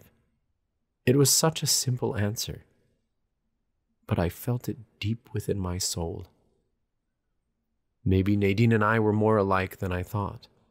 Maybe we weren't total opposites, light and dark. Maybe I brought a spark of light to her darkness, too. No, that was ridiculous. I had no light to share. But I'm broken, I told her. Not broken, she said softly, just growing. No one had ever put it that way before. If I wasn't broken, maybe I didn't need to be fixed. If I was growing, then maybe the wounds would heal. Maybe it wasn't about putting the shattered bits back together and hoping the glue would stick. Maybe it was about growing new branches. I pressed my face back into her hair. I was quickly realizing it was the one place in the world where I felt my problems couldn't touch me. You have no idea what it means to hear you say that. Nadine wrapped her arms tight around me. There's more, you know. More what? I mumbled into her hair. More reasons why I like you, she said. There are? I asked curiously. Nadine reached up a hand and started running it through my hair. I like to think I see the real Lucas beneath the layers. I didn't even know what that meant. I am the layers. No, she said. You're not your past. You're not your darkness. That's what my therapist always told me. You, Lucas, you're kind and protective and fun. You have a heart so big it should have its own satellite. I chuckled lightly. Part of me actually believed what she was saying. You are selfless, she continued. You have this desire to take on everyone else's pain just so they won't suffer. If you could, you'd take on the sins of the world. I stared down at her. I searched for the lie, but it wasn't there. She really believed everything she was saying. You. you see all that in me? She nodded. I just wish you did too. I told myself I'd resist, but I couldn't any more. Everything Nadine had said was what I needed to hear and more. She was beyond anything I could ever imagine, and I'd be damned if I hadn't fallen head over heels in love with her. I brought my lips to hers. She melted into my kiss like ice on a warm summer's day. The thought to pull away, to resist, never crossed my mind. All I wanted was this moment. If I was to steal anything from her, it was this kiss, right now. Kissing Nadine was like standing on top of a cliff. My toes lined up with the edge and my arms opened wide. She was that moment as I raised my heels from the ground and tilted forward, the split second you thought you had before you could stop the free fall. Her kiss was that wild adrenaline rush, suspended in time, I was safe here, and I was free. Nadine parted her lips, and my tongue slid into her mouth. My heart beat frantically, and my jeans tightened. She was so warm in my arms that I never wanted to let her go. I thought I'd have to, but the kiss didn't end. Nadine wrapped her arms around my neck and continued making out with me. her breasts pressed tight against my chest, and that was the moment I lost it. I went free falling down that cliff, and I couldn't catch my balance. The room spun around me, and I couldn't hold Nadine up any longer. I gently lowered her to the mat beneath us. She moaned as my kisses continued across her lips.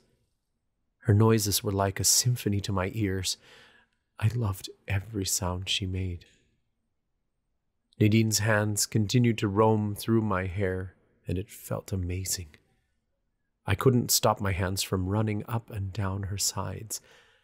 I wasn't on top of her, more or less propped up at her side, but I wanted to be. I wanted to be with her in every sense of the word. I wanted to fight for her tooth and nail. But I couldn't. And I knew that. In this moment, though, it didn't seem to matter. I didn't push her away like all the other times, because if this moment was all I ever had with Nadine, I was going to bask in the warmth of every second I could get from it.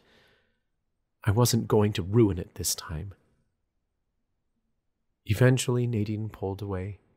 I pushed myself onto my elbow and hovered above her. The light from the fire flickered off her face, and I'd be damned if it wasn't the most beautiful thing I'd seen in all my life. Is something wrong? I asked. No, she said softly. Would you just hold me? She didn't have to ask twice. Nadine rolled onto her side. I lay next to her, my front pressing against her back. I draped one arm over her. She fit so perfectly into my arms, like it was where she was meant to be. Nadine went quiet for a long time. After a while, I noticed she was shivering. Are you cold? I asked. I didn't know how. I was radiating so much heat I was practically sweating. Being near her made me hot all over. No, she said. I just want to ask you something. I don't know how. You can ask me anything, I told her. She shifted and rolled over to face me. She rested her face on her hand, and her hair spilled across the floor. We just lay there staring at each other. It was a beautiful moment I wished would never end. I wanted to ask you for a while, but I know you don't like to talk about your gift, she said. Ask me anything, I offered. I wasn't so scared to share with her anymore. She took a deep breath. I know it's a long shot, but did you hear my parents when they died? My body tensed. This wasn't the first time someone had asked what their loved one's last thoughts were. I didn't like to answer because it usually wasn't what they wanted to hear. That. And last thoughts were Reaper's apprentice privileges only. It violated the integrity of the job if I went around telling everyone what I heard. But this was Nadine. I didn't want to lie to her. I answered carefully. Your father was never part of the coven, so I didn't hear him. And my mother? she asked. I nodded slowly. I heard her. Her eyes filled with hope. Can you tell me what she said? This was where things got hard. Her mom's last thought was complicated, a mix of good and bad all wrapped into one. The coven's in danger. Stay safe, Nadine. I love you. This thought had been weighing on me for months. I didn't know what it meant. I couldn't investigate either because I didn't know where to start. For all I knew, her mom was as confused as old man Keller. I couldn't tell Nadine. I didn't want her to know her mom died worrying about her. If I told her the truth, she'd want to fix whatever danger her mother spoke of. She'd get herself hurt looking for answers. I wanted to tell her, but I couldn't until I knew what it meant. She said she loved you, I told her honestly. It was only half of it, but it was true nonetheless. Nadine's eyes glistened. Is that true? Or is that just what you tell everybody? It is what I tell everybody, I admitted. But in this case, it's true. She sniffled. Thank you, Lucas. I love her too. I couldn't bear to see her upset. I leaned forward and kissed her again. She reached up and placed her hand on the side of my face, and that warmth ignited in my heart all over again. The kiss didn't last long, though. A few moments later, she drew away, her eyes searching mine. Why are you kissing me, Lucas? I was struck by the question. Don't you want me to? I do, but you're kind of sending me mixed signals, she said. Do you want this or not? I hesitated. Of course I did. I wanted every moment with Nadine and more. But I didn't want her to get hurt. I do, I told her honestly. I wish there was a way we could be together, but. But if we were, this is as far as we could go, she finished for me. We can't have what every other couple has. Her voice was so sad, so melancholy. When we first met, I thought she was just chasing me for the thrill of it. I thought she'd get over me once I turned her down. But it wasn't like that between us. Nadine and I were drawn like magnets, and now that we'd come together, nothing could come between us, not even this stupid curse. Are you okay with that? I asked. I held my breath, awaiting the answer. Part of me feared both options. I don't know, she said finally. I think I need time to figure that out. Then we won't make any decisions right now, I promised. Okay, she agreed. At least now we can be friends. I smiled, a real, genuine smile. I didn't know how she did that to me. Agreed. We're done arguing. I'm done pushing you away. She closed her eyes and sighed blissfully. That sounds good. I reached out and took Nadine's hand. She lay there looking perfectly content while I ran my thumb across the back of her hand. It was in that moment that I realized it didn't matter which decision Nadine made. There would never be anyone else. Nadine would always be it for me. I just hoped I could handle her decision. Chapter 18 Nadine I needed Lucas in my life. It didn't matter that we couldn't be together in the way that I wanted. I needed him near me the way I needed the very air I breathed. Without him, I was caged, but when he was around, I was a free bird soaring the skies. I could almost believe the two of us were capable of anything together. Something changed when Lucas brought me to that abandoned house. I didn't know if it was a change in him, or me, or both of us. It was like we could finally breathe again. The house was gorgeous, and there was a beautiful energy surrounding it that made it feel like home. It was crazy, considering the state of the place, but I just felt like I didn't have to hide anything there. I'd never felt so close to Lucas. When he stood next to me, I couldn't help but shiver. When he kissed me, the world seemed to tilt on its axis. It was magic. I walked through the school hallways the following week on this amazing, magical high. I felt energized, and my joints moved with ease. It was like Lucas's touch had a way of healing me. He was still waiting for an answer from me. Truth be told, I didn't want to think about that right now. We could figure out where we wanted to go with this later. Right now, I just wanted his company. Lucas met up with me in the hall after class on Wednesday. He carried my books, and I took his hand. It was instinctive now. It was like we couldn't be together without attaching ourselves.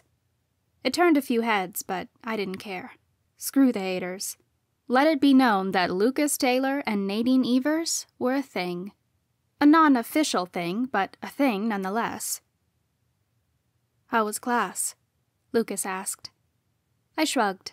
Chloe drew the Seven of Swords. I think that means she's planning to act on her threat soon. Lucas's face paled. That's not good. It's okay, I said honestly. Now I have some warning.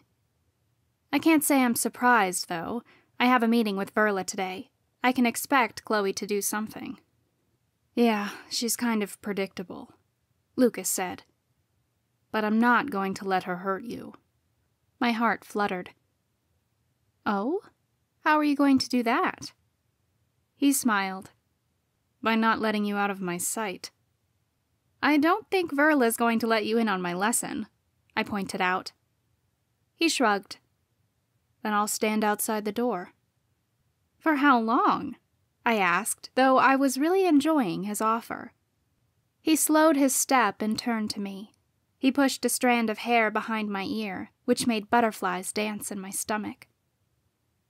However long it takes, consider me your personal guard for the day. My heart totally melted. Thank you. No need to thank me, he replied gently. Lucas and I returned to my room to put my books away. Talia, Amy, and Mandy were there.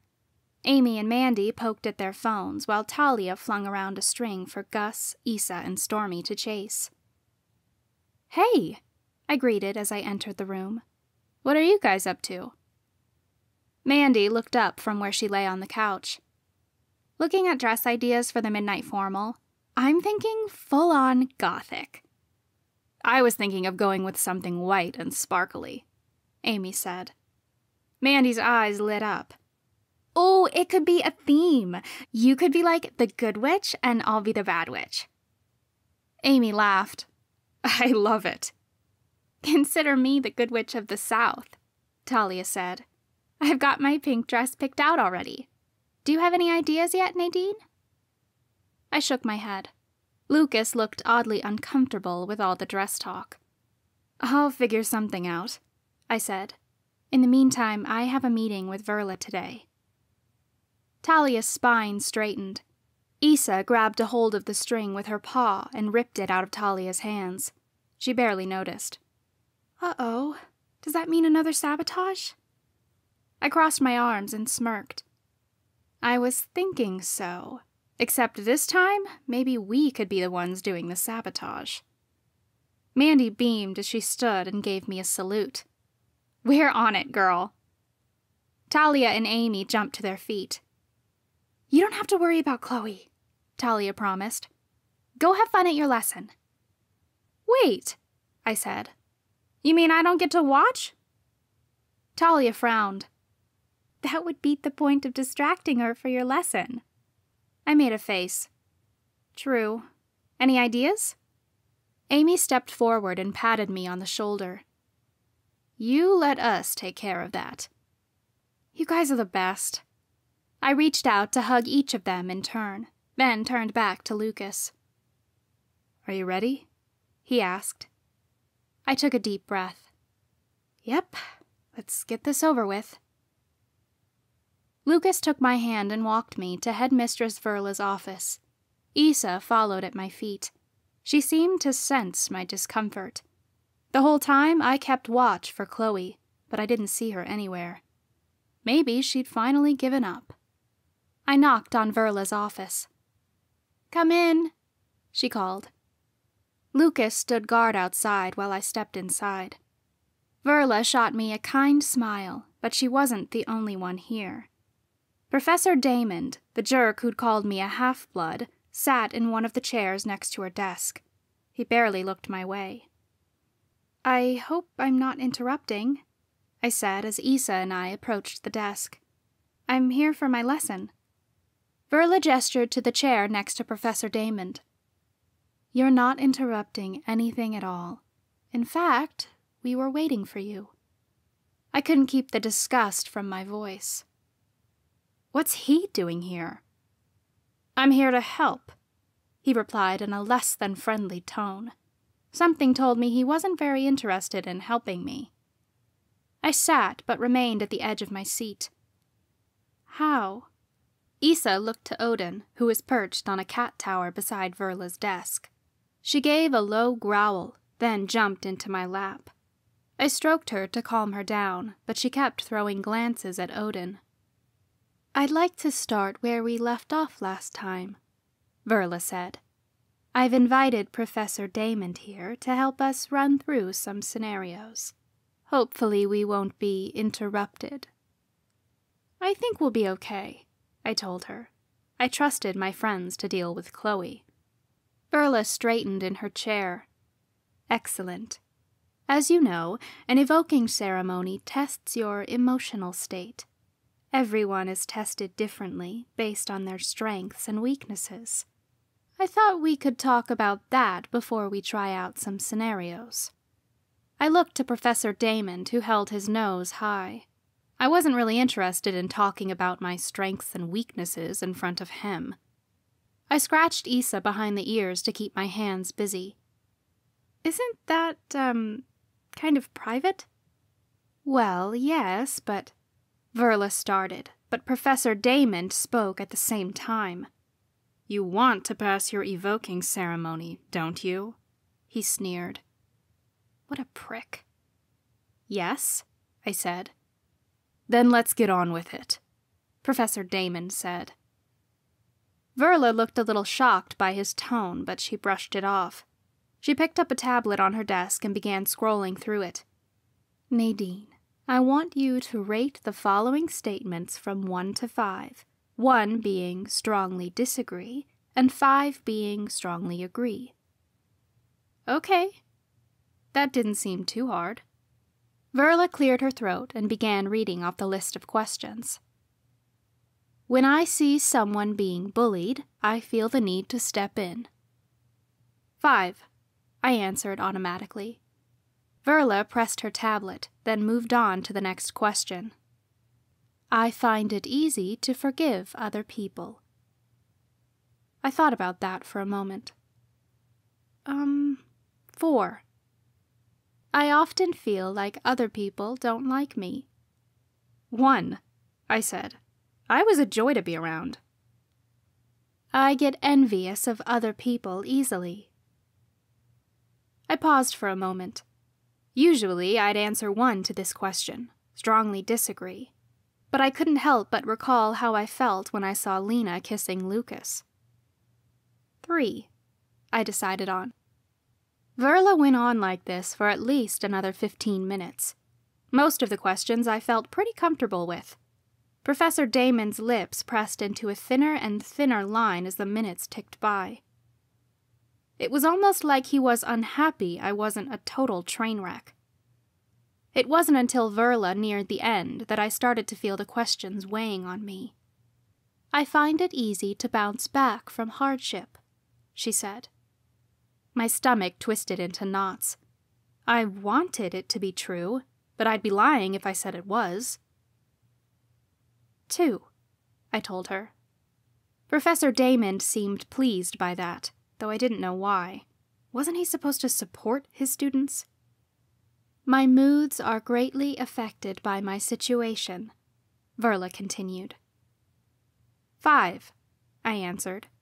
I mean, who wasn't affected by their situation? I feel lonely when my loved ones aren't around. My gut sank at the mention of loved ones. All I could think about was my parents, and Verla's statement felt shockingly true in that moment. I sank deeper into my seat. Five, I said in a small voice. Verla eyed me like she sensed my discomfort. Just one more, Nadine. Memories of the people I've lost upset me. Okay, now I felt like she was doing it on purpose. Of course, memories upset me, I said, suddenly feeling very defensive.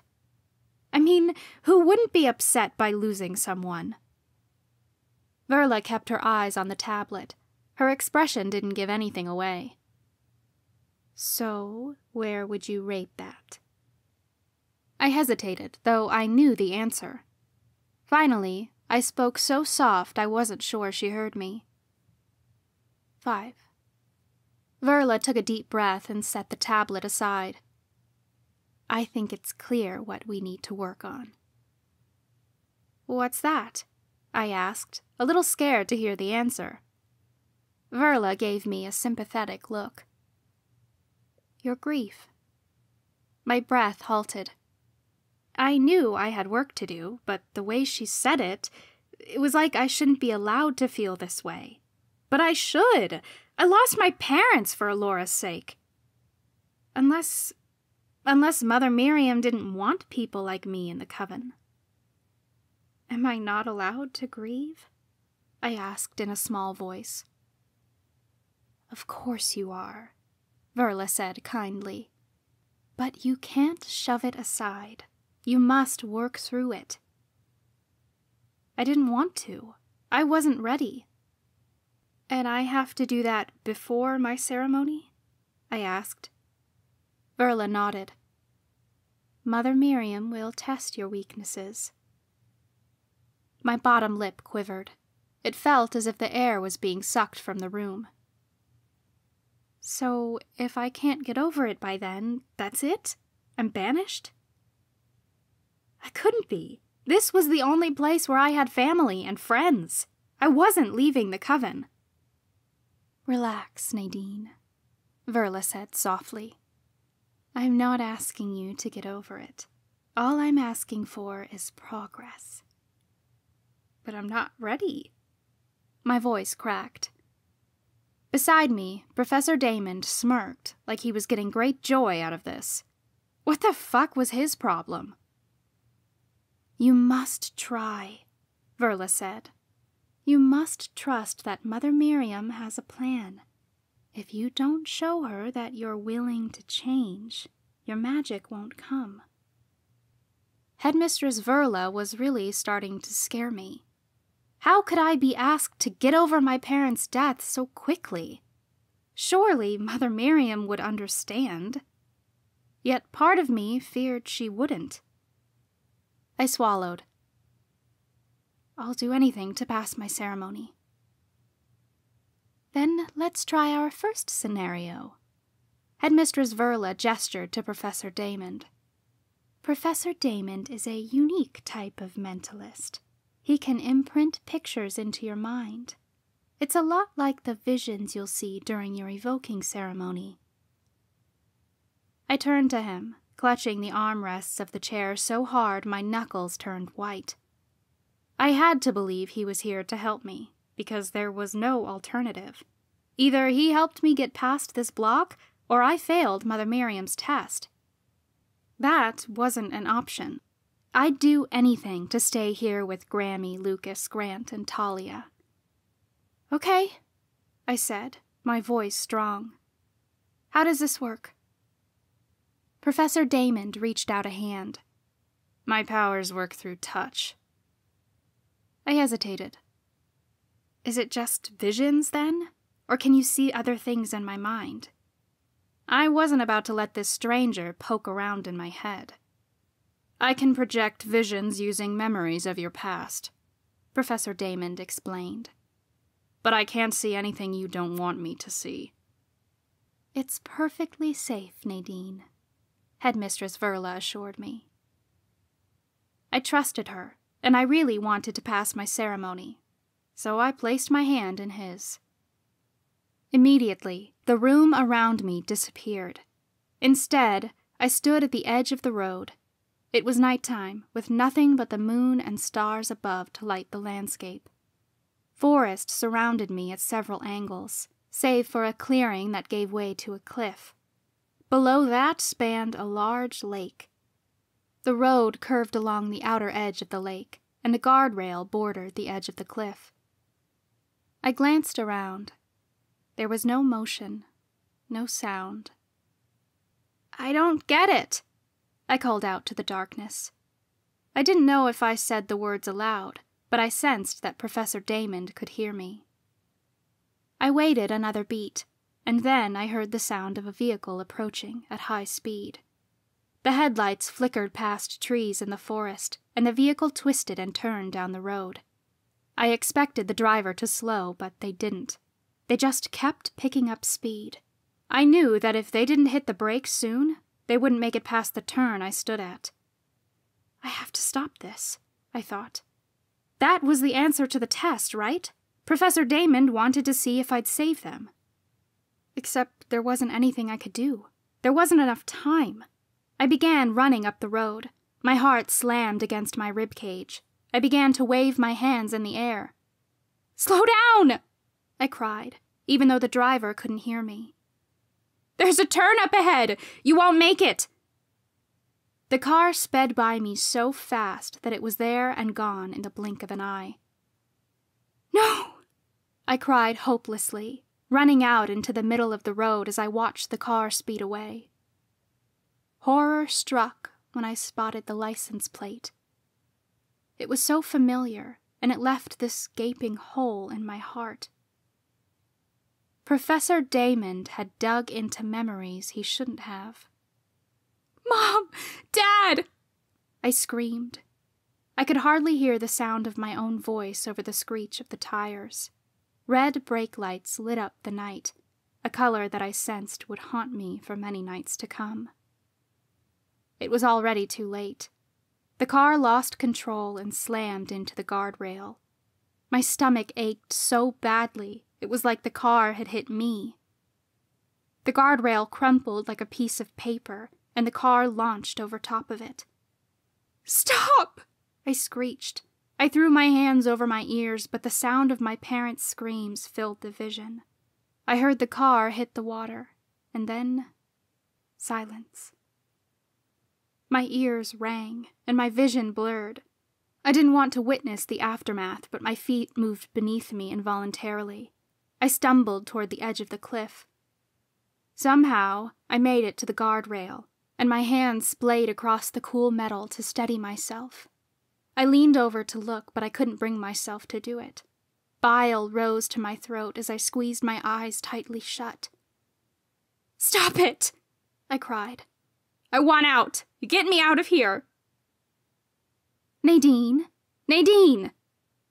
Verla's voice sounded just feet away from me.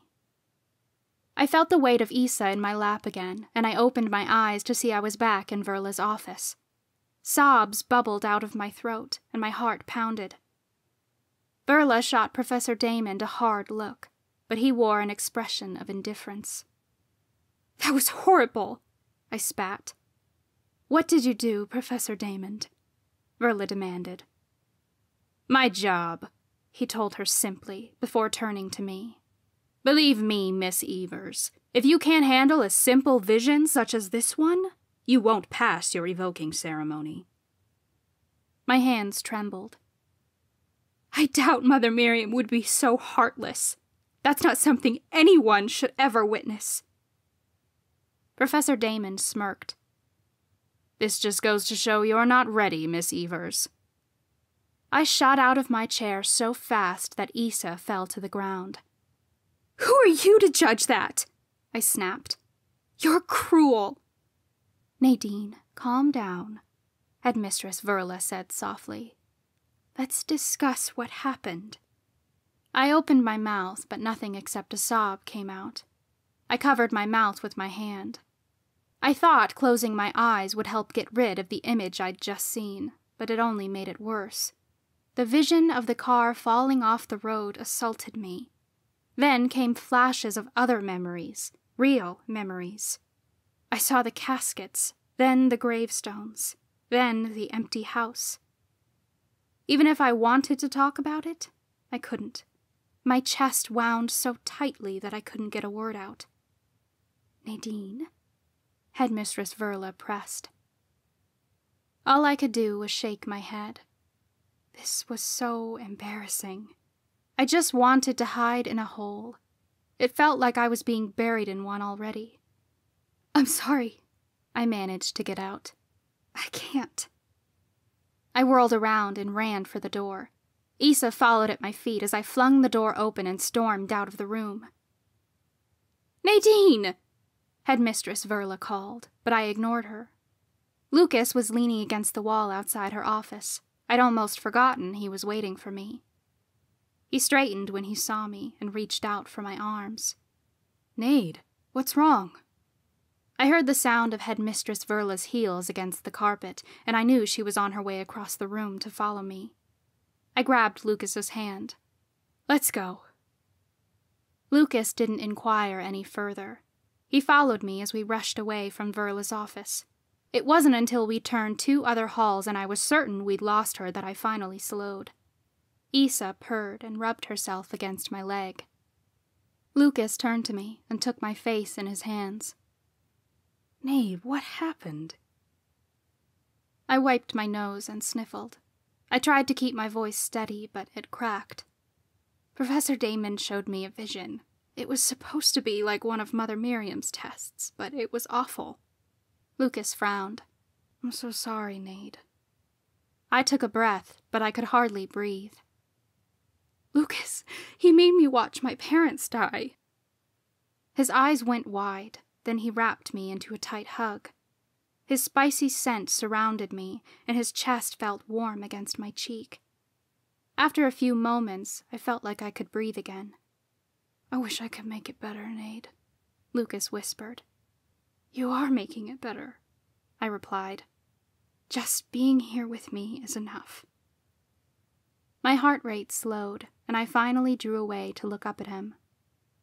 I'm sorry I freaked out. I didn't mean to. Don't apologize, Lucas said. You're allowed to feel upset over this. I sniffled and wiped my nose again. Yeah, but if I can't handle this, how am I going to handle the ceremony? Lucas squeezed my hands. One step at a time, Nadine. The sound of heavy sobs came from down the hall. Lucas and I looked up to see Amy and Mandy walking our way. Mandy was hunched over and sobbing uncontrollably, while Amy supported her. How did this happen? Mandy wailed. I don't know. Amy's voice cracked. We're going to get answers. We just need. Amy lifted her gaze, but she stopped dead in her tracks when she spotted Lucas and me. Her eyes widened and her jaw dropped. She looked like she'd seen a ghost. I glanced around the hall briefly, wondering if she really had seen a ghost. The hall was empty. Hey, guys, I said. What's wrong? I barely got the question out before Mandy squealed and raced over to me. Nadine!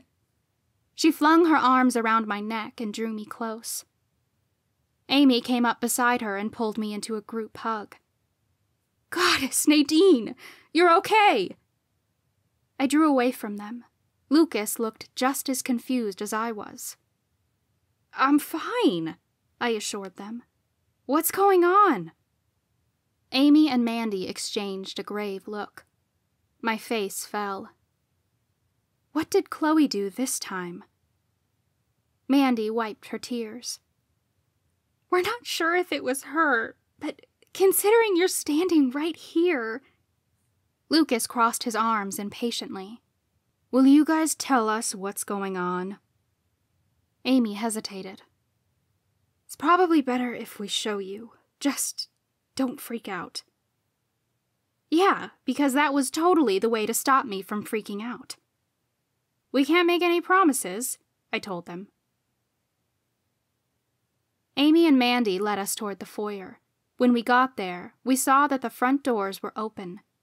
Cold air rushed into the room, and the flames in the fireplace flickered.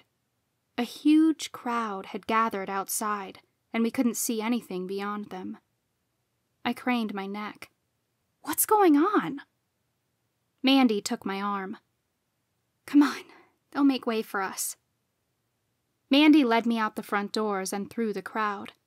People murmured quietly, but they were dead silent when their eyes turned toward me. The sound of a woman's wail traveled across the yard. Above us, the clouds were dark, and the air was so cold it made me shiver. Mandy, what's going I stopped dead in my tracks. The crowd parted enough that I finally caught a glimpse of what was happening. Two figures knelt at the base of a large oak tree. They were both sobbing. That's when I realized the wailing was coming from Talia. For a split second, I didn't realize why she was crying, or why Grant was next to her, trying to comfort her. Then my gaze lifted, and I saw what everyone was staring at. I saw the boots first black boots, just like mine. Then came the ripped skinny jeans, then the leather jacket, and then finally, my own face. I didn't know how it was happening, but my body hung from a noose in the tree. I was standing right here, and yet my lifeless body was spinning in the tree. Isa hissed and ducked behind me. I got so suddenly nauseous that I couldn't hardly stand. I braced myself against Lucas, but he seemed equally weak on his feet. He turned his gaze away from the hanging body and kept his eyes on me. I was almost certain I'd just witnessed my own death, but it didn't make any sense. It isn't real, Nade, he said, but it sounded more like he was trying to convince himself. Is this another test? I asked. Did I ever leave the vision? This is real, he assured me, gesturing between the two of us. We're standing here for sure, but whatever that is. He pointed to the hanging corpse, but wouldn't look at it. That's not you. Then how is this happening? I asked, my heart racing. I wasn't sure which was worse watching my parents die or seeing myself hanging from a noose. Both were equally horrifying. I don't know, Lucas whispered. I swallowed hard and looked back to Talia and Grant. Their backs were to us, so they hadn't spotted us. It broke my heart to see Talia cry like that. Give me a minute. I stepped away from Lucas and walked over to Talia. I didn't know how to break the news to her that I was still alive. I feared I'd only scare her, but she had to know this wasn't real. I stopped behind her and cleared my throat. Grant turned first, but he more or less looked through me. He turned back to Talia to comfort her before doing a quick double take. Nadine? he cried. Talia turned, and her sobs instantly ceased. She went totally still, like she couldn't believe what she was seeing. After a moment to let it sink in, her gaze darted between me, the real Nadine, and the other me, the fake, dead Nadine. Her eyes grew wide, and she scrambled to her feet. Nadine! What's going on? I could ask you the same thing, I told her. She threw her arms around my neck and hugged me so tight it practically choked me. Grant got to his feet beside her and wiped the tears from his face. We thought. I know, I said, cutting him off. I didn't want to hear him finish that sentence. But I'm here. Talia's eyes darkened, and she looked out toward the crowd, who still hadn't taken their eyes off us. There must have been a hundred people gathered around, like my life was some sort of freak show. Who did this? Talia demanded. I'd never heard her talk in such a loud, stern voice. Nobody responded. They all looked as shell shocked as we did. Isa growled at the onlookers. Mandy's nostrils flared. You fuckers better start talking! She stomped up to the nearest guy, whose face was hidden in his jacket. She grabbed the back of his hood and yanked it down, then got up in his face. Are you enjoying this, Gregory? He was a lanky guy with glasses and messy hair. His hands instantly shot up in surrender, and he cowered away from her. I don't know anything, I swear. Lucas crossed his arms and loomed over Gregory. What do you know about this kind of magic? Nothing, he repeated. I said I don't know anything. A muscle popped in Lucas's jaw. Come on, Gregory. You know everything. Gregory's eyes twinkled for a second, like he appreciated the compliment, but it was gone a moment later. He shot a dark look at Mandy, who still had a tight hold on his hood.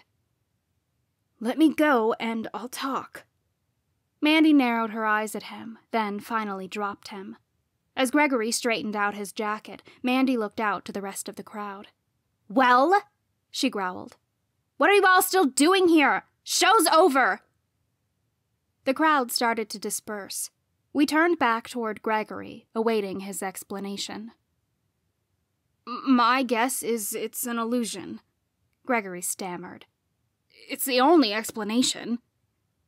Witches can't cast illusions, Lucas stated bluntly. No, but the Arcana can, Gregory reminded him. The school's got enchanted objects from all over the world. I wouldn't be surprised if they had a Fey object from Malovia that could do this sort of thing. But why would anyone want to make it look like Nadine? Grant started to ask, but he trailed off. The six of us looked at each other, and it was as if we all already knew the answer. Talia's hands curled into fists, and her nostrils flared.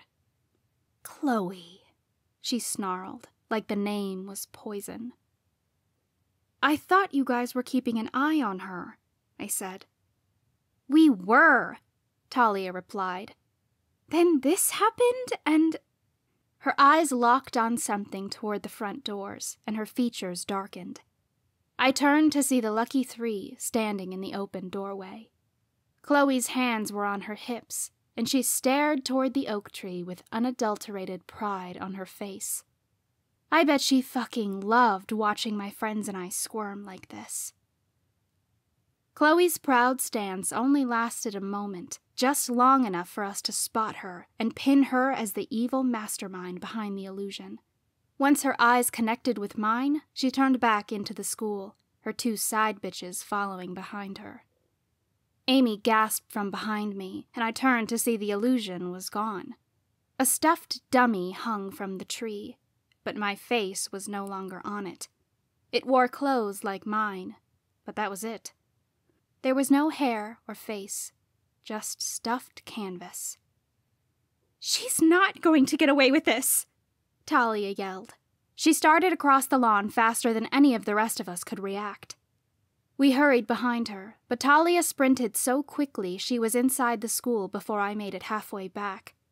When the rest of us reached the doors, Talia was running up the grand staircase behind Chloe. She flung herself forward and grabbed Chloe around the neck, then yanked her back.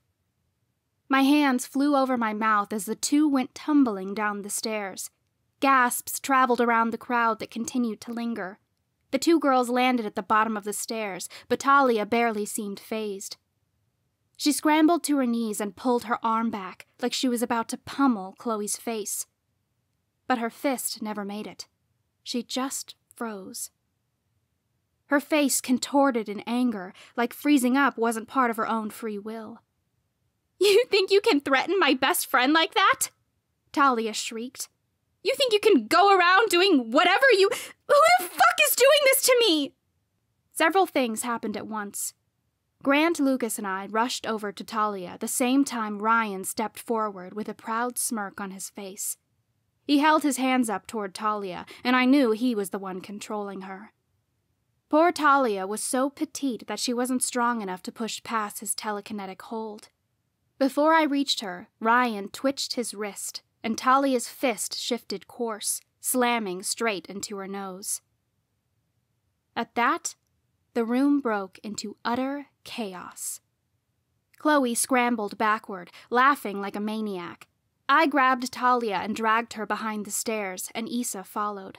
Grant threw his arms out around us and acted like a human shield. I couldn't really see what else was going on, though I saw purple sparks erupt from Lucas's hands. Screams filled the foyer, and footsteps pounded above us on the stairs as students scattered. I heard the sound of glass breaking and people screaming. The sound of cats screeching and hissing came from all angles. Isa crouched in front of me like she was standing guard. Her tail stood on end, and a low growl came from her throat. A figure ran from the fight and ducked beneath the stairs with us. I didn't realize who it was at first until he spoke. Talia, babe, you okay? Cody pushed past Grant and cradled Talia in his arms. She curled into him. I'm fine, but I need to get back out there and kick Chloe's pretty little. No, Cody said sternly. I'm not letting you go back out there. Grant shot Cody a look of disdain. My heart hammered. I wanted to get back out there too. I couldn't let Lucas fight by himself. I started to get up, but Grant grabbed my hand. Nadine, stop. You don't have magic. I have to do something. I didn't care what it was. All I wanted was to get back at Chloe. I ripped my arm out of Grant's grip and rushed out from beneath the stairs before he could catch me. My eyes locked on Chloe, who ducked in the corner. I barely noticed magic flying around me as I stomped over to her. She didn't notice me at first, as she was preoccupied by the fight, but I sure as hell got her attention when I grabbed her by the t shirt and shoved her up against the wall. Isa came streaking out from under the stairs after me. She stood at my feet and hissed at Chloe. What the hell is your problem? I snapped. Come after me! Don't hurt my friends! Chloe shoved me, and I stumbled back a few steps. Get off me, bitch! I'm the bitch? I snapped. I didn't start this. You did, she yelled. The second you came to Octavia Falls. I didn't do anything to you, I growled. You didn't have to, she spat. It started long before either of us were born. Was she fucking serious? I know our grandpas had it in for each other, but that's no reason for you to act so evil, I snarled. There's enough room in Octavia Falls for both of us. That's just it, Nadine, she screamed. There isn't enough room for the both of us. That's why you need to leave. She shoved me again, and I shoved her back harder. I'm not going anywhere, I promised. You really want to risk it? She asked harshly. How badly do you want to die for this? My eyebrows shot up. Die for it? What, you're going to kill me if I don't leave? She glared at me. I'd never seen so much hatred in someone's eyes before. Someone has to die. Don't you get it, Nadine? Once we both go through our evoking ceremonies, that's it. That's all the time we have. One of us has to leave. Why? I yelled. What has you so fucking terrified of me? We're cursed! Chloe's words stopped my heart. I swayed on my feet, but I barely had a chance to process what she said before another voice boomed throughout the foyer. Everybody stop! Chloe and I both turned to see Professor Richards standing in the center of the room. He held up a large vial of green liquid. Everyone had gone totally still. Ryan and Lucas both had each other by the collar, and they'd stopped with their fists pulled back. Amy and Mandy were on the ground with Camille and Gwen. Mandy had a fistful of Gwen's white hair, and Amy had twisted Camille's arm around her back. All eyes turned to Professor Richards. Make one more move, and I'll set off this sleeping potion on the whole room, he threatened in a stern voice. Nobody said a thing. All I heard was the click of heels down the hall. Then Head Mistress Verla stepped into the foyer. She wore a look of utter disapproval. It was so intense it could cut straight through you. For a moment, she actually sort of scared me. Everyone back to your dorms, she commanded. Now! People started to hurry up the stairs and scatter in either direction. Chloe stomped past me, purposely slamming her shoulder into mine on the way. I moved slowly, still trying to grasp what she'd said. I was cursed. Why had Grammy hidden this from me? Why had she written it off as some dead feud? I ended up in the back of the crowd. Ahead of me, Cody was helping Talia up the stairs, while Grant glared from behind them. Amy and Mandy made faces at Gwen and Camille while they headed back to their room. Isa joined me at my feet. Lucas found his way over to me. A bruise was forming beneath his eye, but his knuckles looked raw, like he'd gotten in a few good punches. Shit. I didn't want this for him. I didn't want him getting hurt because of me. You okay, Nade? he asked softly. I swallowed. I couldn't lie to him. Today had been one shit show after another. I was beyond exhausted. There's something I need to tell you, I whispered under my breath. I didn't want to tell him about the curse out in the open, though. Nadine. Headmistress Verla cocked an eyebrow in my direction. She looked less than happy. I scooped Isa into my arms, then looked to Lucas. Come with me. We walked over to Verla. The room had been cleared out, so no one heard us. Verla placed her hands on her hips, like a mother disappointed in her children. What happened here? Though she looked at Lucas and me with tight lips, I realized she wasn't mad at me. She'd asked me over because she trusted me to tell her the truth. It was a prank, headmistress, I told her. Someone used illusion magic to make it look as if there was a dead body hanging from the tree outside. People got upset, and a fight broke out.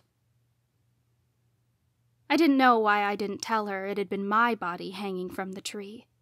Something didn't feel right about telling her about Chloe and me. If Chloe got in trouble for it, it'd only make things worse between us, and they were bad enough already. Verla breathed a heavy sigh, like she couldn't deal with such pettiness today. Very well. You may return to your dorms. Lucas and I turned, but Verla stopped us once more. Oh, and Nadine? I stopped to look at her. Yes? Her shoulders fell. I'm very sorry about earlier. We'll get this worked out, and you'll pass your evoking ceremony. I nodded, though deep down in my gut, I wasn't sure. I only had a few weeks left. On top of it, there was this curse Chloe just told me about. You don't look well, Nade, Lucas pointed out as we climbed the stairs. Is there anything I can do? No, I told him. But there's something I have to do. What is it? he asked. Let me help. I shook my head. I have to do this by myself. My grandmother has some explaining to do. Nadine! Grammy sounded pleased to see me when I arrived at her house that night. What a pleasure! Cut the crap, Grammy, I snapped. She gaped at me. Is something wrong? I narrowed my eyes at her. You could say that. Grammy's eyes widen in concern, and she steps aside to let me in. She gestured to the living room, but I just stood there in the hallway, my arms crossed. I felt weak on my feet, but I was too angry to sit down. Cornelius rubbed up against my leg, but I wasn't interested in his affection. What's wrong? Grammy asked. Why didn't you tell me about the curse? I demanded. Grammy's features immediately darkened. She looked pissed that I'd brought it up. I didn't tell you because there is no curse, Nadine. Then why does Chloe Olson insist there is? I shot back. I knew you were hiding something from me the last time I mentioned her. Grammy sighed. Nadine, please sit down and let me explain. I threw my hands up. I don't want to sit down. I want you to tell me everything. I will, Grammy promised. Let's talk about it over a cup of tea. Please, like I wanted tea right now. Grammy's lips tightened. Sit down, Nadine. She spoke in a tone I'd never heard her use before. I felt like I had no choice but to sit. It seemed to be the only way I was getting answers. While I stepped into the living room, Grammy went down the hall to brew us some tea. I was fuming so badly I could hardly sit still which was saying something, considering how exhausted I was. Assumptions raced around in my head while I waited for Grammy to return. Did Grammy want the curse to hurt me? Did she think I was better off dead? Or had Chloe been lying to me? Somehow, I doubted that. Grammy returned to the living room with a tray. She set it on the coffee table, then pushed a cup of tea into my hands. Drink, Nadine. I started to sip it and noticed my anger begin to wane immediately. I realized what horrible things I'd just thought about Grammy, and it killed me to think them. She loved me to death. Surely she had a good reason for not telling me. Suddenly, I felt angry for a different reason. I set my cup back on the table and glared at her. If you're going to serve someone a potion, you should probably tell them first. It's nothing more than a calming tea, Grammy assured me. My lips tightened. Forgive me if I'm having a hard time trusting you right now. Grammy straightened in her chair. Look, Nadine, I'm not going to lie to you. There was a curse. Well, at least she was starting to be honest with me. What was the curse exactly? I asked. What were our grandparents fighting over? Grammy took a long breath before diving into the story. Years ago, when I was pregnant with your mother, your grandfather served on the Imperium Council. He was the last curse breaker and the only male to ever serve. Chloe's grandfather stole a valuable item from the council, and though he denied it, the two of them fought over it. Chloe's grandfather wanted to get rid of yours, so he cast a curse upon him and his descendants. This curse would allow only one of the families from each generation to remain in Octavia Falls. The other either had to leave or die. Wait! The pieces began falling into place. Is that how Grampy died? Grammy's eyes watered. Nadine, your grandfather was murdered. Chloe's grandfather killed him. The air left my lungs. Mom didn't leave the coven for my dad, did she? Grammy shook her head regrettably. She left to outrun the curse. How exactly does this curse work? I asked. Grammy sighed. According to what your mother learned before she left, the curse only touches you once you're accepted into the coven. Since you haven't gone through with your evoking ceremony yet, it can't hurt you. But it has, I argued. Grammy, it's been there my whole life. I can feel it inside me. Grammy dropped her gaze. I'd never seen her look so guilty. Why didn't you tell me? I demanded. Why would you keep any of this from me? Because the curse is over, Nadine, Grammy cried. How do you know that? I asked. Chloe sure seemed to think it was alive and well. Grammy's breath caught. I refuse to believe your grandfather died without breaking it. He was a curse breaker. Oh my god. I pressed my hand to my forehead. She was seriously basing this off nothing? Why would you even take this chance? I snapped at her. If this could cost me my life, it's going to cost me my granddaughter, she erupted. I already lost my husband and my daughter. I'm not going to lose you too. The room went dead silent. After a few moments, I finally spoke. It wasn't right of you to hide this from me, Grammy. You have no proof that the curse was broken. And you don't know it wasn't, she said softly. Is that something you really want to risk? I asked. I was offended she'd play with my life like some sort of slot machine. The curse isn't broken, Grammy, and I think deep down you know that. Grammy's face paled and her voice quivered. Slowly, she rose to her feet and came over to sit beside me on the couch. Her eyes watered, and a pang of guilt hit me. I felt bad about lashing out at her. Nadine, I'm sorry I didn't tell you she said softly. It was selfish of me. All that really matters is that you're safe. Can you forgive me? I hesitated. I want to, but my unspoken words hung in air. But she broke my trust. Grammy reached up and pulled a chain out from beneath her shirt. An antique skeleton key I'd never seen before hung from around her neck. It looked really old and had a pretty swirly design on the end. I want you to have this, she said. I furrowed my brow. What does it go to?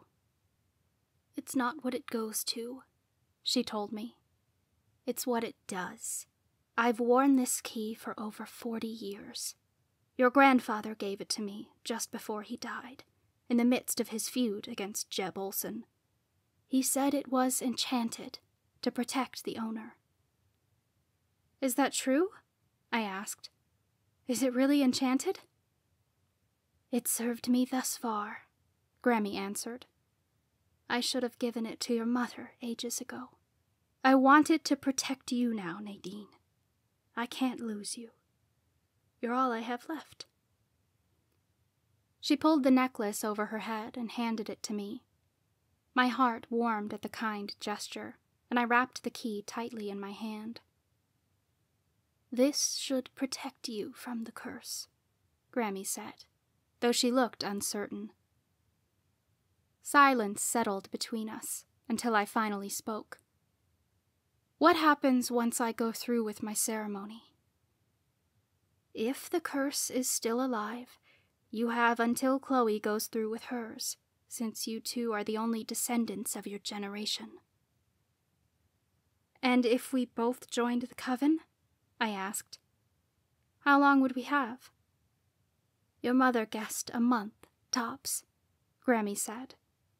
But she didn't stay that long. She left the night of her ceremony. My ceremony is before Chloe's, I pointed out. That puts me at an advantage. Chloe would have to forfeit her own ceremony if she wanted to stay. Otherwise, she'd be submitting to a game of Russian roulette with this curse. The only other option was to kill me and save herself, but she hadn't done it yet. To be honest, I didn't think she had it in her. Please don't leave me like your mother did, Grammy whispered. I won't, I promised. I'm going through with my evoking ceremony. I'm going to pass, and I'm going to show Chloe that I belong here. If anything, she'd be the one that would have to leave, because I wasn't going to. The following night, I couldn't sleep, even though I was really tired. After I told Lucas about the curse, all I wanted to do was be by him, because he made me feel better about the whole thing. My heart yearned to be in his presence, and I couldn't stand to let my hunger for him go unchecked. To hell with it. I was going to be spontaneous tonight. I crawled out of bed as quietly as I could so I wouldn't wake Talia. I changed into a swimsuit, grabbed a towel, and then quietly left the room. I tiptoed down the dark, quiet hall and stopped at Lucas's door. I knocked lightly, but no answer came, so I tried again. A few moments later, the door swung open. A sharp breath passed by my lips when I saw him standing there. He wore nothing but sweats that hung off his hips in a way that made me want to drool. His abs were freaking amazing. I just wanted to reach out and touch them. His hair was tousled and looked really sexy. Just seeing him standing there, shirtless, did things to my body I couldn't control. What's this? He teased in a low whisper so he wouldn't wake Grant. A booty call? I laughed lightly no. Did I wake you? He shook his head. Nah, couldn't sleep. Me either, I admitted. I'm going swimming and wondering if you wanted to come along. He hesitated. The pool's closed this time of night. I shrugged. You think that's going to stop me? Um, it should, he said, sounding equally curious and confused. Well, if you don't want to come, I'll just go by myself, I said. I turned from the door and started down the hall, but I was totally bluffing. I knew he wouldn't be able to resist his curiosity. Wait, Nade, he hissed. I smiled brightly and turned back to him. You're coming? He groaned, though he didn't sound upset. Hold on a minute. Lucas ducked back into the room and changed into his swim trunks, then grabbed a towel. He emerged looking hella sexy. The light from the sconces along the wall accented the hills and valleys of his abs. It took all I had not to stare. What? he asked innocently. I forced my gaze away from him, hoping he hadn't seen me blush. Nothing. Let's go. Lucas and I tiptoed quietly down the stairs into the rec center. The door was locked, but all it took was one tiny incantation from Lucas, and we were in. The air was warm and thick inside, but it felt really good. The room was dark, but a light streak of moonlight came in through the tall windows that faced the forest, glistening off the water. Do they have some sort of magical alarm system for this? I asked, though I didn't really care. The threat of getting caught was all part of the fun. Lucas shrugged. Security isn't a huge deal around here. Most people aren't brazen enough to sneak in. I'm brazen? I teased as I dropped my towel on one of the pool chairs. Lucas laughed and tickled me in the side. Why do you think I like you? My heart fluttered at those words. I mean, I already knew he liked me, but hearing him say it got me every time. Don't tickle me, I snickered. I reached out and tickled his side. An electric shock traveled through my fingertips and up my arm when I touched him. I didn't think that would ever get old. Hey, Lucas cried, his voice echoing throughout the pool. Tickle me again, and I'm throwing you in. My jaw dropped dramatically. You wouldn't dare. He cocked an eyebrow. You want to bet? I shrugged and tugged at the string on my robe. The flaps fell open, revealing my black bikini. Lucas's gaze dropped and roamed across my body. His eyes lingered on me a few moments, like I wouldn't notice. My eyes are up here, buddy, I joked, reaching out to tickle him again.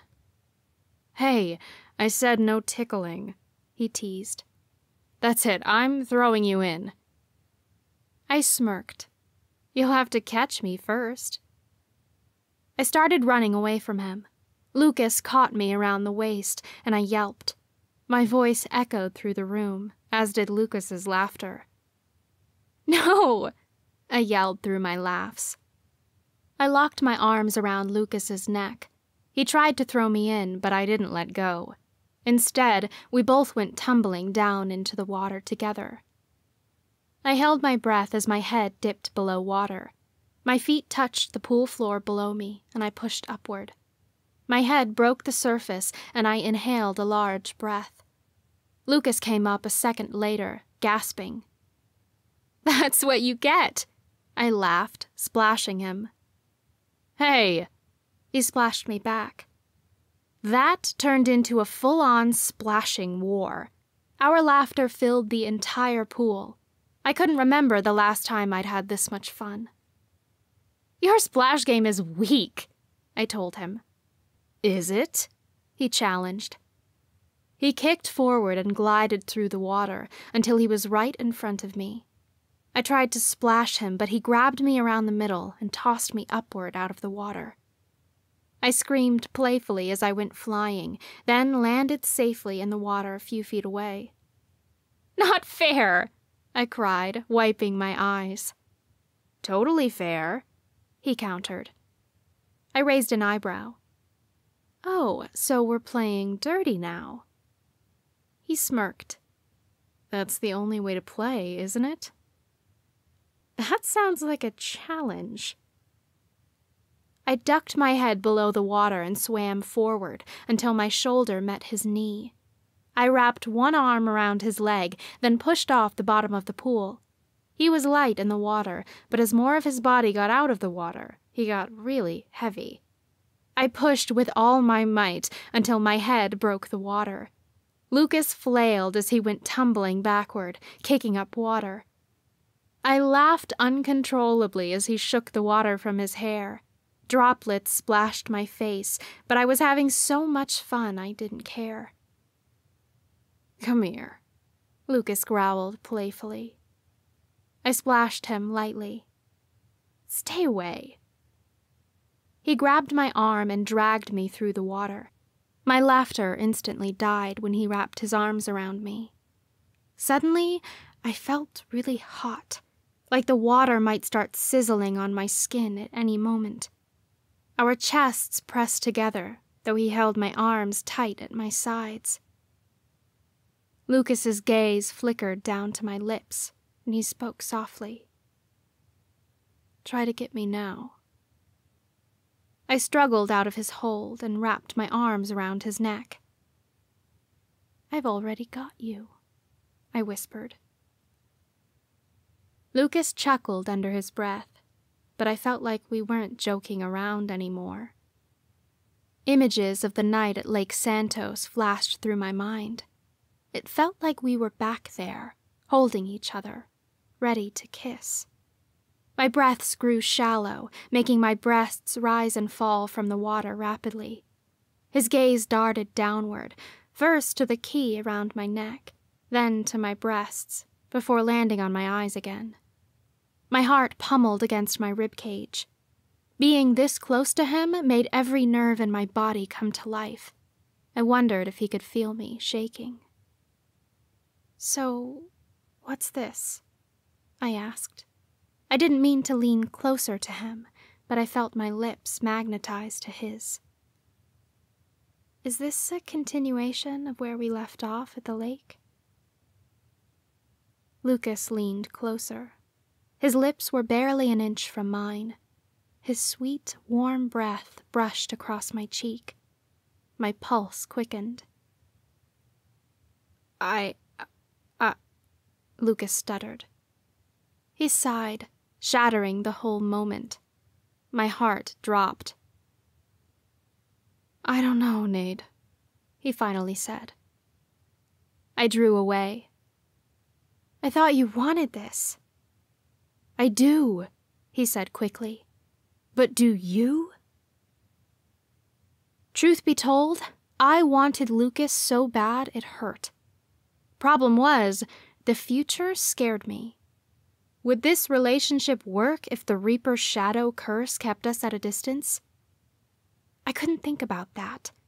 So I resolved to enjoying every moment with Lucas that I could. I don't know what the future holds, I admitted. But I know that I want you, right now. Lucas's expression softened, like my words warmed his heart. I waved my hands through the water and stepped closer to him. With each step I took, he took a step away. It wasn't like he was running from me, more like he was giving me a choice to pursue him. Why worry about the future when all we need to do is live in the moment? I questioned. Lucas stilled when his back hit the edge of the pool. His breath wavered. Because our choices in the moment affect the future, Nade. I shrugged, like none of that mattered, though I knew deep down that it did. Let's pretend like there is no Reaper's shadow curse. I suggested. What's a witch got to do to get you to ask me out? Lucas sighed and hoisted himself up out of the pool to sit on the edge. Water dripped from his dark hair, and the moonlight accented the deep shadows of his muscled chest. He looked down at me with those bewitching green eyes, sending my heart pummeling against my rib cage. Are you sure you want to be with me, Nade? You deserve to be happy. We can be happy together, I promised. He raised a curious eyebrow. How do you know? I pressed my hands to the edge of the pool on either side of him and pushed myself upward so that only my legs were in the water. My hips rested on the edge of the pool between his legs. Heat pooled between my thighs as I came in so close we were practically touching. Energy sizzled between us, and I saw it in the way he looked at me that he felt it too. The sexual tension was palpable. Why don't you kiss me and find out? I whispered. A moment passed where I didn't know what might happen next. We felt frozen in time, and I held my breath. Then Lucas's hand came up to cradle the back of my neck, and he drew me to him. My whole body felt like it was melting into the water as his warm lips moved over mine. My lips parted, and he deepened the kiss. My arms suddenly became weak, and I lowered myself back into the water. That didn't stop Lucas from kissing me deeper, though. His lips never parted from mine as he followed me into the water. He took my face in his hands and ran his tongue over my bottom lip. I moaned as I wrapped my arms and legs around him, pressing myself so close to him that it should be a sin. Lucas's hands roamed downward until they were cupping my ass. I groaned and pressed my hips into him until I could feel his erection pressing up against my most sensitive areas. My fingers trembled as I ran them through his hair. He made little noises of pleasure that sent waves of heat all over my body. A glorious high filled me, like I was mere meters away from cresting the top of a mountain. This was how it should be with us. This was how it should feel to be with the person you loved. To be denied of that was a curse. Literally. I wanted more with Lucas, as much as I could possibly get. We were two lost souls who found each other in the darkness. Somehow, we had created a spark out of nothing. When he kissed me like this, it was as if the spark could never die. The very air he breathed was mine, and as long as we were together, the fire we shared could never die. Boldly, I reached up and tugged on the string of my bikini top. The fabric fell away, and I pressed my exposed breasts to Lucas's chest. My nipples hardened beneath the coolness of the air. Lucas's entire body quivered. I half expected him to draw away, to tell me to cover up and remind me we couldn't touch like this, but he didn't. Instead, his hands traveled up my body before settling on the curve of my breasts. My heart hammered so hard I was sure he could feel it. The air around us seemed heavy with hormones so thick I could hardly breathe. Lucas's hands massaged my breasts as mine tangled in his hair. Our lips moved in perfect sync as we made out passionately. The room spun around me so fast I didn't know which way was up or down. The only thing rooting me in place was Lucas's body against mine. We could have been making out for only a minute, or it could have been hours. All I knew was that it would never be long enough. Bang! A noise like the slamming of a door startled the two of us apart. I grabbed for the fabric of my bikini and pressed it over my breasts. Lucas and I shared an expression of total horror. We should probably go, he suggested. I quickly agreed as I tied my bikini back on. We jumped out of the water and gathered our things, then snuck quietly out of the pool. Lucas took my hand as we ducked through the shadows in the hall. We didn't see anyone, but we made our way back to the dorm slowly and carefully. My heart pounded in exhilaration. I didn't think either of us wanted to leave the other. My heart sank when we arrived back at my dorm. I stuck my arms through the sleeves of my robe and draped my towel around my neck. That was a lot of fun, I whispered to Lucas. It helped take my mind off things. Lucas's face fell. You mean the curse? I nodded. Any ideas what you're going to do about it? He asked. I think it's pretty obvious, I replied. Either me or Chloe has to leave Octavia Falls. I'm staying. You're playing a game of chicken, Nade, he pointed out. Chloe's not going to cave. She's going to have to, because I won't, I promised. Lucas frowned, like what he was about to say pained him. Or she'll kill you. I rolled my eyes. If she was going to kill me, she'd have done it already.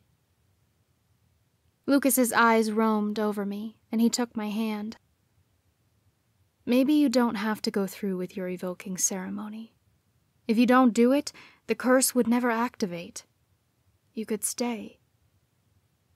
And then I'd never be a true member of the coven, I reminded him. That's what Chloe wants. She wants to prove I don't belong. And I do, Lucas. I just want you to be safe, he said. This isn't up for discussion, I stated firmly. My mind's made up. Lucas sighed. Let's forget about that, I suggested before wrapping him in my arms. I don't want to ruin the amazing night we just had together. Lucas pressed his nose into my hair. After a long moment of silence, he spoke. What's your secret? My secret? Yeah, you're so positive lately. How do you do it? I don't know. It might have something to do with this. I drew away and lifted the key around my neck. What is it? He asked. I shrugged. Something my grandma gave me. It's supposed to be enchanted. Lucas's eyebrows shot up. Then it must be rare. We aren't so great at enchantments in the Miriamic Coven. Can I see it? Go ahead. He reached out and lifted the key in his hand. Though it was dark in the hall, he inspected it closely. As I watched his eyes roam over it, I saw something in them. It was like he needed protection. What from, I wasn't sure, whether it was from himself or some darker force. All I knew was Lucas seemed to need it more than I did. I didn't realize what I was doing until I did it. I reached up and undid the clasp on my necklace. I started to fasten it around his neck. What are you doing? he asked. I want you to wear it, I said. Nade, I can't. He declined, but I'd already placed it around his neck. It's from your grandma. So? I challenged. You want to try being more positive? Let's see if it helps. I want you to have it. I can't, he insisted. He reached up to start taking it off, but I placed my hands on his to stop him. My skin tingled where I touched him. I looked him straight in the eyes. You know I don't take no for an answer. Consider it an early birthday present. It's yours. Lucas relaxed. He came in close and pushed a strand of wet hair behind my ear. Butterflies danced around in my stomach. Thank you, Nade. Lucas just hovered there, neither of us wanting to move. He was barely a foot away, just staring at my mouth. My mouth grew dry as I awaited another kiss. I wished I could invite him inside, but Talia was sleeping. I licked my lips, but my voice wavered. Thank you for tonight. We should do it again sometime. It'd be fun. He nodded as his eyes roamed my face before traveling down my body. He reached out and ran his fingers down the arm of my plush robe. You know what else would be fun? My whole body trembled. I could think of quite a few things. What? Lucas looked like he was holding his breath. Then, all at once, the question spilled out of him. Would you like to go to the midnight formal with me? I went speechless. Instead of jumping at the chance, I spat out like an idiot. I. I thought you didn't dance. He smiled sweetly. I'd dance for you, Nade. My heart never felt as warm as it did in that moment. Lucas made my heart sing in ways no one ever had before. That was when I knew. No matter the limitations, I wanted to spend my life with Lucas. I'd walk to the ends of the earth and back for him. I became so overwhelmed with joy that all I could do was throw my arms around his neck to keep it from bursting out of me. Yes, Lucas, I whispered. I'll go to the dance with you. I drew away and took his face in my hands. He looked down at me with a blissful expression in his eye.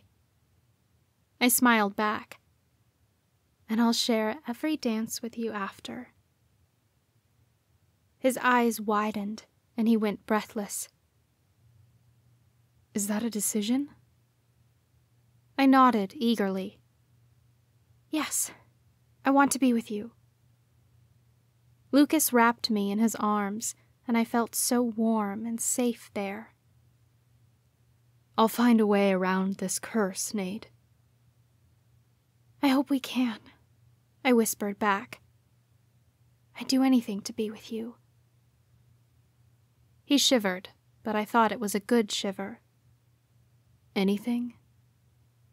Yes, I said. Wouldn't you? He let out a deep sigh and pulled me tighter. Absolutely. Chapter 19 Lucas The night at the pool was the most fun I'd ever had. Kissing her like that was beyond incredible. I'd never kissed someone like that, and no one had ever kissed me back with such passion. And her breasts. Oh my goddess, there was no words. I could hardly believe she'd let me touch them. It felt like a dream. But it was real, and I couldn't stop playing it over and over in my mind. Nadine wanted to be with me no matter what. She had no idea how much it meant to me that she was willing to give up her grandmother's necklace. I didn't think she understood how valuable an enchantment like this was in the magical community. When Nadine gave me that key, it was like she gave me her heart. It was in that moment that I realized I was done for. As long as Nadine was staying in Octavia Falls, I was going to be with her. One day I flagged Samantha down after necromancy safety. Lucas? She looked surprised to see me. What's up? I glanced around the hall to make sure no one was around to hear. I have some questions about the Reaper Moon. Mind if we talk? She looked a little hesitant. I told you everything I know. I just want to know how the last guy did it, I begged. How'd he get in contact with the Reapers on the Reaper Moon?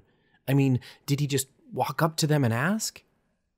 She bit her lower lip. I think it requires a ritual. That's what I was afraid of. What kind? How? I asked. She shot me a look of apology. I'm sorry, Lucas. I don't know. You're going to have to ask someone else. And that's exactly what I was going to do until I found answers. Who better to go to than the last guy who figured it out? I didn't tell Nadine what I was up to. I knew it wasn't right to keep secrets from her, but I didn't want her talking me out of it. I could already hear her voice in my head. I'm not worth risking the abyss, she would say. But she was. She totally was. Friday night arrived, and I ducked out the back door of the school before Grant or anyone else could find me. It was my 20th birthday, and I was pretty sure Grant wanted to go party or something dumb like that, but I had other plans in mind. As I rounded the side of the school, I heard Ryan's voice. Where's the money you owe me, Gregory? I'll get it, Gregory replied, his voice shaking. You better, Ryan spat. Now get out of here. I heard Gregory scramble off in the other direction. I spun on my heel and rounded the other side of the school. I didn't need another confrontation with Ryan. I felt bad for Gregory, but at least Ryan seemed distracted enough that he was off my back for a while. I left campus and walked into town. It wasn't far, and I didn't have my own car. Snow fell gently from the sky, but the air actually felt nice. I stopped at a psychic shop along Main Street and went inside. The shop was really small and had only a handful of products on display, things like tarot cards and herbs. It was dark inside with black walls, dim lighting, and a deep red curtain separating the main room from another room in the back. There was no one there when I walked in, but I suspected the seer who ran the place could sense my presence. She was supposed to be one of the best in town, slated to be the next on the Imperium Council. I'd never met her, but I'd heard of her. So when I decided to visit a seer to figure some shit out, I thought she might be the best person to ask for help. I barely waited a minute before the curtain behind the counter opened. A woman stepped into the room. She was at least twice my age and had beautiful tight curls framing her face. She wore dark clothes and a purple shawl over her shoulders. She smiled kindly. Lucas, I thought I'd be seeing you again. I hesitated. Um, I don't believe we've met. Right, she said, like she just remembered. I was in costume. I'm Everly Hall. She reached across the counter and I shook her hand. Nice to meet you. Were you. were you the night hag on Halloween? She smiled. I was. Creepy. What did the card mean? I asked. She gestured to the curtain. Why don't we sit down and talk about it? I followed her into the next room, which was just as small as the first. There were candles lit around the perimeter. In the center of the room stood a round table covered in black cloth. A crystal ball and tarot cards sat neatly on top of it. Please sit, Everly said, gesturing to one of the chairs. I took a seat, but I shifted uncomfortably. I'd come here to get answers, but now I had no idea what to expect. What can I do for you, Lucas? Everly asked as she sat across from me. I cleared my throat. First of all, you can tell me about Halloween. She shook her head and wore an expression of regret. I'm afraid I can't always make sense of the messages I receive. Do you know who sent you the message? I asked. What did they say exactly? Her shoulders fell. I don't know. I did as I was told to do. I found you, gave you the card, and. She trailed off and stared into the distance. After a few moments, she shook her head like she couldn't remember. I gave you a warning, didn't I? Yeah, I told her. You said I needed to stop something. You don't remember? She looked at a loss for words. The way my powers work, I don't always remember the messages I relay. It's automatic. Well, that was a freaking dead end. I decided to focus on the real reason I came. I leaned my elbows on the table.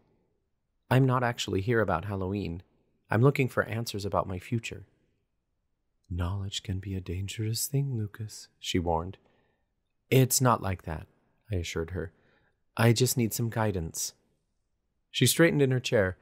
I may be able to help with that. My shoulders relaxed and I felt at ease. The thing is, there's this girl. Everly's eyes brightened. Ooh, tell me about her. Nadine is amazing, I stated. She's just so curious about life so full of this amazing energy that lifts me up every time I'm around her. I want to be around her all the time. I want to be with her. But. But you're the Reaper's apprentice, Everly finished for me, which means you can't be with her without hurting her. See, you understand, I said. Apparently, that's not common knowledge around school. The thing is, to be with her, I'd have to get rid of my gift. Everly looked thoughtful and you're wondering whether you should or not. I shook my head. No, I'm wondering how. Her face fell. Do you realize what you're saying? Rejecting your powers like that. I know, I said quickly. I'm not here for a lecture. It's not my job to give you one, she stated simply. I have to get in touch with the Reaper, which I can only do on the Reaper moon, I said. Problem is, I don't know how to do it.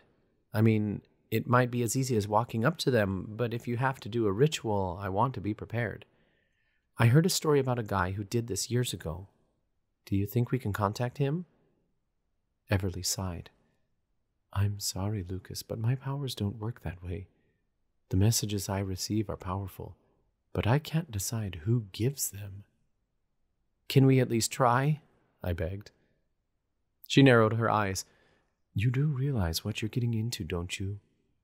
Yes, I've thought it over pretty extensively. Will you help me or not? Silence settled over the room for several long seconds. I held my breath. Finally, Everly sighed. I'm not one to refuse help when it's asked of me, so long as you understand what you're doing. I nodded firmly. All I want is information.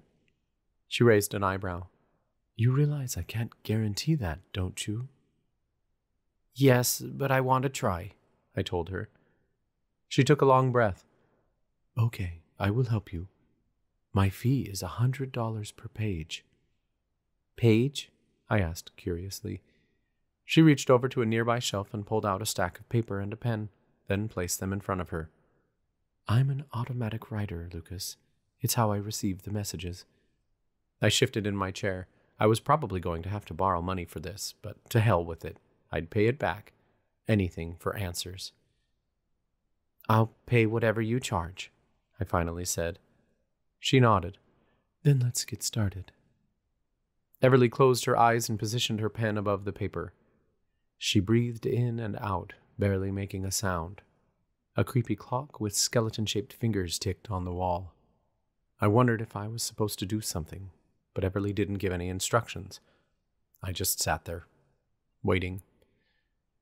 At least if she didn't write anything, I didn't owe her anything, right? After two minutes that felt like two hours, the temperature in the room dropped. The hair stood on the back of my neck, and I shivered.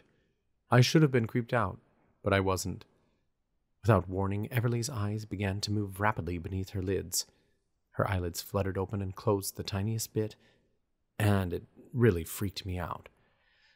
She was obviously in a really deep trance.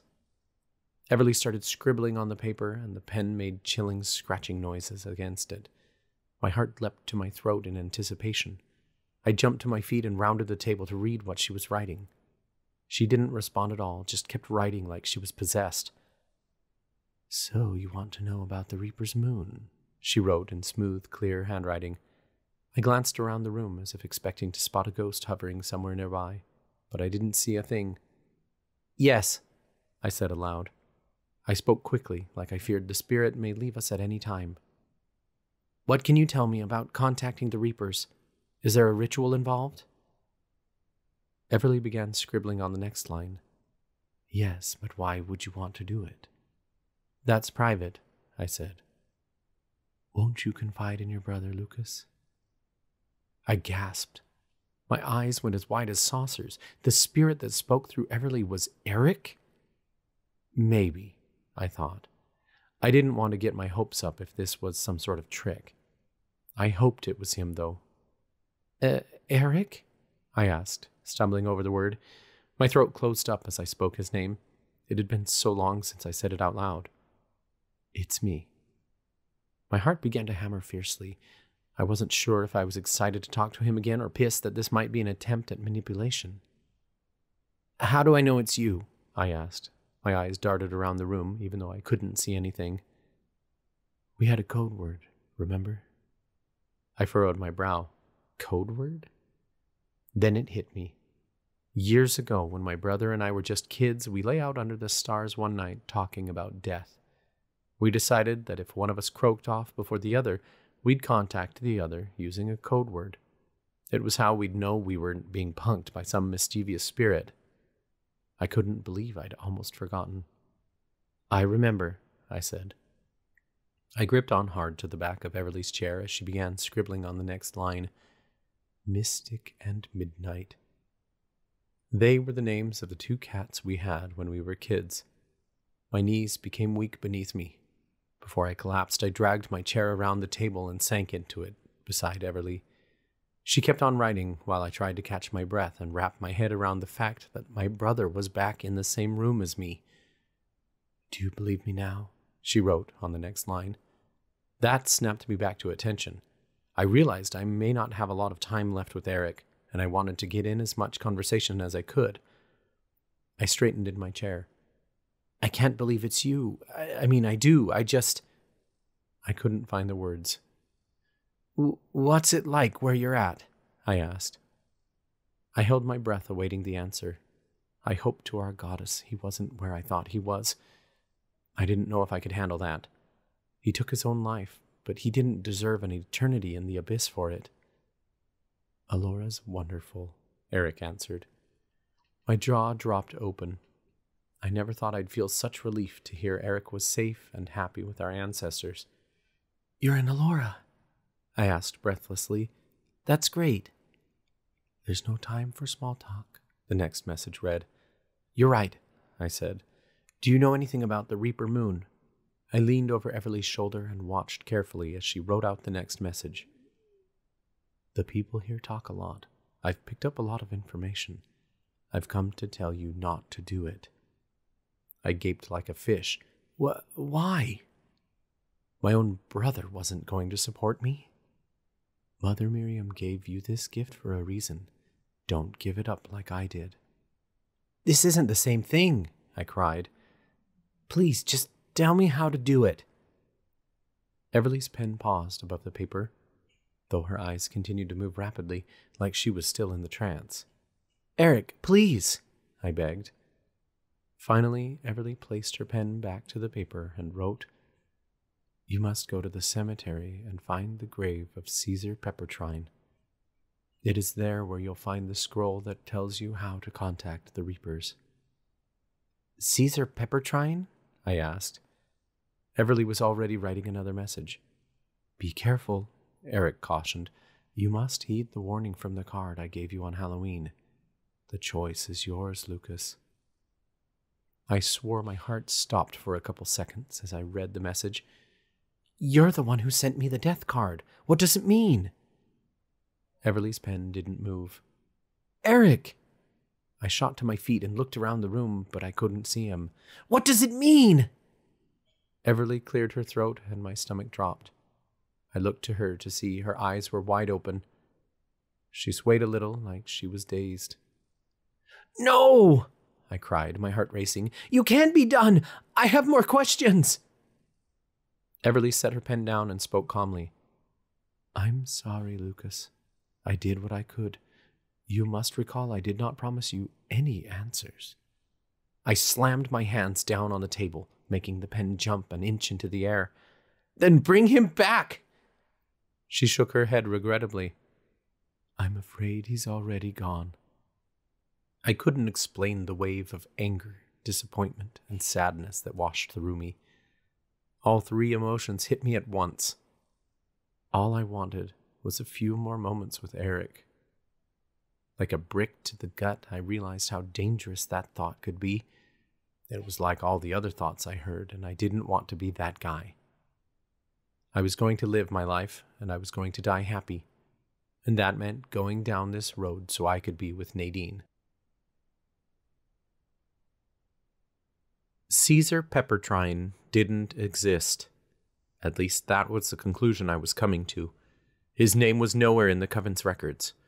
For the last week, I'd been leaving campus between classes to search the graveyard, but it was so huge it seemed to be taking forever. I entertained the idea that Caesar Peppertrine's grave wasn't on Coven grounds, but it made no sense. Eric had specifically told me to go to the cemetery, which could only mean ours here in town. Otherwise, he would have specified. I wondered if this was Eric's way of throwing me off, of keeping me busy until the Reaper's moon had passed. But I couldn't believe my brother would lead me astray like that. He'd give me the choice to make for myself. He wouldn't lie to me. Which only meant one thing Caesar Peppertrine's grave was out there, and I was going to find it. But it was going to have to wait until after tonight. Tonight I had other plans. I stood in front of the mirror on Saturday night, straightening the tie on my suit. The last time I'd worn it was at Eric's funeral. I expected to feel ill putting it on, but I didn't. Instead, I felt comforted, like Eric was here with me. Grant poked his head through the open bathroom door. You ready? Almost, I said, combing my hair back one last time. Wow, Grant said. Haven't seen you clean up this nice since. He cut off. I could already hear what he was going to say. Since your brother's funeral. It's okay. I clapped Grant on the shoulder. You don't have to tread lightly around me anymore. Grant gave me this confused look. Who are you and what have you done with Lucas? I got it. The old me would have been pissed for any reminder of Eric. But now that I knew Eric was in Elora, I felt like I could breathe at the mention of him again. I hadn't told Grant about the night with the seer and how Eric had given me a message. I didn't want to chance anyone trying to talk me out of the Reaper Moon. I was going through with it, and that was final. I mean, I hadn't found the scroll, but I had a week left. I wasn't giving up. I haven't gone anywhere, buddy, I said. This is the old me coming back. Should we go find our dates? Grant frowned. You mean your date? I furrowed my brow. What happened to yours? Grant raised his eyebrows like he was really starting to worry about me. Have you listened to anything I've said at all this past week? If I can't go with Talia, it's totally not worth going out with someone else. But you're still going, I pointed out. Grant shrugged. I'll be there to swoop in when Talia realizes Cody's a total douche, Plus, I'm not missing a dance, man. Then let's get going. I could hardly wait to see Nadine. Grant and I took the grand staircase down to the main foyer. You go on ahead, man, I said. I told Nadine I'd meet her here. He gave me a salute. See you soon. I felt pretty awkward just standing there. I shot a glance around the foyer to see other couples chatting or sipping drinks I was about to go sit down when movement caught my eye. Nadine stood at the top of the stairs, looking like a radiant goddess. It nearly knocked the wind out of me. She had her hair in long, beautiful waves around her shoulders and wore a floor length dress that had lots of sparkly diamonds on the bust and exposed part of her midriff. It was a deep, dark purple, like the color of my magic, and it looked really good on her. She glanced around the foyer until her eyes fell on me. Her face lit up. My heart started pounding, and it was as if all time had stood still. I was rooted completely in place, and the only thing that moved around me was Nadine. She reached for the banister and started down the steps. I couldn't take my eyes off her. It wasn't until she reached the bottom of the grand staircase and cleared her throat that I snapped back to attention. She blushed. Everything okay? I quickly reached my hand out and took hers. You look absolutely perfect. She smiled brightly. That smile lit up my whole world. Thank you. After a few moments of silence, I realized it was my turn to speak again. I'm actually really glad you picked that color. It's, um, it's my favorite. I didn't know what color you'd wear, but. I cupped my hands together and conjured the corsage I'd bought her. I opened my palms to reveal a velvety purple rose. It's for you. Nadine gazed down at it, speechless. Lucas, it's beautiful. She held her wrist out, and I placed the corsage over her hand. She ran her fingers over the petals. It's not as beautiful as you, I said. She chuckled under her breath. That's sweet of you. You don't look too bad yourself. I have my moments, I took a step back and held my elbow out to her. May I escort you to the dance? She beamed and hooked her elbow through mine. You may. I led Nadine down the hall. We walked past the cafeteria and to the end of the hall, where a pair of double doors opened to a magnificent ballroom. Nadine's jaw dropped when we stepped inside. The ballroom walls were a midnight blue, and the carpet was a deep black. The room was cast in moonlight streaming in through the tall, arched windows. Candles hovered above our heads. They weren't attached to anything, but they bobbed up and down with ease, like one of the professors was using their mentalist powers to set the ambiance. Tarot cards spun between the candles. I looked up and noticed they were all major arcana cards that spoke of good fortune and abundance. The death card was nowhere to be seen, thank the goddess. A live band played at the opposite end of the room, filling the space with a punk rock melody. On stage, two skeletons jived to the beat in a coordinated dance. It was obviously the work of a talented necromancer. Grant was already on the dance floor, busting his moves. Amy and Mandy danced alongside him in black and white Gothic gowns. Would you like something to drink? I asked Nadine. Sure, she answered with a shrug. I led her over to the refreshments table. A sweet scent emanated from a bubbling cauldron. Two, please, I said to the alchemist behind the table. As he started serving us drinks, Nadine hesitated at my side. What's in it? she asked. I could tell by the way she eyed it, she worried it might flare her symptoms. It should be okay, I said. It's just a hydration potion. Helps you go longer on the dance floor. Oh, she said brightly, sounding intrigued. I'll have to try it then.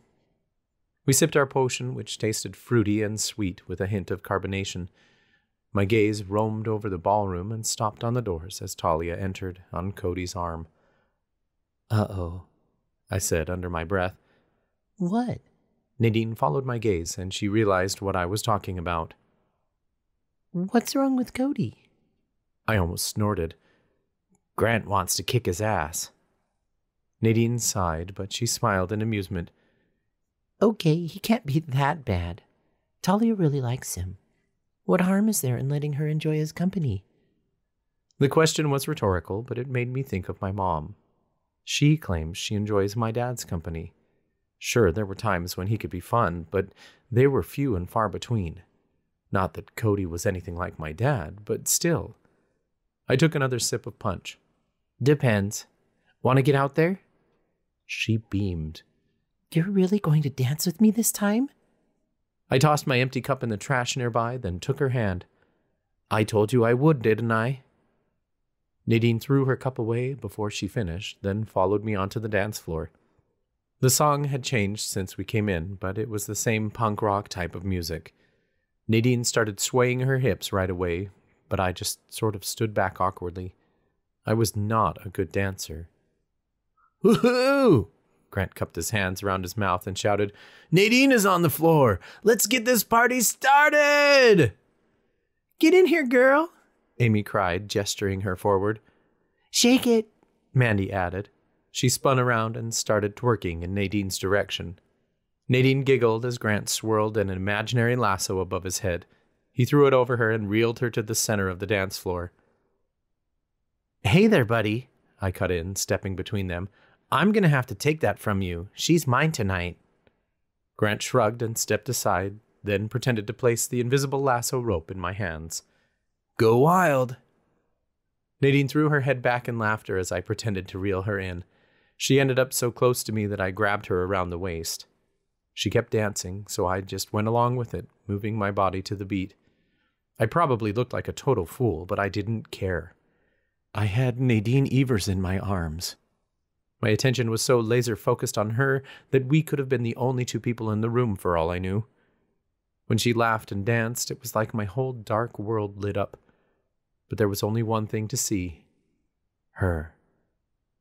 You're dancing, she exclaimed. Don't go teasing me now, I warned. I might stop. I'm not teasing, she countered. I'm enjoying it.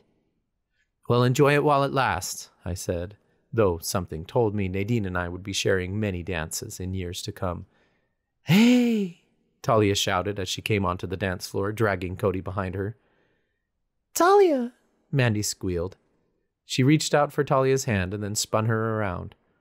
Talia giggled, then returned to Cody's side. The two started grinding like they were animals.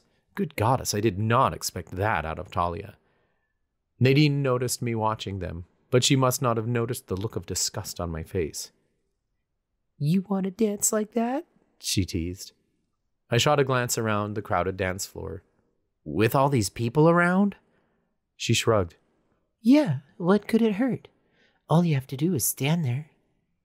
I liked the sound of that. Nadine started to demonstrate. She turned around and pressed her backside against my front, then dipped down a little before coming back up. I gasped. If she kept this up any longer, it was going to be pretty obvious to everyone just how much I liked it. But I didn't want her to stop either. You okay back there? She asked as she continued rubbing herself against me. Peachy, I said. I wanted to slap myself. Was that really the best I could come up with? Good, she teased. Because there's more where that came from. To my surprise, Nadine bent at the waist, pressing her ass against my dick. And no, that wasn't a roll of quarters in my pocket. I was very happy to see her. Damn, I just wanted to reach out and grab her ass, but I couldn't with all the people around. She flipped her hair, then shoved her hands into it, letting it flip around in a really sexy way. Woo! Talia cheered. Nadine's got moves! Nadine turned back toward me, blushing. She placed her arms around my neck and continued to sway her hips to the music. I should maybe save that for when we're alone, huh? My eyebrows shot up. Are you offering me a lap dance?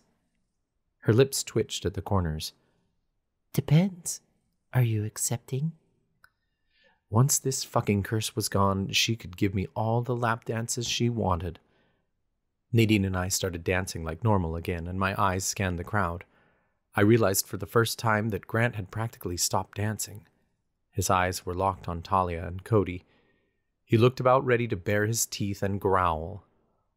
I cocked my head to Nadine, and we danced a few paces over toward Grant. He didn't notice us until I nudged him with my elbow. Finally, he snapped back to reality. What? he asked. Chill, I warned. No one wants to see a fistfight tonight. Grant scoffed. Then let's pray he doesn't give me a reason. Just then, Cody reached down and squeezed Talia's ass. It wasn't cute and sweet either. It was a very obvious full on ass grab for the whole dance floor to see. Talia squealed and jumped away from him. She looked shocked at first, but a smile came across her face. Cody, what did we talk about? She made it sound like she was joking, but the whole thing made me uneasy. It definitely riled up Grant because he stomped over to them. What the hell do you think you're doing, man? Grant snapped. Cody scowled. Me? I don't even know who the fuck you are. Get out of here. You get out of here, Grant countered. He shoved Cody in the shoulders and he stumbled back into another couple. Grant, don't, Talia shouted. Cody's nostrils flared and he looked ready to punch Grant in the face. Talia threw herself between them. Cody, forget about Grant. He's just a friend. Grant, it's fine. It was harmless. Didn't look that way to me, Grant sneered without taking his eyes off Cody. The girl says she's fine, Cody snapped. Now back off. Nadine went to Talia's side. You okay? The two exchanged a few words in whispers. Grant looked to Talia as if he expected her to call Cody out. Tal, come on. Don't tell me you're okay with that. I'm fine, she insisted. Let's not ruin the night with a fight, okay? Cody scoffed as Talia turned back to him. They started dancing again, though Cody dragged her further away from us. What a loser, he said to her, though it was loud enough for us all to hear. You're really friends with that guy? Is she really okay? I asked Nadine as she returned to my side. She shot a glance at Talia. She says she is. She thinks Grant's overreacting. Do you think he is? I asked. I don't know. She frowned in contemplation. She looks okay now. Talia twirled on the dance floor in Cody's arms, beaming up at him. Grant still hadn't backed down. He stood there, his hands curled into fists. Mandy stepped in front of him and raised an eyebrow. Are Amy and I going to have to drag you off the dance floor? Let Talia have fun with her date. Grant narrowed his eyes at Cody. Do I have to? Yes, she insisted. Grant groaned and Mandy shot him a pointed look. Do you want Amy and me to dance around you and try to make her jealous? She suggested. Grant's eyes lit up at that. Mandy, I think you just became my new best friend. Nadine gasped dramatically. I lost top spot? Don't worry, Grant played along. You're top five for sure. She laughed as Grant turned to dance with Mandy and Amy. Just as they were getting into it, the song changed to a slow melody. Now, this I could do. I stepped back and offered Nadine my hand. May I have this dance? She curtsied. Why, yes, kind sir. I couldn't help but beam as Nadine took my hand and I wrapped my arms around her waist. We swayed on the dance floor, and my heart swelled. I loved holding her in my arms. I'm glad we still get dances in college, Nadine said. I'm having lots of fun. Good, I replied. I am too. Even though you're dancing? She asked playfully. I nodded. I mean, you basically twisted my arm, but I'll heal. She snickered, but she went quiet a few moments later and rested her head on my chest. This moment was incredible. I wanted a million more like it, and then some. My eyes roamed the ballroom again. Across the room, I noticed Chloe dancing with Finn, one of the treacherous tarantulas. She kept throwing glances toward Ryan, who sat slumped in one of the chairs and looked out at the crowd like he was too good to be there. His bow tie was already undone, like he was totally wasted already. Fucking loser. At least all Chloe's attention was on him and not on my precious Nadine. If she ever tried hurting her again, she was going to have to deal with me. The consequences be damned, I'd curse that bitch's ass to protect my girl. I continued to look around the room and noticed Lena dancing with Gregory. She really had to be desperate for a date if she'd come with him. The poor guy looked at her like he was a lost puppy, but she kept pulling her head away like she couldn't stand him breathing on her. She shot a glance my way, but I ignored her. If she was trying to make me jealous or something, it wasn't going to work. Finally, my eyes landed on Professor Warren and Headmistress Verla standing in the corner. We didn't need chaperones, but they were there, no doubt, to make sure no one spiked the punch bowl or started any fights. It wouldn't be the first time. Verla sipped her drink slowly while Professor Warren talked to her. Whatever he was saying must have been pissing her off because she didn't look him in the eyes. She kept her gaze on the students and pursed her lips. I couldn't tell what he was saying, but he looked somewhat annoyed with her. I hadn't realized the two were on less than friendly terms. What's wrong? Nadine asked. Nothing, I said, turning my gaze back to her. Professor Warren and Headmistress Verla look mad at each other. She looked toward them and frowned. It definitely looks like something's going on. I saw her twice this week for makeup sessions, and she seemed fine then. I spun Nadine around, then pulled her back into my arms. What day is your ceremony again? She gasped playfully.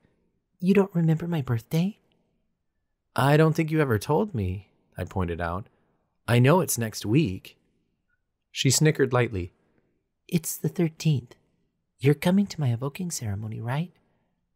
My whole body stilled. I must have looked like a statue as it hit me. That would make the eve of her birthday and her ceremony the same night as the Reaper moon.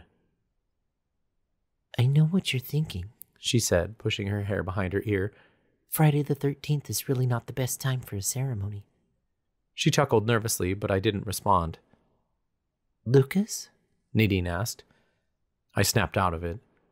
I couldn't miss the Reaper moon, but I couldn't ditch her ceremony either. I'll be there, I promised. I had to be. As for the Reaper moon, I'd be in, out, and done before the witching hour. I'd make it to her ceremony. I hoped. After the slow song ended, Nadine announced that she was going to sit out the next song. I started to follow her before Grant grabbed me by the elbow and dragged me away from her. Sorry, Grant said to Nadine. I've got to steal him for a second. Dude, what the hell? I started. Grant dragged me out of the doors and turned on me as soon as we were in the hallway. He pointed a finger in my direction. I saw that look. What? What look?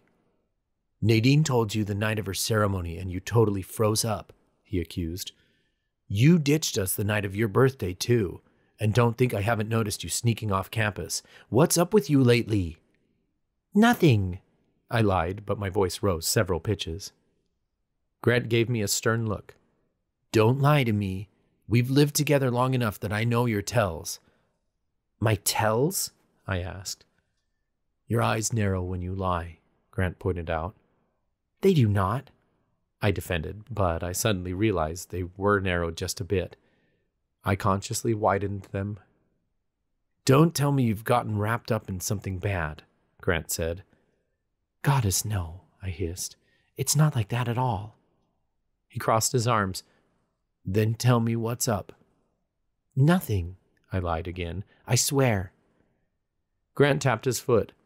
I'm not letting you go back in there until you tell me. I rolled my eyes. Then you're going to be waiting here a while. He shrugged. I don't have a date waiting for me. I've got all night. I groaned. He had me there. I couldn't let Nadine think I ditched her. What is this, some sort of blackmail? I asked. Grant pursed his lips. It's a threat for sure. Come on, Grant, I complained. Is this for real? You're hiding something, he accused. Am I going to have to save you from yourself? No, I promised. I have it handled. He sighed and dropped his arms. Then let me help. I shook my head. I don't think you're going to want to help on this one. Grant frowned. That's what friends do, Lucas. I pressed my lips together. They were officially sealed. If I said any more, he'd know what I was up to. But I didn't have to say any more. Apparently, my silence was enough. Grant's eyes widened. That's the night of the Reaper's moon, isn't it? You're going to do it. Yes, I snapped. And you're not going to talk me out of it. Grant gaped at me. You're talking about the abyss. If you give up your powers, you'll be condemned by the goddess forever. You'll never be able to enter Elora. I shrugged like it wasn't a big deal, but to be honest, the thought of going to hell scared me. But not as much as being with Nadine for the rest of my life thrilled me. Not to mention getting rid of all these thoughts, ditching the responsibility of the Reaper's apprentice. Carrying these thoughts around was too much. I'd risk the abyss if it meant I didn't have to carry around these secrets anymore. You said I had to make a decision, I reminded him. I decided. Well, you're deciding wrong, Grant exploded. A few people at the ballroom entrance looked our way. I grabbed Grant by the shoulder and dragged him further down the hall where we couldn't be heard. In all fairness, this isn't your decision to make, I snapped at him. As soon as I figure out how to do the ritual, I'm doing this. All I need is to find the grave of some guy named Caesar Peppertrine, where there's supposed to be a scroll waiting for me. Grant raked his fingers through his hair. Are you shitting me, Lucas? You're doing this all for. what? A girl? His words were like a slap to the face. Nadine's not just any girl, I growled. She's the girl. Then shouldn't you want to spend the rest of eternity with her? He argued. You're trading your soul to. to get laid. Was he fucking kidding me? That's not what this is about, I argued. I hate my gift, and you know that. This is my one chance to get rid of it. So that's the real reason? He mocked, crossing his arms. You're not just upset about this sex curse? It's not a sex curse, I shot back, fuming. It sure sounds like your dick's making the decisions right now, Grant snapped. A couple walked by just then and shot us an odd look. My teeth gritted as I exploded on Grant. This curse isn't about my dick. It's the whole fucking package. As long as I'm the Reaper's apprentice, I don't get to be in a relationship. I never get married. I never have kids. Nadine deserves all that. Grant looked disgusted with me. That's noble and all, but you're talking about eternity. Our lives here are just a blip on the map.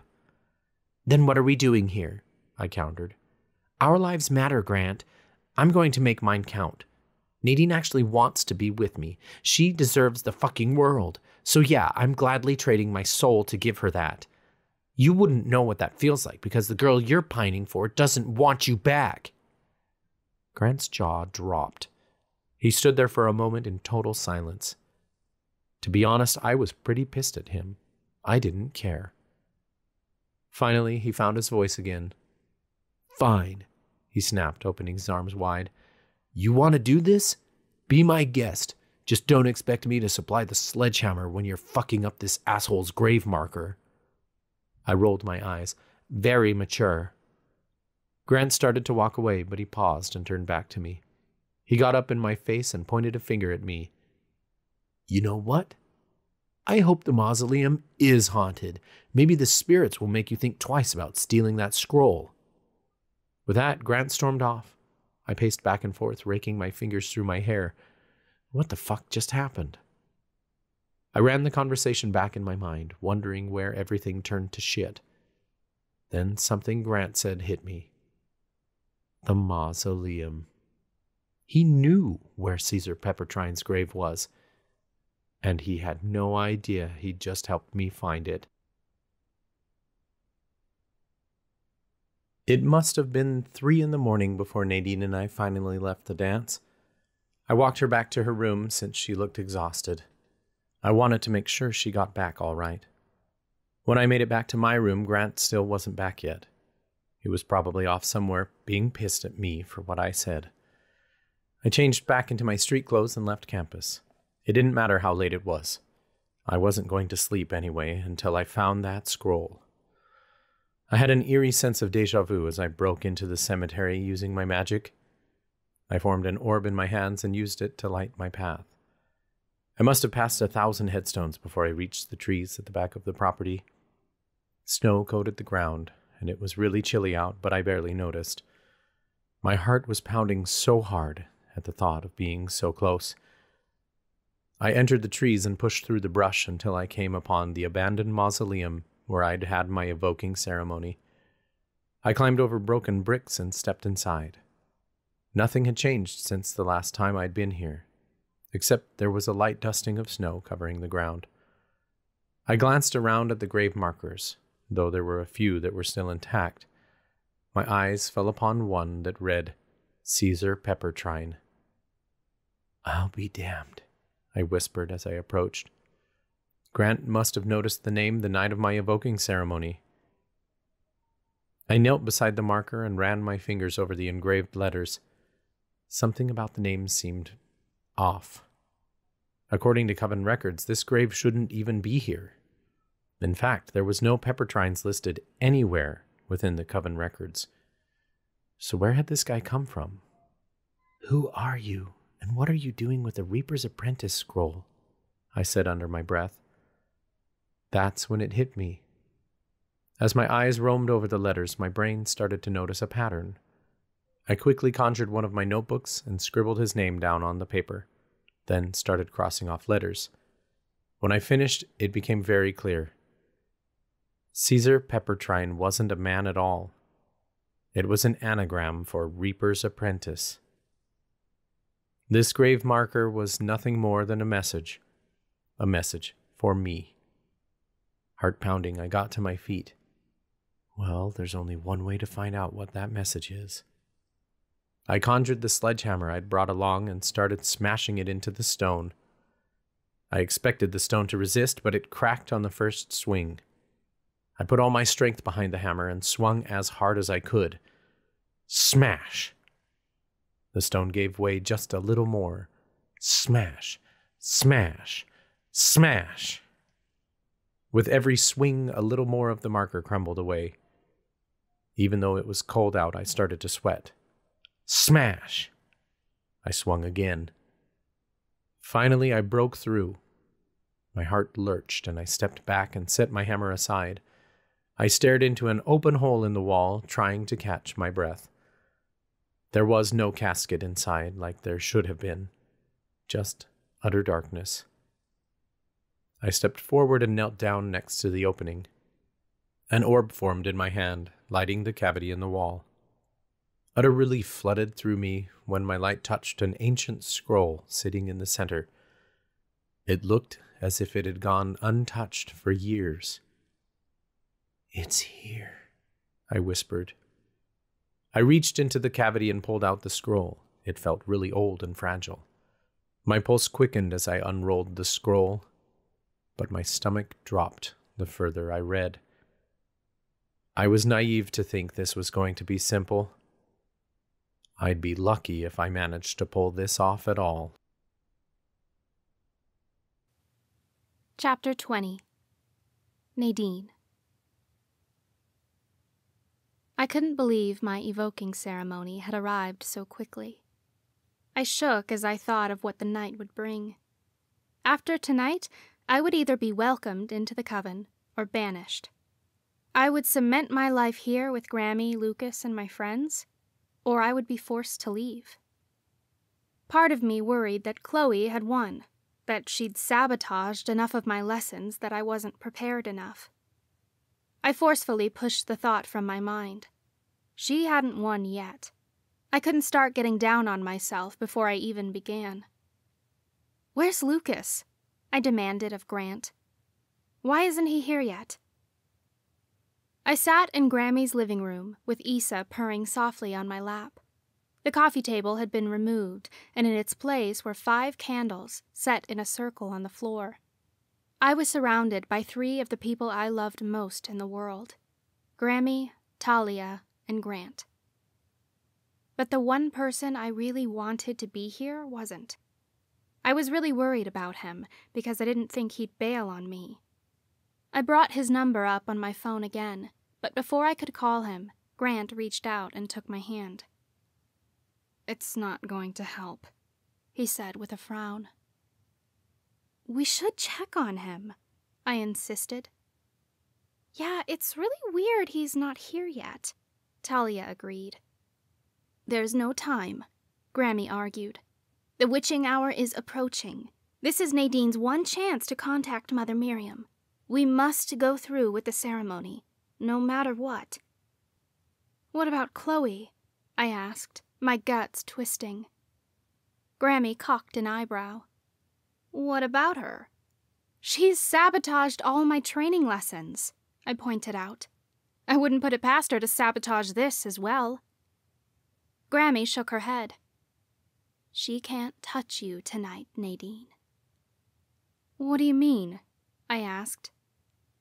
Mother Miriam protects you on the night of your ceremony, so you can go through with it in peace, Grammy explained.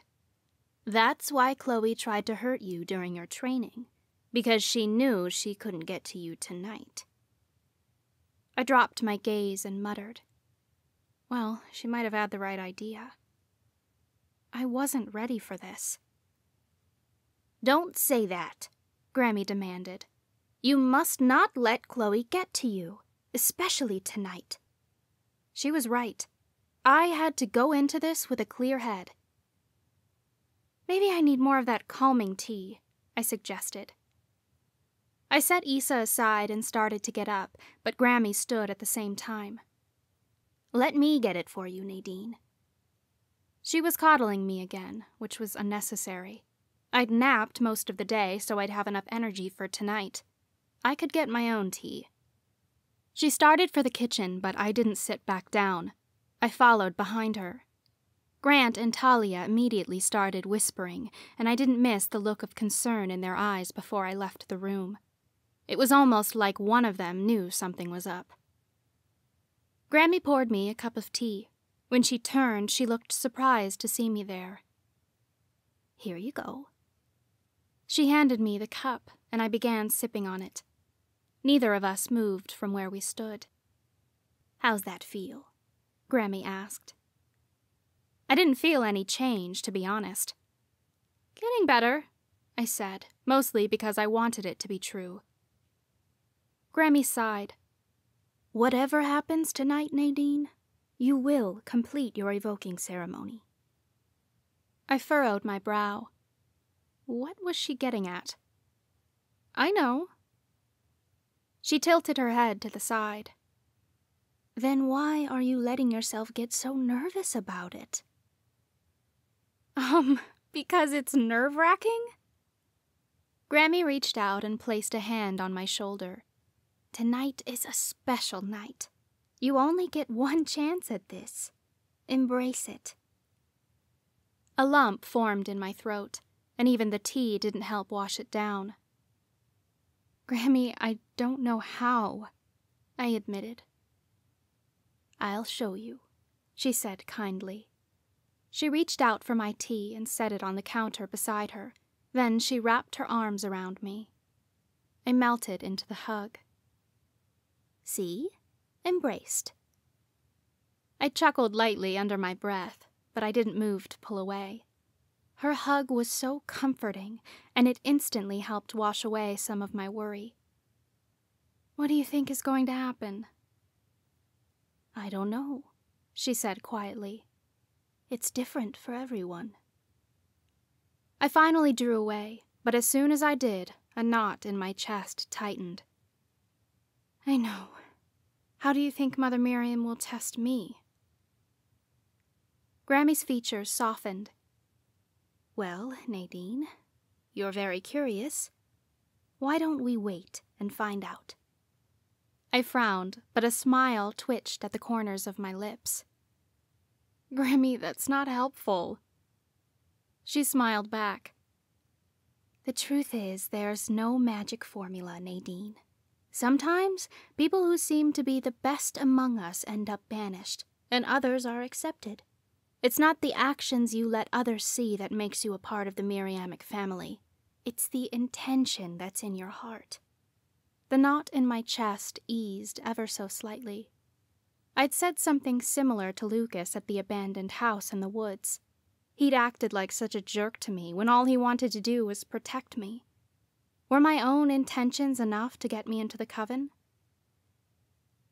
Headmistress Verla seems to think Mother Miriam will try to address my grief, I told Grammy. I don't know if I'm ready for that. Grammy's gaze dropped, like she was really contemplating what I said. Finally, she sighed. Nadine, do you think Mother Miriam only accepts perfect souls into her family? I hesitated. Of course not. There were people like Ryan and Gwen who'd already gotten their powers. Obviously, Mother Miriam chose them for a purpose. No, I admitted. She will not banish you for the grief that's in your heart, Grammy promised. She's there to help you with that. I swallowed. How did you get over Grampy's death? Grammy took a few breaths before answering. That's not something you get over. Oh, I said flatly. That wasn't at all the answer I expected. Grammy reached out and guided my chin upward to look her in the eye. It's something you accept, but not forget. I don't understand, I admitted. Death is not an end for us, Nadine, Grammy reminded me. I know, I said. We go on to live in Elora. She shook her head, like that wasn't what she meant. Your parents live on in your heart. Every hug, every kiss, every moment they supported you, it filled your heart with love, Nadine.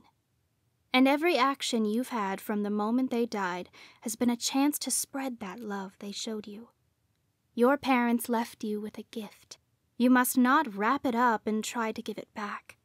You must open it and let your love pour out into the world. I got so choked up I could hardly get the words out. Thank you, Grammy. She smiled. Any time. The witching hour is almost here. Shall we get started? But what about Lucas? I asked. He's coming. He promised me he'd be here. Grammy frowned. I'm afraid we'll have to start without him. I couldn't do that. Lucas would make it. He'd be at my side while I went through my trials. He had to be. I narrowed my eyes at Grammy. Is this one of my tests to see what I'd do without him? Grammy threw her head back and laughed. This is not a test, Nadine. This is real. Well, how am I supposed to know that? I asked. You can't, she admitted. But here's what you need to remember. Grammy got a really serious look on her face. Don't live your life like it's a test, Nadine. Live your test like it's your life. Grammy started back toward the living room, but I just stood there, contemplating what she said. It took me repeating it several times in my mind to realize what she meant. This test wasn't about doing the right things to get into the coven. It was about showing Mother Miriam who I was on a deeply spiritual level. All I could do was strive to make her proud. Nadine? Grammy called from the living room. Coming, I called back. I took another sip of calming tea before leaving it on the counter and returning to the living room. I was disappointed to see that Lucas still wasn't there. Grant must have noticed my unease because he quickly stood and grabbed my shoulders. He looked me straight in the eye and said, It's going to be okay, Nadine. Focus on the ceremony. I searched his eyes. You know something, don't you? Grant pressed his lips together. I know that if Lucas can't make it, he has a good reason. Or something bad happened to him, I pointed out. Worry about your ceremony, he insisted. Then we'll worry about Lucas. I sighed. I didn't have any other choice, did I? Grant stepped aside, and Talia stood to pull me into a hug. You're going to do great, Nadine, she encouraged. You've got this. I squeezed her back. Thanks, Tal. I'm really glad you're here. She smiled brightly. I wouldn't miss it for the world. At my feet, Isa purred and rubbed herself against my leg. I bent to pick her up, then pressed my nose into her fur. It'll be all right, I whispered to her. I'm ready, Mom. Deep down, I didn't feel like it was true, but I couldn't back out now. It's time, Nadine, Grammy said. I handed Isa to Talia, then stepped into the middle of the room. The candles weren't even lit yet, but I swore I could feel a heightened sense of energy inside the circle. I lay on my back on the carpet and closed my eyes. No sooner had I laid my head down did I hear the sound of Grammy's clock striking midnight from the hall. The witching hour has arrived, Grammy said in a grave tone. We can begin. I heard the sound of Grant striking a lighter, but I kept my eyes closed. My whole body quaked in anticipation. Isa meowed from Talia's lap, but I shut out all external stimuli and focused on keeping my body relaxed. Grammy began to recite an incantation. The clock has struck the witching hour. It's time to wake this witch's power. A shiver traveled down my spine. Grammy spoke in a voice I'd never heard her use before. It was so full of finite clarity at first, it was strange, but her voice began to soothe me the longer she spoke. We call our goddess down to earth to bear witness to this new rebirth, she continued. A series of tests she shall partake and join the coven before day breaks. I felt my body begin to rise from the floor, and then darkness enveloped me. I didn't know where I was or how I'd gotten there. I lay on a warm, hard surface. When I tried to move, I went nowhere. I was paralyzed. Hello? I called, my voice wavering. Is anyone there? As I spoke, I realized the weight of a blindfold around my eyes. I started to struggle even more, and I found that I could move my feet, but my arms were bound to my sides. I began to panic. Help! I cried. Somebody help me! A million questions raced through my head all at once. Where was I? What had happened to me? Who had done this?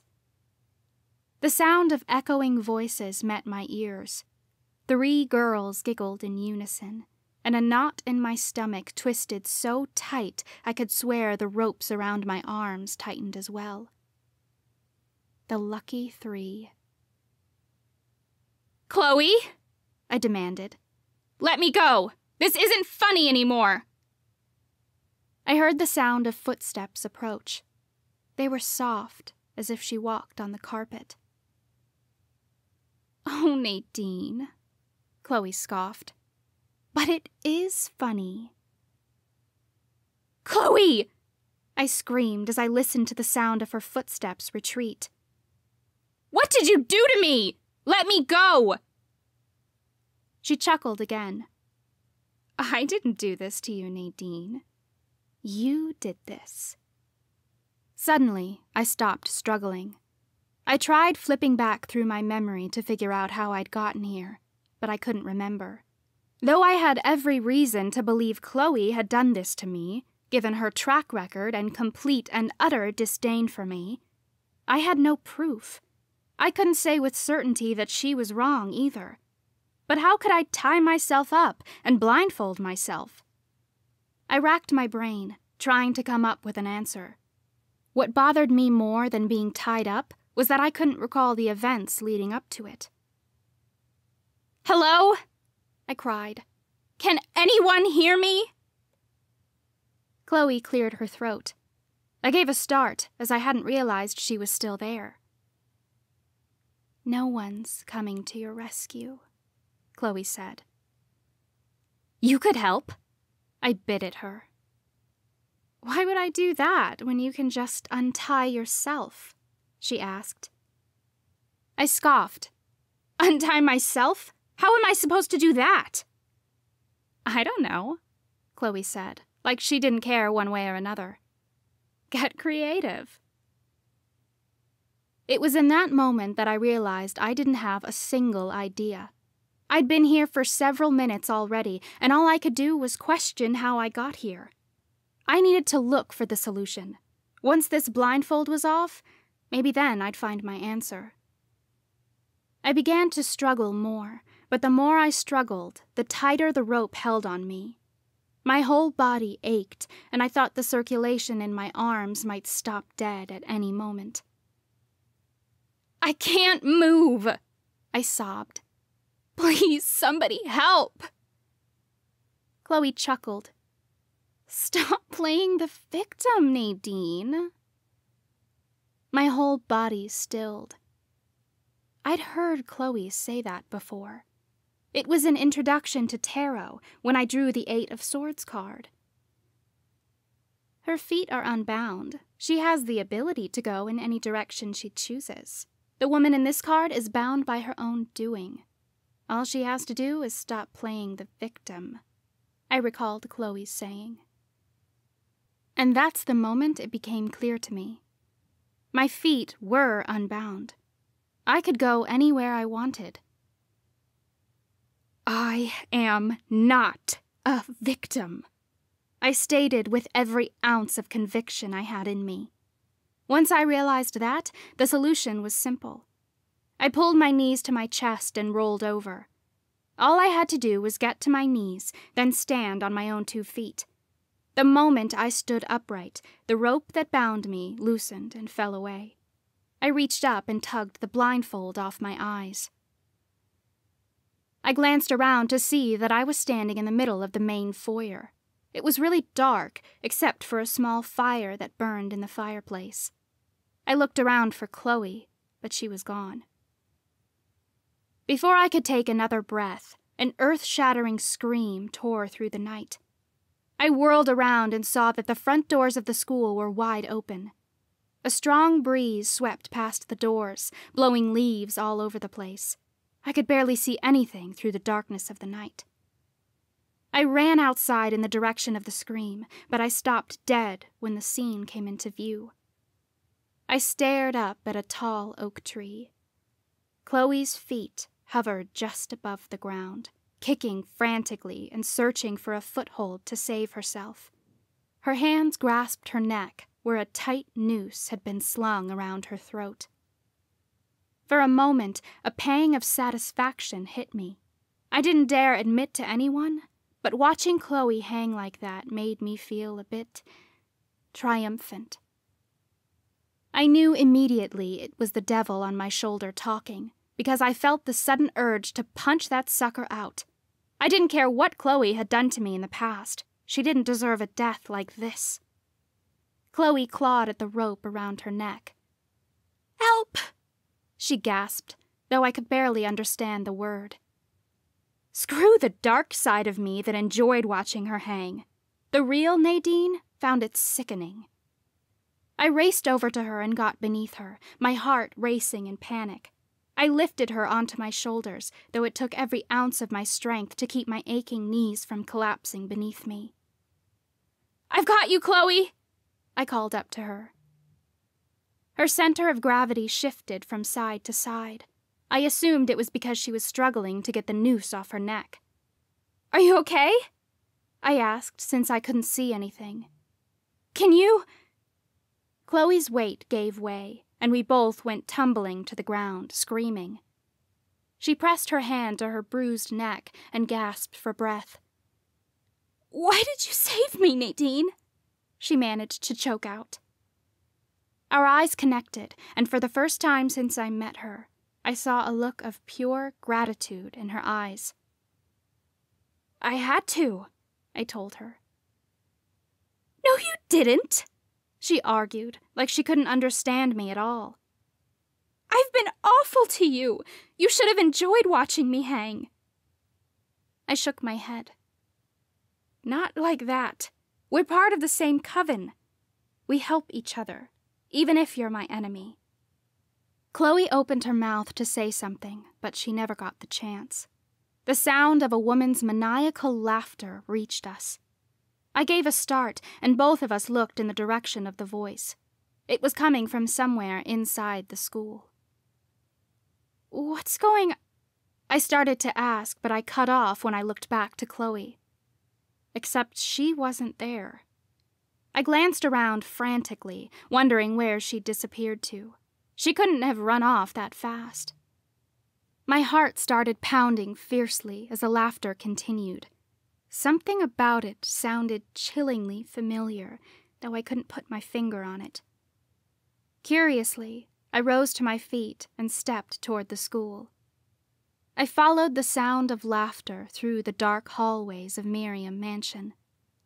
Light flickered from the sconces on the wall, and the hair on the back of my neck stood. Hello? I called down the hall. No answer came. Cautiously, I stepped forward until I came to the double door entrance to the school's ballroom. I peeked inside to see a woman sitting cross legged on the ground, her back to me. She wore all leather and had long brown hair flowing down her back. The room was almost entirely black, except for the light coming from five candles set around the girl. Each candle was connected by a line of salt that created a pentagram. Another salt line surrounded that, enclosing everything into a circle. The woman looked like she was doing something with her hands, but I couldn't see what it was. Are you going to stand there all day, Nadine? She asked bluntly. I hesitated. How'd she know I was here? I know you're out there, she called without turning her head. Come see what I've made for you. For us. Her voice sounded so familiar.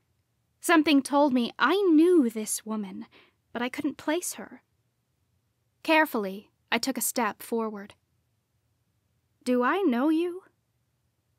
She chuckled, like the question amused her. Oh, Nadine, don't you recognize yourself? Finally, she turned toward me, and my heart lurched into my throat. My own face stared back at me. But at the same time, it wasn't me. She was more like my evil twin, with dark makeup around the eyes and a smirk of unadulterated pride I'd never be caught dead wearing. I had more self respect and humility than that. What the hell is going on? I demanded. This had to be another one of Chloe's illusions. She gave me a sinister smile. Come look. I hesitated, but I was too curious to see what she was holding.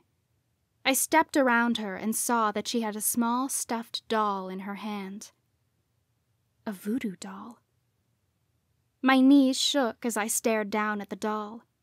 The coven didn't practice voodoo. Hell, I didn't even know if voodoo was real.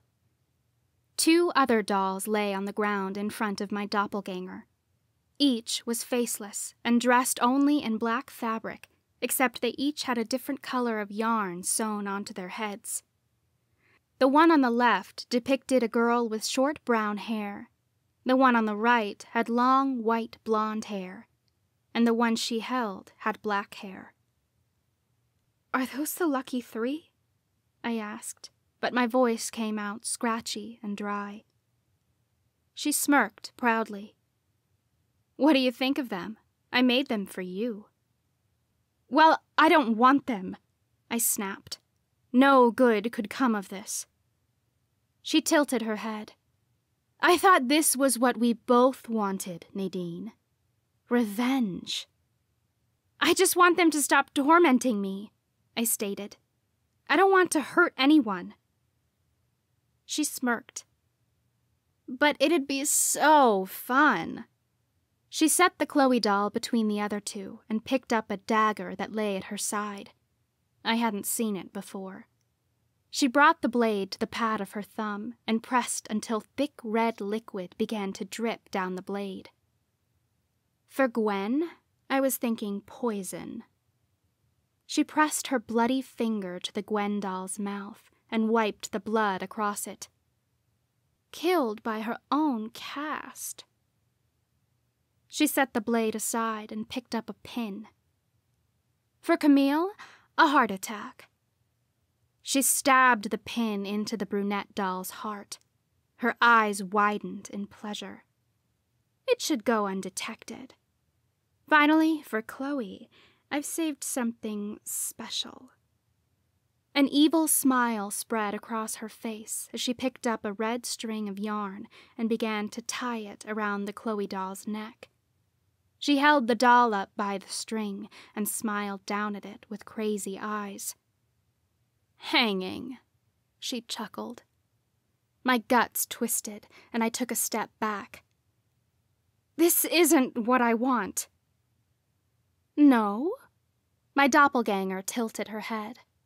But it's the only way to save ourselves, Nadine. I'm no killer, I spat. But you are, she reminded me. You let Rocky outside without his leash.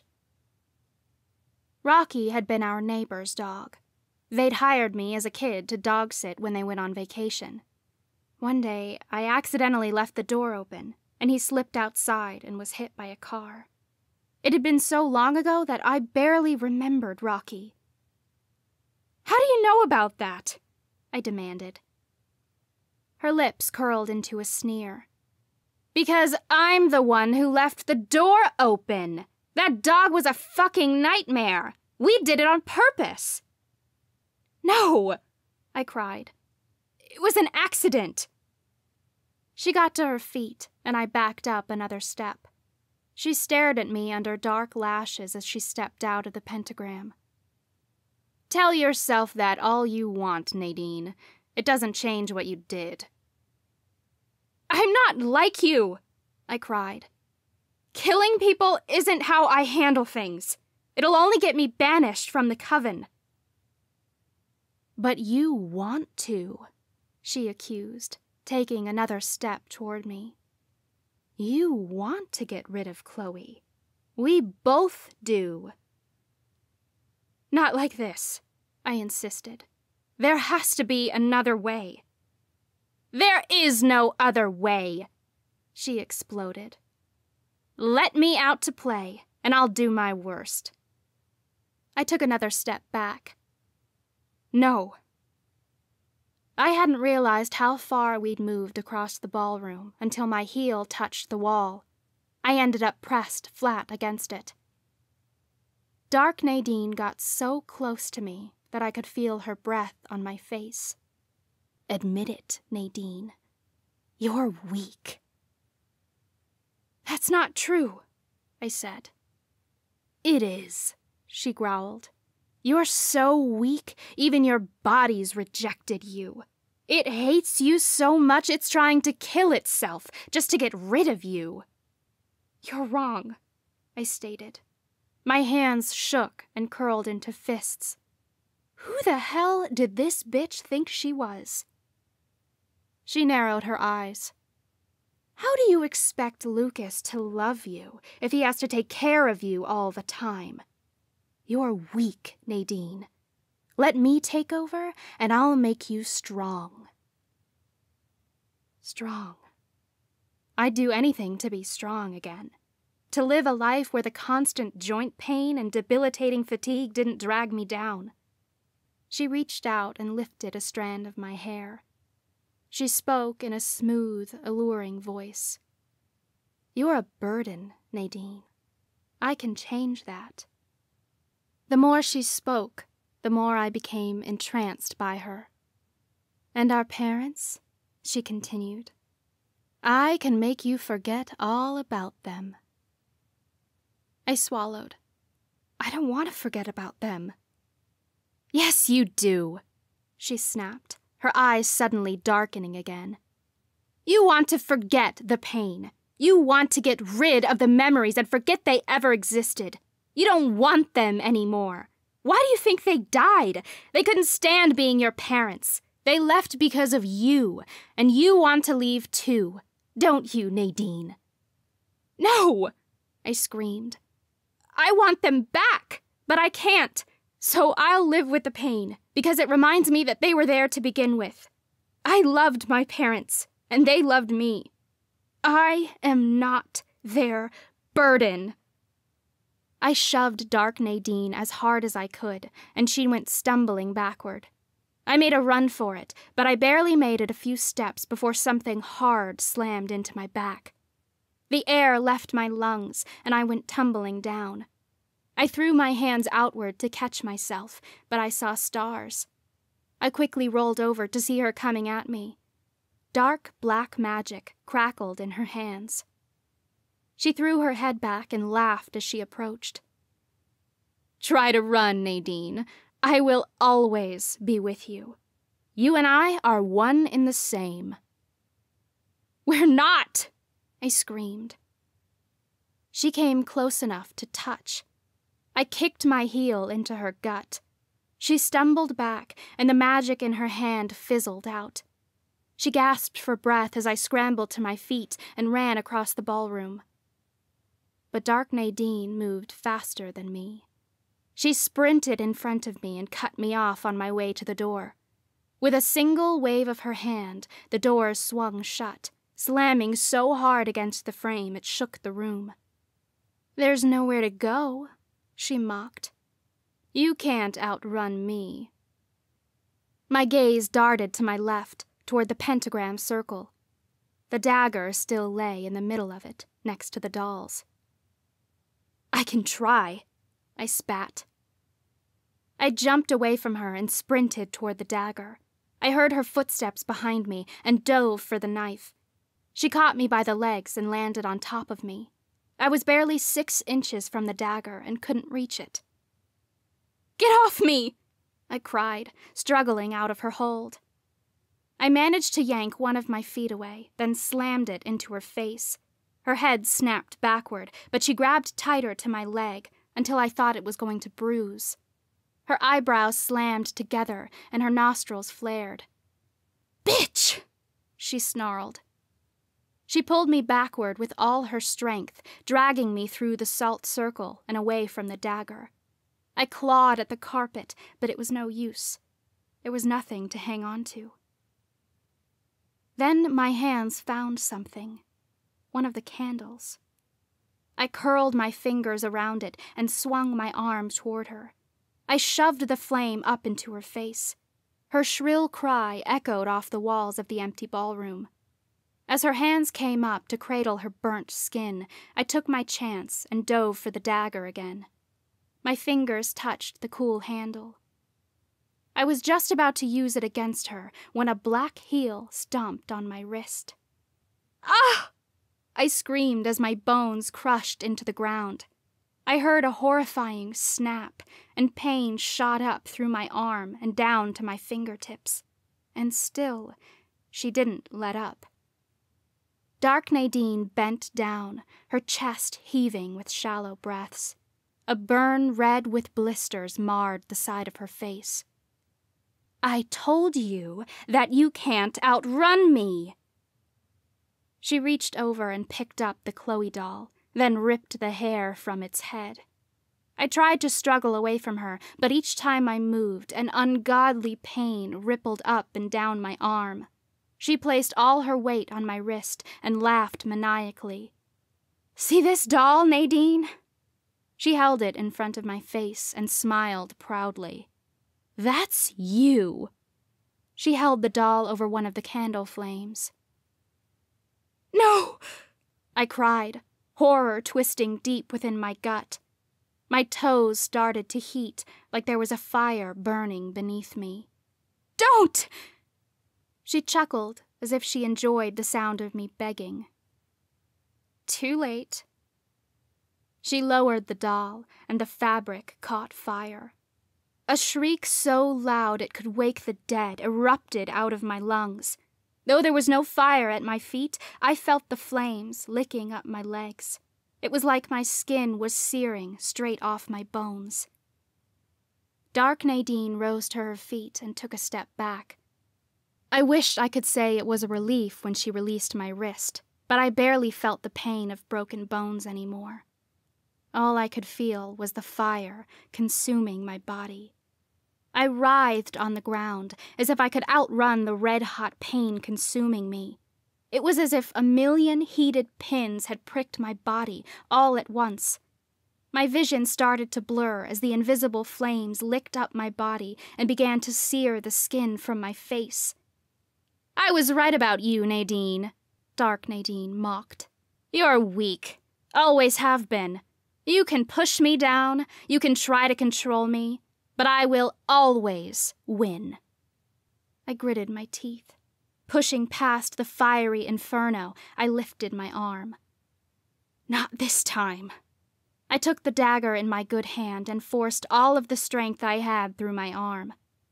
I lifted the dagger and plunged it downward, straight into Dark Nadine's foot. It sliced through her boot, into her skin, and out the bottom of her sole. It embedded so far that the blade didn't even show. It had stuck straight into the floor and rooted her in place. She screamed a chilling cry and dropped the doll. It fell within my reach, and I grabbed it, stomping out the fire with my hand. Relief washed over me as the pain stopped spreading. I could have sworn if I looked at myself, skin would be hanging off my bones. But I pushed past it and scrambled to my feet. I backed up several paces. Dark Nadine tried to come for me, but the dagger kept her in place. She screamed in frustration and pain as her foot tugged on the dagger, ripping into more flesh as she tried to come after me. I'm not weak, I yelled at her. I whirled around and ran for the doors. You're nothing without me, she shouted from behind me. I flung the doors open and stumbled out into the hall. As quickly as I could, I closed them again. My heart slammed against my rib cage as I glanced around. My eyes landed on a branched candlestick sitting on a table in a nearby alcove. I ran for it and snatched it up, then returned to the doors, where I shoved the candlestick through the handles to trap my darkness inside. She screamed again, louder this time. Her shriek echoed down the hall and I guessed she must have ripped the dagger from her foot. I'll come for you, Nadine, she raged through the closed doors. I'll come for you. My heart raced as I whirled around and sprinted away from the ballroom and the evil woman locked inside. I glanced back to make sure she wasn't coming for me, but the hall was empty. As I turned forward again, my toes caught on the hallway rug and I stumbled forward. I threw my hands out to catch myself. But instead of landing on carpet, my hands sank into the earth. One second I was running away from my darkness in the halls of Miriam Mansion, and the next, I was lying in the grass, the daylit sky overcast above me. Dark Nadine completely fell from my mind, as if the moment with her had never happened. The pain of a broken wrist vanished. My attention became completely wrapped in the scene before me. The first thing I saw was a stone, a smooth, polished stone. I lifted my head to see that it was a gravestone, one of many throughout the graveyard. My eyes drifted over the two names etched into the grave marker Nathan Evers, Faith Evers, loving father and mother. Somehow, I'd ended up at my parents' graves. Chapter 21 Lucas The setting sun lit the sky in a bright orange hue as I approached the gates of the cemetery. The reaper moon would rise soon, and then I could begin the ritual. I was excited by the idea to get rid of the voices, to ditch the curse. It would be a dream come true. And yet another part of me feared I might not have what it takes. This was my one and only shot, and if I couldn't summon the Reapers by night's end, Nadine and I would always be kept at arm's length. I steeled my shaking nerves and stepped into the cemetery. I trudged through the snow until I came upon a tall statue at the center of the cemetery. It depicted a reaper, at least ten feet tall, clothed in a dark, flowing robe. Where his face should be was nothing but a dark hole. His fingers were only bone. One of his hands reached outward as if inviting me closer. The other hand held on to a tall scythe. At the base of the statue was a name carved into the stone Edgar Nowak, Reaper's apprentice. He'd been the one before me. Beneath his name were his birth and death dates. The rumors were true. The poor bastard had lived to be over a hundred. I didn't want to do the math to figure out how many thoughts he'd carried with him to the afterlife. I took a deep breath as the sun dipped below the horizon. Almost time. I knelt at the head of Edgar's grave and waited. As I waited, I tried to calm myself, to push all doubt out of my mind. I can do this, I told myself. I will summon a reaper. I didn't know if I meant it, or if it was just wishful thinking. Darkness continued to fall over the night until finally the last few rays of sunshine disappeared. Above me, the full moon shone. I liked to think the clear skies were a beacon of hope, as if opening me to Elora above. But somehow the stars seemed dimmer than they should, like there was a darkness cutting me off. My gaze darted around the cemetery. The shadows of the gravestones were ominous. A shiver ran down my spine, but I knew my unease was all in my head. Tonight there were no zombies that were going to jump out of the bushes. Tonight the only enemy was myself. Though I was on my knees, my legs shook beneath me. I summoned the scroll I'd stolen from the mausoleum and read over it again for the hundredth time. It shook in my hands. I had to get this right. It had to be perfect. Give up your blood to a reaper's grave. Shed doubt, fear not, stand firm and brave. Face the thoughts that you've neglected. Accept and let go of all you've collected. The interpretation was clear. I had to revisit all the thoughts that I'd been given to me as the Reaper's apprentice before handing them over. This was going to be a long fucking night. Well, I sighed to myself, it's now or never. I summoned a knife and pressed the blade to my opposite palm. I winced as the knife sliced into my skin, but after the initial shock, I didn't mind. The stinging pain was sort of welcome. Blood dripped out of my palm and stained the snow below me. I reached out and smeared the blood across the base of the Reaper's statue, straight across his name. Then I shoved my hand into the snow to numb the sting. It eased it until my hand became so numb I couldn't feel anything at all. With my good hand, I summoned the leather bound spellbook where I recorded all the thoughts I'd heard. I didn't have to open it to recall the exact wording of the first thought I'd ever collected. I made a mistake. I repeated Eric's last thought, though it barely came out. I'd never spoken his words out loud, and I knew why. The words cut deep into my chest, tearing deep, sharp holes in my heart. I hated that he died with this last thought on his mind. He should have died happy, but it was done now. He'd moved on. It was time I did too. I swallowed the lump in my throat and continued. I don't want to die. Tears pricked at my eyes. Fuck, I was only on the first one. How was I going to make it through hundreds? The hard part is over, I told myself. You've faced Eric's last thought. You can handle a handful of strangers' thoughts. Let's get this over with. I opened the book and began to read the words I'd recorded. Some thoughts were easier than others. Some didn't make sense at all. Every now and then there were those that tore me to the very core. I couldn't help but wonder if these people had crossed over all right. Had I done right by holding on to their thoughts so they could make it to the other side? Or had their dark past behind those thoughts held them back? I hope she got what she deserved, I read. The thoughts just kept going like that revenge, regret, anger, sadness. I'm not ready to go. I should have stopped him from hurting her. I'll get my revenge in the afterlife. I tried not to think about how much time had passed. The coldness of the night brushed across the back of my neck and seeped through my jacket.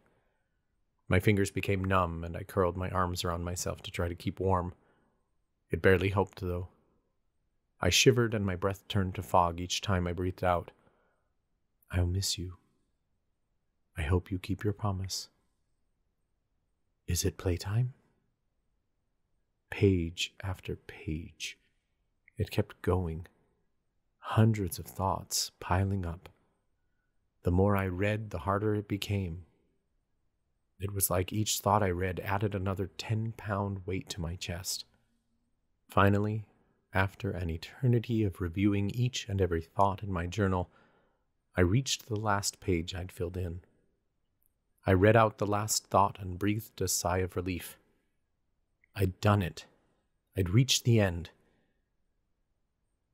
I glanced around the cemetery, waiting for the reapers to appear. But I saw nothing. Hello? I called out to the darkness. Anyone there? I did like the spell said. I faced the thoughts. Where are you? No answer came. My guts sank. Frantically, I flipped back to the front of the journal and read the thoughts over again.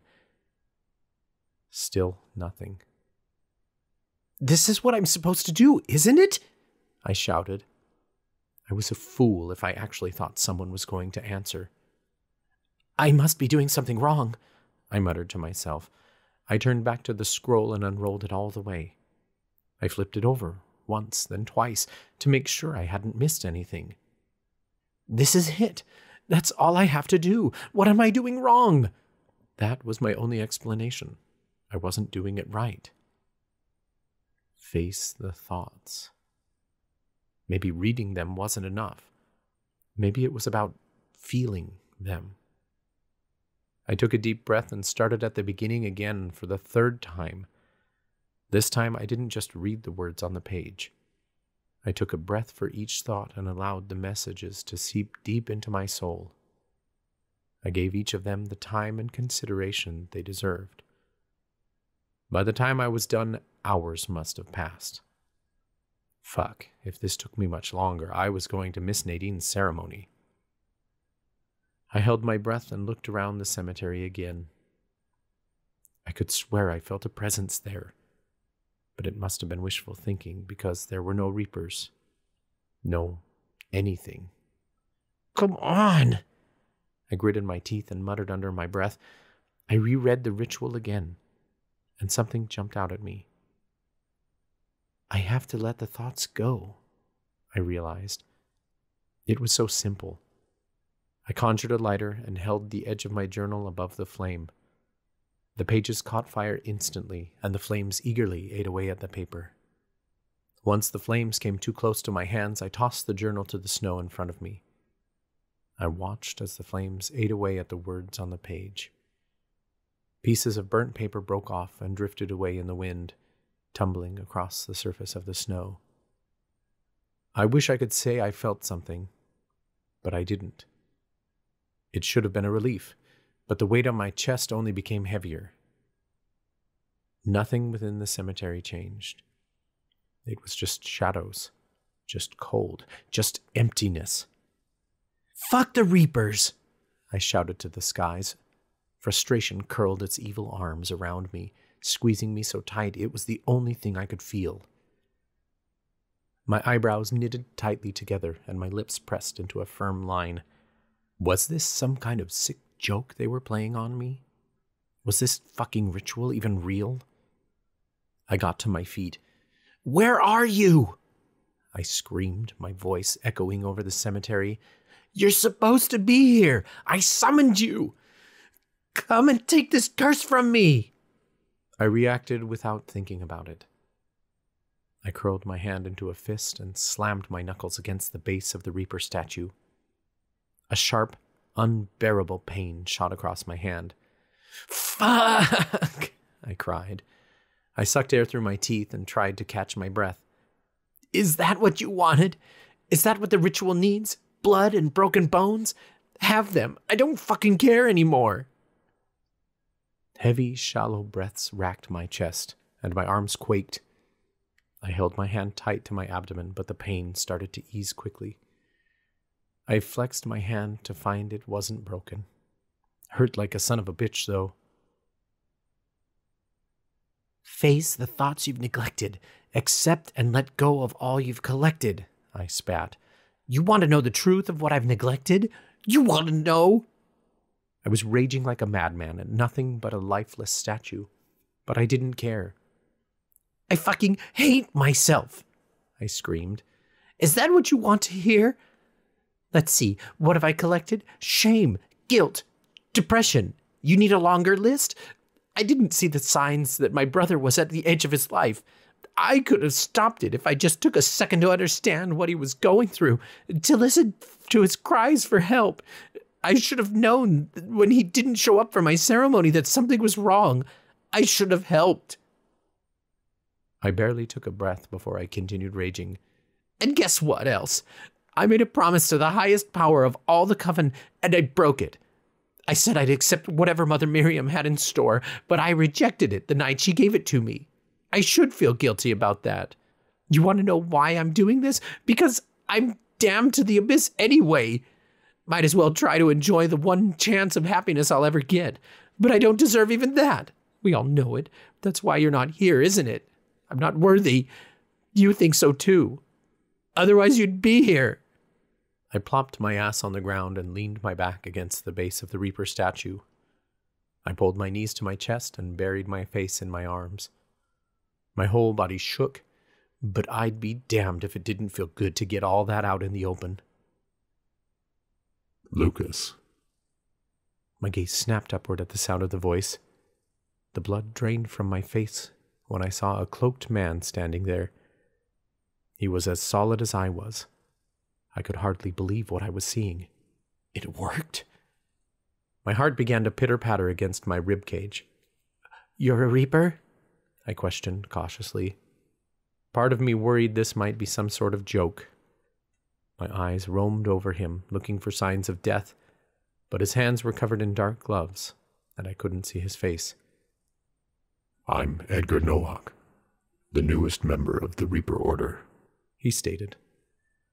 I take it you've summoned me to remove your power. So it's true? I asked hopefully. You can do it? Yes, he said, but a grave warning lurked in his tone.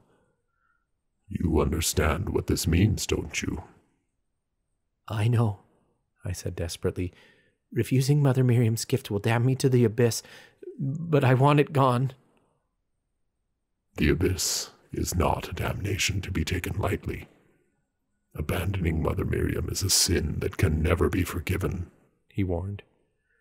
You will burn for all eternity. The flesh will be seared from your bones, regrown and burned off again and again. Splinters will be shoved beneath your fingernails before each fingernail is ripped from your nail bed one by one. Red hot rods will be shoved into your eyes. You will not feel a moment of relief, young Reaper. You will be faced with a nightmare most cannot even begin to imagine. You will suffer in ways men have never suffered before. Are you sure you want to do this? Nothing he said scared me. The real hell was never getting a chance to live a full life with Nadine. I stood and planted my feet firmly beneath me. All the shaking that had rocked my body moments ago had vanished. I held my head high as I answered, I'm sure. Tell me what to do. Chapter 22 Nadine My heart jumped into my throat, and I scurried backward until my back hit the gravestone behind me. My stomach felt as if a gaping hole were about to erupt open. I pulled my knees to my chest and curled myself into a ball. I buried my face into my knees because I couldn't stand to look at my parents' graves.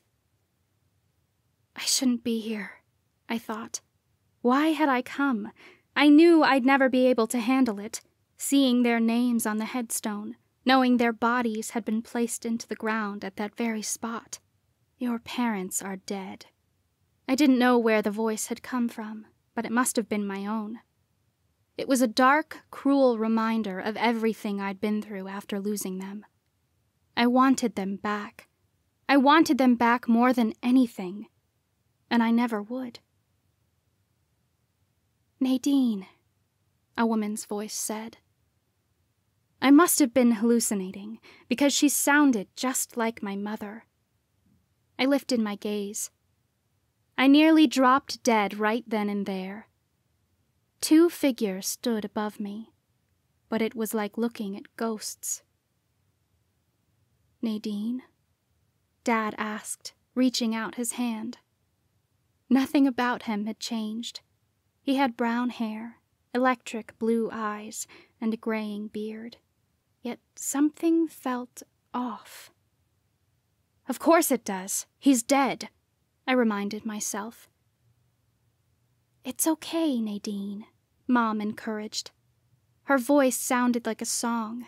She was so pretty. Why hadn't I ever realized how pretty she was before? My parents held their hands out to me, waiting for me to accept them. Is it really you? I asked, my voice cracking. Dad nodded. It's us, baby girl. Sobs began to rock my shoulders. I reached out and took each of their hands, and they helped me to my feet. I wrapped an arm around each of them until the three of us were locked into an embrace. They felt so real, so solid. I didn't know how, but they were here with me.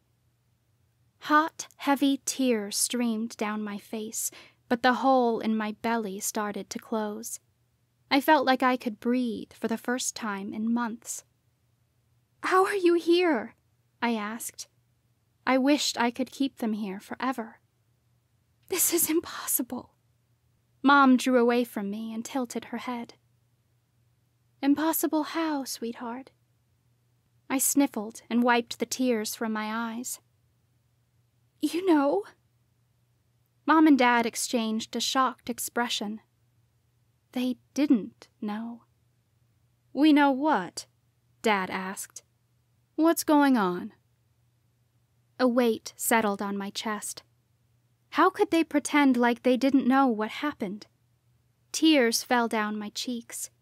I wrapped my arms around myself because it was all I could do to hold myself together. You don't remember? Mom tilted her head to the side. Remember what? You're really going to make me say it, aren't you? I sobbed. We don't understand. Dad insisted. Tell us what's wrong, Nadine. My bottom lip trembled. I wanted to tell them, but I couldn't get the words out. I just totally froze up. Mom stepped forward and took my arm. I couldn't believe how warm and real she felt. All I wanted to do was wrap her in my arms again, but I couldn't. Because no matter how much I wanted my parents with me, it couldn't happen. I didn't know how it was happening now, but it wasn't real. Let's go home, Mom suggested. We'll get this all sorted out. I jerked away from her, but my voice came out really small. I can't go home with you. Of course you can, Dad said, like this was any old day. We had plans to work on the car this afternoon. And you and I were going to make cookies, Mom reminded me. My stomach dropped. I wanted to do all of that so badly. I'd love to drop everything and go home with them. But instead, I took a step back. I'm sorry, but I can't, I told them. You don't belong here. I have to go back home to Octavia Falls. Mom's brow furrowed. You don't live in Octavia Falls, Nadine. You've never been there. Are you having an episode? No, I'm not having an episode, I snapped. Why couldn't they see? How could I make them understand? Then tell us what's wrong, Dad demanded. You're dead! I burst. The world seemed to stop spinning. The entire cemetery went silent, though my voice continued to echo in the distance. Dead. My parents were dead. I'd said it aloud so many times before, but I never felt it like I did in that moment. They were truly, honestly, 100% gone from this earth. And nothing I could do, no amount of praying, seances, necromancy, or potions could bring them back. Dad looked at me.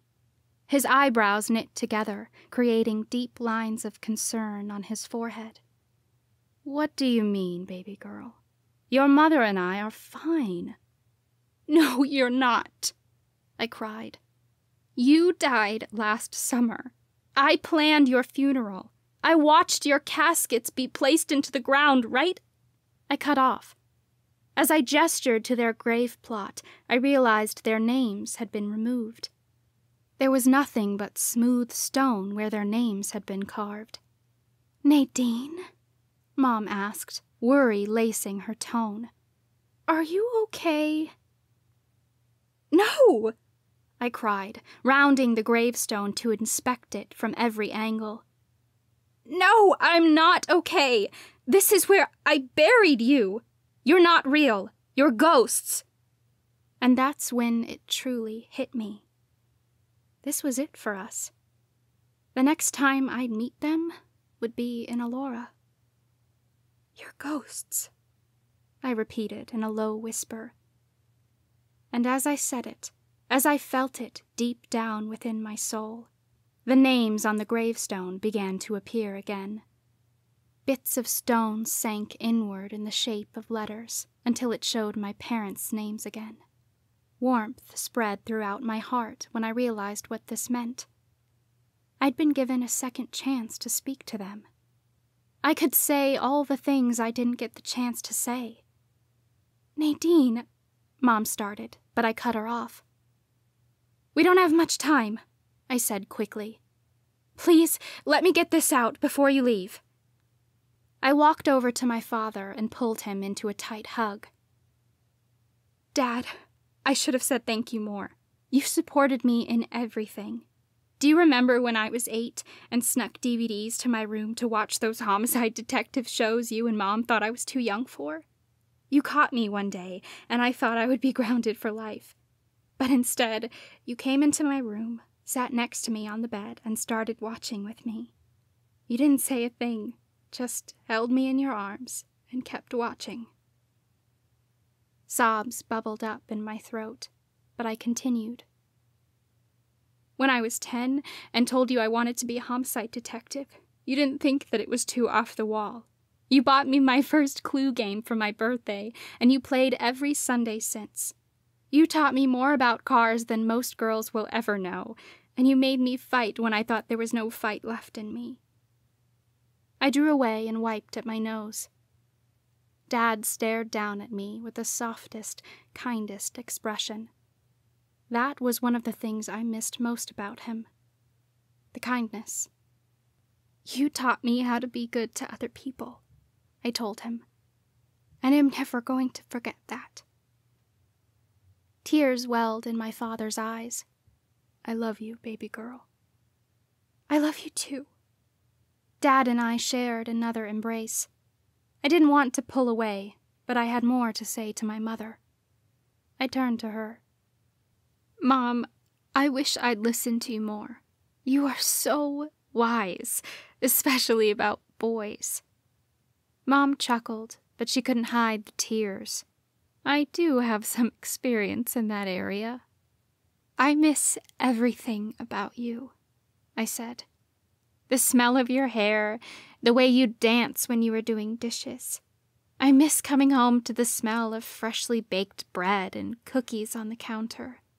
Sometimes I want to crawl into your bed like I did when I was a kid, because when I lost you, it was just one huge nightmare.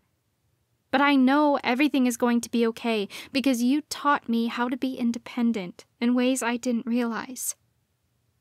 Mom pulled me into a hug before I was done telling her how much I missed her.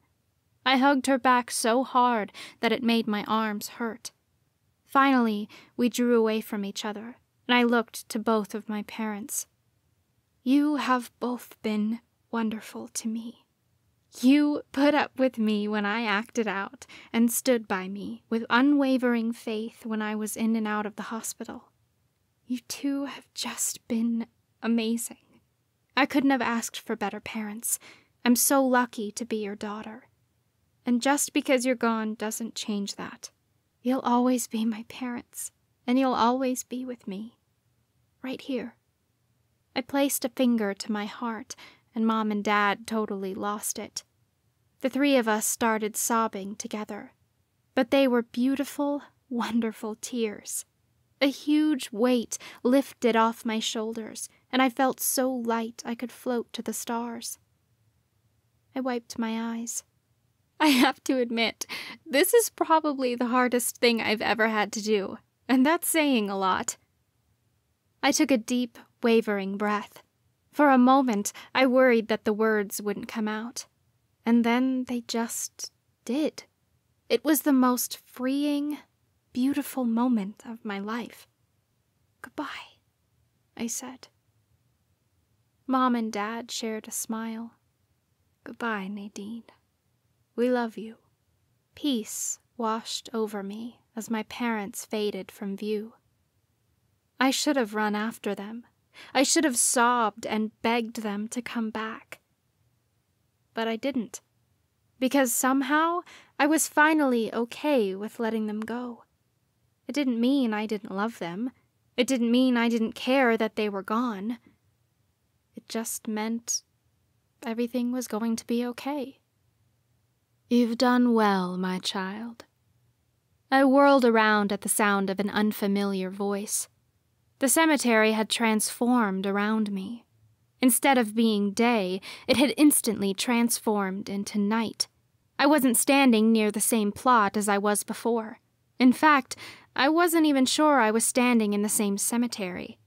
The air was cold, and snow covered the ground.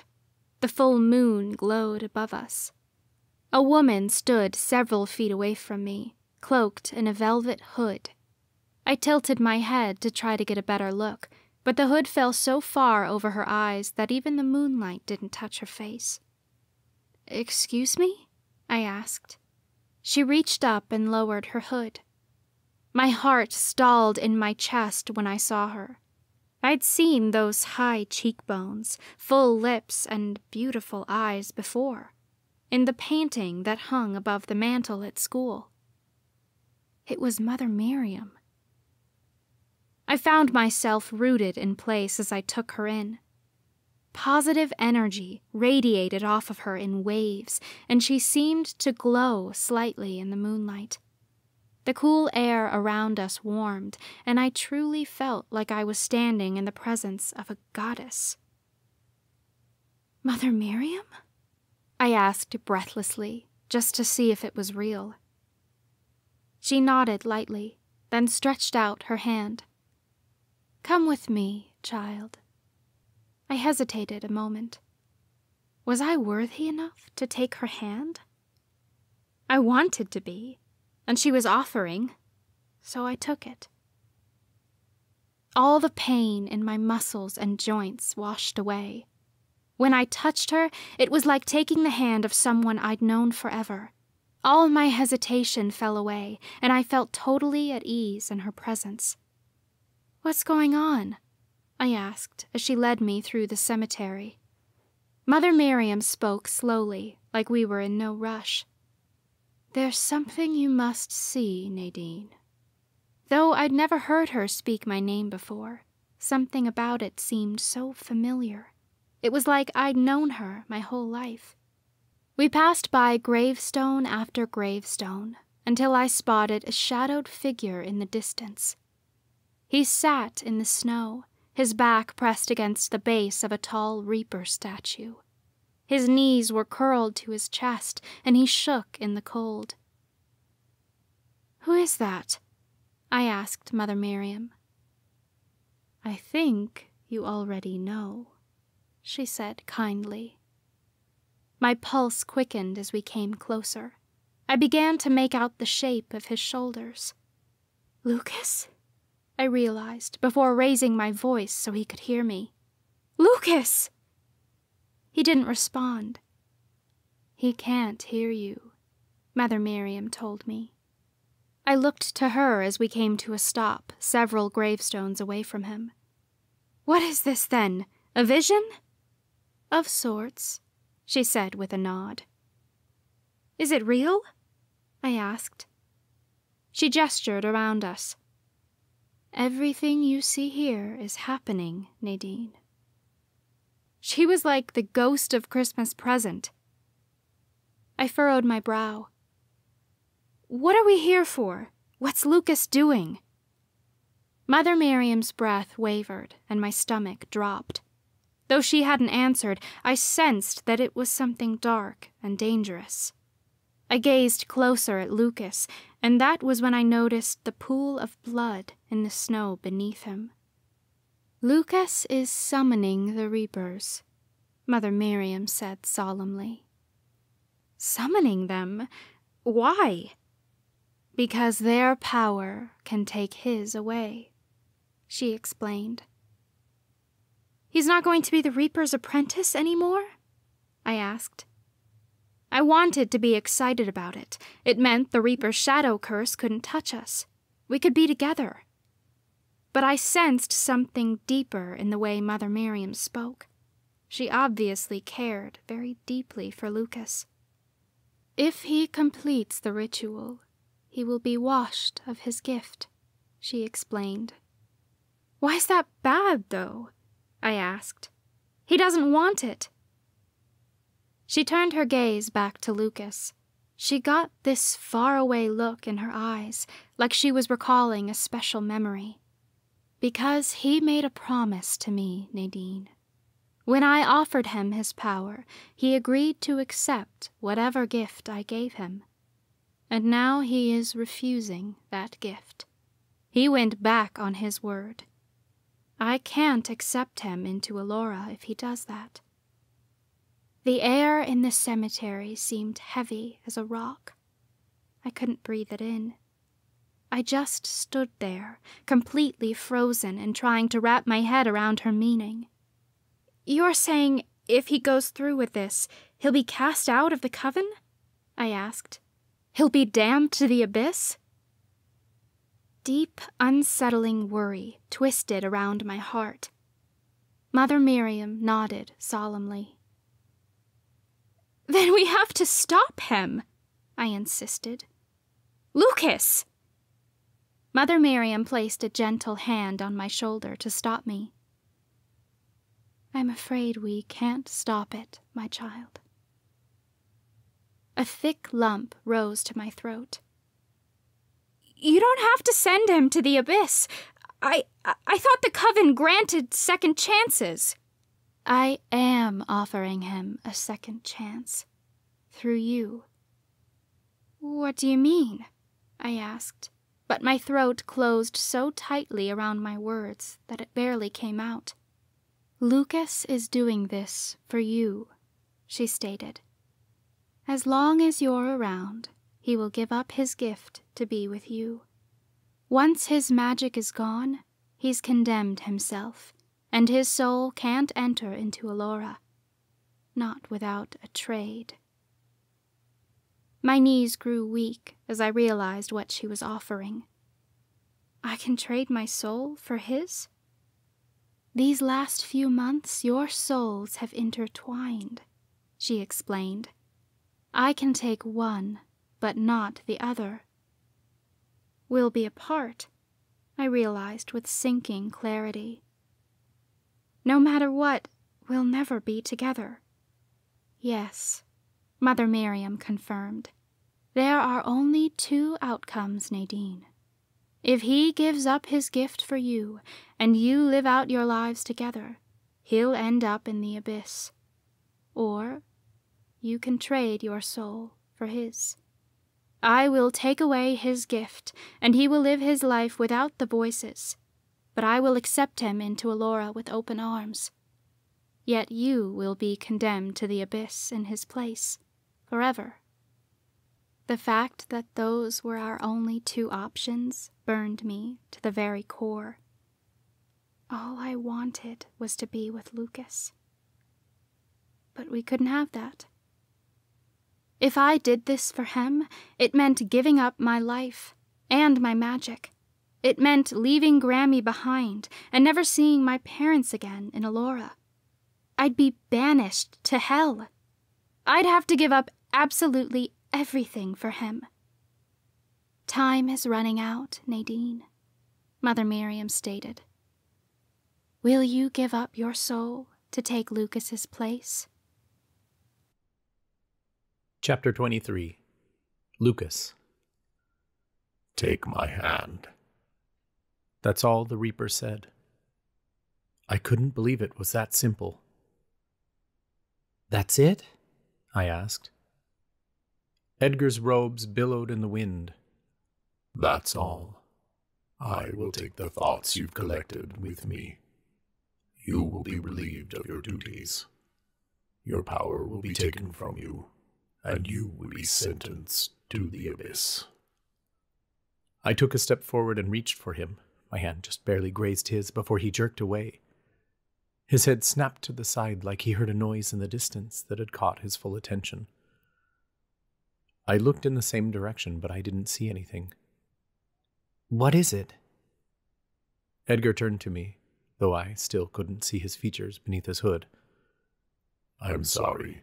I must go. I have a soul to collect. Wait! I cried. But he was already backing away from me. The Reaper whirled around. His body glided above the snow and left no prints. I started sprinting after him, but he moved so fast I couldn't keep up. Come back! I screamed. The air seemed to suck out of the cemetery the faster I ran. It was only moments before he had vanished from sight. Panic swept through me. Had I lost my chance? Had he totally abandoned me? Was he coming back? I slowed and stared after the Reaper where he'd disappeared into the trees. A feeling of hopelessness settled over me. I'd missed my chance, hadn't I? I thought we had an agreement! I shouted. A leaf tumbled in the wind and caught on my shoe. I kicked it off, but the wind swirled around me, sending the leaf back into my leg. I tried twice more to shake it off, but each time it came back. Frustrated, I bent to grab it, ready to tear the freaking thing to shreds. But it wasn't a leaf at all. I took it in my hands and lifted it. My stomach dropped out of my abdomen. It was a tarot card. The Death card. Perhaps the very one I'd thrown into the wind on Halloween. Somehow it had come back for me. It had to be a message. My eyes went wide. I glanced around like I expected to see someone standing there, willing to explain. Eric? I called out into the darkness. Is this yours? What does it mean? What do you want me to do? The voice that answered was the last one I'd ever expected to hear. I did it to save you, Lucas. I will always love you. I whirled around, expecting her to be standing there, but there was nothing but tombstones beside me. I'd heard her last thought. The heart wrenching realization hit me like the weight of a thousand stunning spells. For a moment, I couldn't move, couldn't think. All I could do was stand there as my entire world stopped spinning. Not my Nadine. The second her name passed through my mind, I snapped back to attention. No one was taking my Nadine from me. I started sprinting. I'd never run so hard and fast in my life. The only time that came close was the night of my evoking ceremony when I'd rushed home to Eric. It struck me how frighteningly similar this was. Hurtling over gravestones and sprinting out of the cemetery was a sick form of deja vu. I just hoped this time I wasn't too late. My sliced palm stung as I pumped my arms. My legs protested as I pushed them harder than I'd ever pushed them before. My chest burned with the need for air. But none of that mattered right now because the thought of losing Nadine hurt more than any other pain I could imagine. I'd gladly welcome a thousand eternities of flesh burning torture for her. Houses blurred past me as I ran through town. I sprinted down her grandmother's street and stopped in my tracks when I caught sight of the scene in Helena's living room. I had a mere split second to take it in. Through the window, I saw Helena Grant and Talia seated around Nadine's body. She hovered in the air as if she was lying on an invisible table. Everyone watched on silently, oblivious to the fact that there was a fucking reaper standing over her. He stood beside her like he was hungry for his next meal. The only one who seemed to notice something was amiss was Isa. She stood on Talia's lap, her hair on end, hissing. The Reaper reached out for Nadine and scooped her up. Suddenly, I was seeing double. Nadine's body remained hovered in the air, but a transparent figure identical to her lay cradled in Edgar's arms. I didn't know how I was seeing her soul, but I sensed it was because the Reaper had touched both of us tonight. Stop! I screamed. But no one heard me. Nadine's body dropped out of the air, slamming to the ground beneath her. All at once, Helena, Grant, and Talia leapt to their feet. Sheer and utter worry marred each of their faces. I barely had a chance to process it before the Reaper was on the move he stepped through the wall and onto the porch like a ghost. My precious Nadine's spirit lay lifeless in his arms. You can't do this! I demanded. He looked toward me, but he must have decided I meant nothing, because he turned away and started toward the trees at the side of Helena's house. I didn't know how far I'd already run, but I knew one thing for certain. I'd race to the ends of the earth for Nadine. I followed the Reaper as fast as my legs could carry me, I trampled over dead plants in Helena's garden and crunched down snow as I raced over the lawn. I followed the Reaper into the forest, where the snow was minimal and a clear dirt path paved the way. Come back! I shouted. Edgar didn't slow, but somehow I was catching up. I heard him mumble something under his breath, and then something frightening happened. I could barely believe my eyes. In the middle of the forest, a portal opened, one moment, all I saw was shadows of trees in the moonlight. The next, a wide, swirling archway grew from nothing. It expanded until it was large enough to step through. At first, all I saw was blackness around the edges. Then came the distorted image of the horrifying landscape beyond. In the flickering of the portal, I could make out fires that went for miles across a dark, desolate landscape the abyss. He was taking my Nadine to the abyss. This was either a sick joke or a horrible mistake. I had to stop this. I didn't know if it was sheer willpower or by the fate of the goddess, but I finally reached him. My hands shot upward and my fingers wrapped around the dark fabric of his hood. I yanked downward and his hood fell away. He whirled around and thrust his arm outward. A blast of red magic shot out of his hand and slammed into my chest. I went flying backward, but hardly made it three feet before slamming into a tree. I slumped to the ground, gasping for air. It barely fazed me, because what I saw next shook me to my very core. The Reaper turned, and I caught sight of his face, his true, deadly form. The legends of the Reapers were true. They walked the earth as a shadow of death. His face was nothing but a skull. There were no muscles, no skin, just pure white bone. His eyes were completely hollow, a deep, dark black that seemed to suck my life energy just looking at him. He was the very embodiment of death. You can't have her, he snarled. She's my assignment. His jaw moved, but he had no lips to form his words. Somehow they came out sounding clear. I'd be damned if I didn't try, I growled. I raised my hands, and purple magic shot out of my palms. A stunning spell slammed into his chest. His feet swept out from under him, and he went tumbling backward. Nadine's spirit fell from his arms, and she hovered in the air limply. I jumped to my feet. At the same time, the Reaper sliced his hand through the air, and I felt a sharp pain on my face, as if an invisible dagger had cut my skin open. The warmth of blood trickled down my face, but I didn't stop to assess the damage. I hurtled over the Reaper and reached out for Nadine. I nearly touched her soul, but I didn't get there before a cold hand grasped my ankle. Let me go! I shouted. I drew my foot back and slammed my heel into his face. A satisfying crunch met my ears, though it didn't seem to slow him down. He squeezed my ankle tighter and yanked me backward, dragging me through the snowy dirt. My hands clawed desperately outward but I couldn't find a handhold.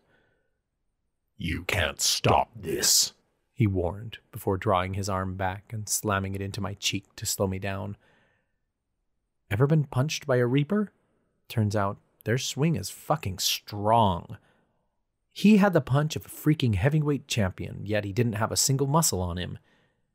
Pain radiated across my face, and a blast of red flashed across my vision. The world spun around me, I was half surprised he hadn't knocked me out right then and there. The Reaper left my side to go to Nadine, but there was no way I was giving up now. I jumped to my feet, though it felt as if the earth was rocking beneath me. I forced my eyes open, but only my right one would follow my command. The left was completely swollen shut. He reached out for Nadine. I couldn't stand the excruciating thought of death touching her. Not today. I totally and 100% lost it. You're gonna have to try harder than that, I growled. Fury swept through me, and I threw all of my anger into my magic. A sizzling ball of magic swelled in my palms. As the magic came too much to hold on to, it shot from my hands and went spinning toward the Reaper. My battle magic landed at his feet and exploded, sending him blasting away from the portal and my Nadine. It disoriented him enough that I gained the upper hand. I threw all my weight at him and grabbed him by the back of the robes. I gritted my teeth and screamed as I spun him around. I intended to use this moment to smash his head into a tree, but I guess I forgot we were fighting on different planes. My magic worked against him, but other weapons didn't. His skull went through the damn tree. I swung him to the ground and threw myself between him and Nadine. You can't have her! I cried. He pushed himself up like he hadn't felt a thing. How the hell was I supposed to fight a freaking skeleton? He didn't feel pain. He couldn't be choked or bruised or knocked out. Plus, he was fucking strong. I was at a total disadvantage, but I'd still do anything to defeat him. Just as I was about to speak another incantation, the Reaper reacted. Red magic slammed into my ribs. It was so heavy and strong that it knocked me on my ass in no time flat. My vision blurred. I tried to push myself up, but a sharp, searing pain like a sword in my side shot through my ribs. Broken. Shit! I growled beneath my breath as I pushed myself to my feet. Edgar yanked his glove from his hand and thrust his palm out in my direction. Suddenly, excruciating pain assaulted me from all angles. Every muscle in my body seemed to twist at his command, and my skin felt like it was separating from my body. The pain permeated deep into my bones. It was battle magic like I'd never seen before. Gah! I screamed as blinding pain overtook every nerve ending. My knees buckled beneath me, and my back arched as I cried out. I tried to move my hands to force defensive magic out through them, but they stayed curled into fists at my side. My scream echoed through the forest, laced with the chilling overtone of torture. You don't know what you're doing, Lucas, Edgar warned. His bony fingers twisted like he intended to crush me by sheer will. She's dead. You can't bring her back. It's against the rules. Screw the rules, I spat. It took all my energy to push past his magic and speak. Let her stay. It doesn't work that way, he insisted. I need a soul. Then take me instead, I begged through gritted teeth. I've got a soul. I haven't been damned yet. And you won't be, he stated coolly. The pain intensified as the realization hit me. She did this for me, didn't she? At this point, the Reaper's spell might as well have been a mere tickle across my skin. The excruciating pain was nothing compared to the heartbreak that crushed my very soul in that moment. Nadine gave herself up for me, and that's something I would eternally blame myself for. I would never forgive myself for being the reason she was damned. Edgar nodded. She gave up her life to stop the ritual. She gave her soul in place of yours. She is sentenced to the abyss. I must take her and leave now. Pure fury rocked my body. I'd do anything to save Nadine from damnation. She was the sun my earth moved around, the gravity that kept me grounded, and the force that kept my world from spinning off its axis. She was the air in my lungs and the magic that flowed through me. I loved her like the night sky loved the stars. She was mine, and I was hers. Forever. You're not going anywhere with her, I growled. Only the Reaper has control over the life and death of a soul, he yelled furiously. If you restore this soul, you accept your Reaper magic, and it will bind itself to you once and for all. After that, I can't take that magic away. If you wish to continue with our agreement from earlier, you must let me take her soul to the abyss. So I either give up my gift or save her life. The answer was simple her soul was staying. Magic, like I'd never felt before, ignited deep within my belly. I gathered it tight within my chest and pushed outward with all my might. Darkness clouded my vision as the magic passed through me. Then, boom! My magic exploded, whipping through me like a tidal wave. By some miracle, my magic overpowered his, counteracting his spell. The pain washed away, and I fell onto my hands and knees, gasping. One hand clutched my broken ribs as I waited for my vision to return. When it finally did, I looked up to see an empty forest. I immediately whirled around toward the portal to see Edgar hovering over Nadine's spirit. He bent beside her and touched her. Not today, motherfucker. I scrambled to my feet and ran forward. My foot swung outward like I was about to kick the field goal of the century. I kicked as hard as I possibly could, and my foot connected perfectly with his skull. Edgar's vertebrae snapped, and his head flew off his skeleton. It went soaring forward straight toward the portal, his scream echoing through the forest. And then. silence. His head was gone, lost to the abyss. I could hardly believe what I'd done. But we weren't finished. Edgar's body whirled toward me. It was kind of creepy to see a headless guy moving through the forest. His arms raised and his shoulders heaved as a spell formed in his hands. On instinct, I threw my hands upward. I had no intention, no clue what I was doing. All I knew in that split second was I had to protect myself.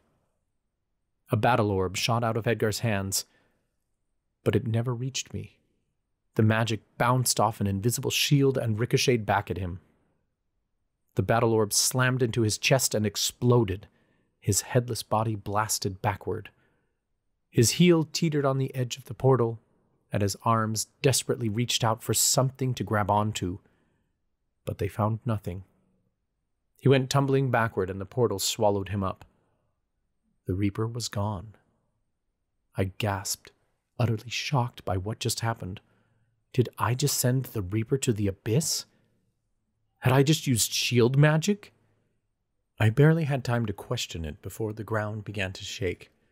The earth rumbled around me, and I could barely stay on my feet. Oh, fuck. Lightning crackled out of the portal, and thunder boomed through the forest. My stomach twisted into tight knots. I didn't know how much more I could handle. For a second, I thought I was going to have to deal with this damn Reaper clawing his way out of the depths of hell. Then, suddenly, the portal slammed closed. Utter silence settled over the forest, and the image of the trees became clear again. It was as if the portal had never been there in the first place. Relief washed over me. It was over. I'd defeated the Reaper. I'd saved Nadine. I rushed over to her floating spirit, my heart racing. I reached out and touched the side of her face. My fingers didn't move through her spirit like I expected them to. They touched solid skin. I guess for the same reason I could see her. I scooped Nadine in my arms. She was as light as air, but she was warm and solid in my arms. I could feel the life inside of her as I cradled her to my chest. I pressed my lips to her forehead and wept as I lifted her. Hang on, Nade. We're going to get you home. Carrying Nadine's spirit back to the house was like stepping out of a fire a hero. I had a sliced hand, at least two broken ribs, and one hell of a black eye. But most of all, I had Nadine. I didn't take my eyes off her as I carried her limp spirit back to the house. I could have sworn we moved in slow motion. The relief I felt made my heart sing. Nadine was so perfect it was enough to stop time just looking at her. I climbed the stairs to Helena's front door. It was only when I opened it and heard the panicked shouts inside that time seemed to speed up again. She's still not breathing, Grant cried. I'm working as fast as I can, Helena shouted back. How could this happen? Talia sobbed. I stepped into the living room, my heart hammering like a bass drum. I hoped I wasn't too late. Grant knelt over Nadine's lifeless body, performing CPR, while Helena clutched a mortar and pestle, an ancient herb crusher. She ground herbs into powder that I assumed were meant to heal. Talia was pacing back and forth, stroking Isa's fur. I cleared my throat and all eyes turned toward me. Grant's eyes grew as wide as saucers, and Talia's jaw dropped. Helena was so shocked she dropped the mortar and pestle, and the herbs spilled all over the carpet. It was clear as day. They could see Nadine's spirit in my arms. It must have had something to do with me touching her after I'd touched a reaper. I felt death in the room. It was like a dark hole that nothing could enter and escape. It was just nothing. And that feeling centered over Nadine's heart. Her body wasn't going to last much longer without her soul in it. Oh, how did you? Helena stuttered. I'll explain later, I said. My knees quaked as I rushed to Nadine's side. Grant scurried out of the way, what am I seeing? Talia asked breathlessly. I could ask the same thing, Grant said in astonishment. You saved her, Helena breathed. I swallowed. Not yet. I pressed my lips to the side of Nadine's spirit cheek, then positioned her spirit over her body. A single tear ran down my face and dripped onto her chest. I love you, Nade, I whispered, now and forever. I gently lay her spirit back into her body and waited. Chapter 24 Nadine Lucas Taylor couldn't see the light within himself, but I could. Though dark cloud after dark cloud had swept into his life to block out the light, it continued to burn bright. The world would be a much better place with him in it. My world had been made better with him in it. He didn't deserve an eternity in the abyss. He deserved to be with his brother and the rest of the coven in Elora, where he would be happy. I loved him. I loved him more than the grass beneath my feet, more than the stars in the sky, more than the very air I breathed. My heart beat for him, and my world moved with him. I didn't know how much I truly cared about him until that moment. I was unconditionally and undeniably in love with him. I turned my gaze from the nearby gravestones to look at Mother Miriam. I'll do it. The scary part was, giving myself up for Lucas didn't scare me at all. A proud smile crossed Mother Miriam's face. Then it is time. She formed a ball of magic in her hand. It was the whitest, most pure magic I'd ever seen. A mesmerizing rainbow of color swirled within it. She threw the magic upward, and it exploded into a million tiny stars above my head that rained down on me like snowflakes. The flakes of magic touched my skin, and my whole body started to glow. Wait, this is it? I asked. I don't get to say goodbye? You have one chance, she reminded me. Right. Lucas would hear my last thought. I did it to save you, Lucas. I will always love you, I thought. The glow of my skin brightened until a blinding white light completely consumed my vision. Even as I squeezed my eyes shut, it was all I could see. The last thing I heard was Mother Miriam's soft, calming voice. Just remember, Nadine, you are not defined by what happens to you. You are defined by how you react to it. The light became too bright to bear, and then nothing. I saw nothing. I felt nothing. There was no light or dark, no pain or comfort, no sense of time or space just nothing. I could have been stuck in this state for eternity and never known it. Then something happened. A voice called out to me like a beacon in the darkness. Nade! It took me a few moments to make sense of my name. I couldn't remember what had happened to me or why I was here. Then it all came rushing back. The abyss. My heart lurched to life in my chest. My eyes shot open, and I sprang upward. A high pitched scream pierced my ears. It took me a moment to realize it was my own voice. Nade, it's okay. Lucas's soothing voice came from beside me. As my vision focused, I saw his beautiful face in front of me. His left eye was black and swollen, but he was incredibly beautiful nonetheless. Lucas, you're hurt, I said breathlessly. He shrugged. Totally worth it. My heart raced, and my whole body quivered. Frantically, I glanced around the room to see I was sitting on the floor in Grammy's living room. The candles that had surrounded me had been burnt out. Grammy, Grant, and Talia all looked down on me with wide eyed expressions of disbelief. Isa jumped out of Talia's arms and purred as she rubbed against my side. It was all a test, I realized. None of it was real. I placed a hand to my thumping heart as it started to slow. Oh my god! I thought I died! Lucas's features fell. Nade, you did. What? I nearly choked on the word. Grammy knelt beside me and swept me into her arms. She kissed me on the cheek over and over and squeezed me so tight I thought she would suffocate me. Tears streamed down her face.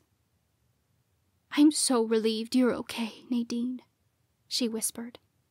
I thought I'd lost you. As Grammy drew away, Grant and Talia threw themselves at me. They both curled me into a tight group hug. We're not losing you, you hear me? Grant said pointedly. Talia swatted me on the shoulder. Don't ever do that to us again. Do what? I asked. What happened? Everyone stared back at me like they didn't know where to start. The only one who looked remotely understanding was Lucas. I looked to him for an explanation. Grammy cleared her throat. We'll just give you two a moment. Grant and Talia nodded in agreement, and the three of them quietly left the room. Tears welled in Lucas's eyes as he stared at me like I was the only girl in the world. He took my face in his hands. They were so warm and comforting. You gave yourself up for me, he reminded me. I had to fight a reaper to get you back. My breath caught in my chest. Lucas had saved my life? His eyes sparkled in a mix of pain and relief. Why'd you do it? I placed my hand over my mouth to keep the sobs from spilling out. My eyes searched his. After taking a moment to breathe, I dropped my shaking hand. Don't you get it, Lucas? I asked. I love you. I know, he said. But no! I cut him off. I really, really love you. Enough to go to hell in your place. Tears spilled over Lucas's lids, and my heart swelled. I love you too, Nade. Lucas swept me into his arms, and we kissed with a passion like never before. His love poured into me like pure, warm water filling my soul, and mine poured back. The roller coaster ride we'd been on slowed in that moment, reaching its peak at the highest point of the track. My heart lifted in anticipation of the freefall. I parted my lips, and Lucas kissed me deeper. I went spiraling downward, my stomach flipping in my abdomen. But it didn't feel like we were on a roller coaster anymore. The safety harness had given way, and I'd grown wings. I was safe here with Lucas because he was my wings, and he would never let me fall. Lucas drew away from me and pressed his forehead to mine. Desperation filled his tone. I never want to lose you, Nade. Tears rolled down my cheeks, and a sob broke in my chest. I never want to lose you either. I don't care about the Reaper Shadow curse. Lucas said. I'll tiptoe around it for eternity just to be with you every single day for the rest of my life. I'll do everything in my power to protect you from it. I wiped the tears from my cheeks. I agree. If we can't be together fully, we'll take what we can get. Lucas's gaze dropped, and his fingers ran over my arm. His voice trembled when he spoke. Can I have you? My heart pitter pattered against my rib cage. For as long as I can have you, I whispered. His lips pressed to mine again, and we shared an amazing kiss that made my head spin. I didn't know how long we were kissing, but we were interrupted by the sound of Grant clearing his throat. We drew away and glanced toward the entrance to the living room. Grant stood there, holding an ice pack. He smiled. You two make me want to cry. Spying on us? Lucas teased. Grant chuckled. No, just wondering when we can come back in to see what caste Nadine got. I gasped. I'd nearly forgotten. Yes! I cried. Everyone, come in! My heart pounded fiercely as I got to my feet. Grant handed Lucas the ice pack, and he pressed it to his swollen eye. Grammy and Talia entered the room behind him. Well, come on, Grant encouraged, nudging me in the side. What's your caste? I don't know. Let's see. I stretched my arms out and flipped them over, looking for any signs of a tattoo. Grammy started spinning me around so we could look at all angles. Isa rubbed against my leg, so I took off my shoes and checked my feet, then lifted my pants legs to check my calves. Lucas might have to strip you down to check, Grant teased. Talia and Grammy both chuckled under their breath, but Lucas looked thoroughly unamused. He'd taken a seat on the couch and clutched his side with one arm, holding the ice pack to his eye with the other. I noticed for the first time he was sweating a little. Will you be okay? I asked him. Fine, he said, waving a hand. Find your mark. I lifted the hem of my shirt to check my stomach, and that's when I saw it. Just above the inside of my hip lay a black mark. My whole body gave a start. I gasped and dropped my shirt. What is it? Talia asked, looking intrigued. Come on, Nadine, let us see, Grammy begged. Grant eyed me curiously. Judging by your reaction, I'm guessing Mortana. I felt the blood drain from my face. I swallowed and lifted my shirt to show everyone the tattoo. I got Cursebreaker. I let out a wavered breath. All eyes locked on the crescent moon tattoo on my hip. Grammy's hand shook as she brought it to her mouth. I wasn't sure if she was terrified or delighted by the news. Talia and Grant shared a confused expression. Lucas had gone totally still. The room was dead silent. How is this possible? I asked. The curse breakers died out. Grammy finally found her voice. Yes, but Mother Miriam can assign you any caste she sees fit. She must think you're worthy, Nadine. I gaped at her, me? What did she test you on? Grant asked eagerly. I started out tied up in the main foyer, I told them, before diving into an explanation of everything else that happened. By the time I was finished, we'd all taken a seat. I was sitting beside Lucas, and Isa was purring in my lap. Grammy leaned forward in her chair and rested her elbow on her knee. It sounds like you impressed Mother Miriam, you showed her you're willing to take responsibility. And you showed some serious integrity saving Chloe's life, Talia added. Also, strength and resilience, Grant said. Yeah, Talia agreed. You fought the darkness inside of you instead of giving into it. You didn't let it consume you, which means you'll be able to fight the darkness of any curse you break. My heart melted. And then you traded your soul for mine, Lucas pointed out. You're pure of heart, Nade. Something no other witch has been since the curse breakers died out. Wow, I said breathlessly. I guess I didn't realize what I was capable of. You're capable of anything you put your mind to, Grammy encouraged. But you must be careful, Nadine. I tilted my head to the side. What do you mean? You're the only curse breaker of your generation, she pointed out. Just as your grandfather was. People will try to use you. I shot a nervous glance around the room. To break curses?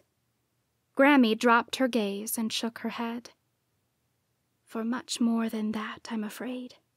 Recall that when a member of each of the five castes come together, they can create elaborate spells. Like the space bending spell that expands the school, I stated, remembering how she explained it to me on my first day at Miriam College. She nodded. I'll be honest, Nadine. If your grandfather were here, he'd tell you this is as much a curse as it is a blessing.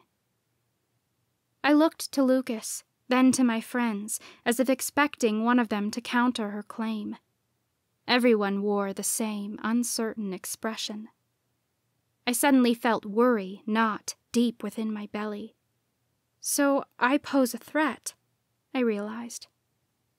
Or people will threaten you, Lucas added, looking terrified for me. They're going to want a piece of your magic. My stomach dropped. How could I get this wonderful gift only for it to put me in the line of fire? Octavia Falls was my home. I should be safe here, but I wasn't. I hadn't been since the moment I stepped foot in town. Something told me Chloe was just the least of my coming threats. But I'd be damned if I didn't fight for my right to stay. Then I'll hide it, I stated, my mind made up. Talia tilted her head to the side. Hide your powers? How? I don't know, I admitted. We could tell people I didn't go through with the ceremony. But you need to stay in classes to learn how to control your magic, Grant pointed out. I sighed. True. Lucas looked deeply contemplative. Then his eyes lit up. I know how to hide it. You do? I asked. He smirked. You can pose as an alchemist. I frowned. But I don't have alchemy powers. Grant's jaw dropped. That could actually work. What? I asked. How can I possibly pull that off? It's a good theory, Grammy agreed. Cursebreaker's powers work by transferring magic from one place to another. You can use alchemy crystals to brew potions. Alchemy crystals? I asked. It's like this. Grammy explained. I transfer my alchemy magic into a crystal. You take that magic and transfer it into a potion. Couldn't anyone do that? I asked. She shook her head. Only a member of each caste can access the crystal magic of that caste. Alchemists can use alchemy crystals, seers use seer crystals. But as Cursebreaker, you can move magic from one place to another. So I could use crystals to pose as any caste? I asked. Grammy shook her head. Not quite. It gives you no powers. A seer crystal wouldn't allow you to see or hear spirits.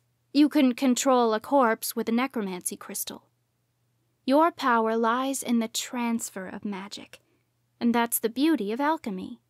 Brewing potions is a simple transfer of alchemy magic. We're actually not the only race who can do it. So, as long as I had alchemy magic to draw from, I could fool anyone, I realized. It's our best shot, Talia said. It could be the only way to protect you, Lucas added. Then I'll do it, I said. I'll let everyone believe I'm an alchemist. What about your tattoo? Talia questioned. I'll get a fake one, I decided.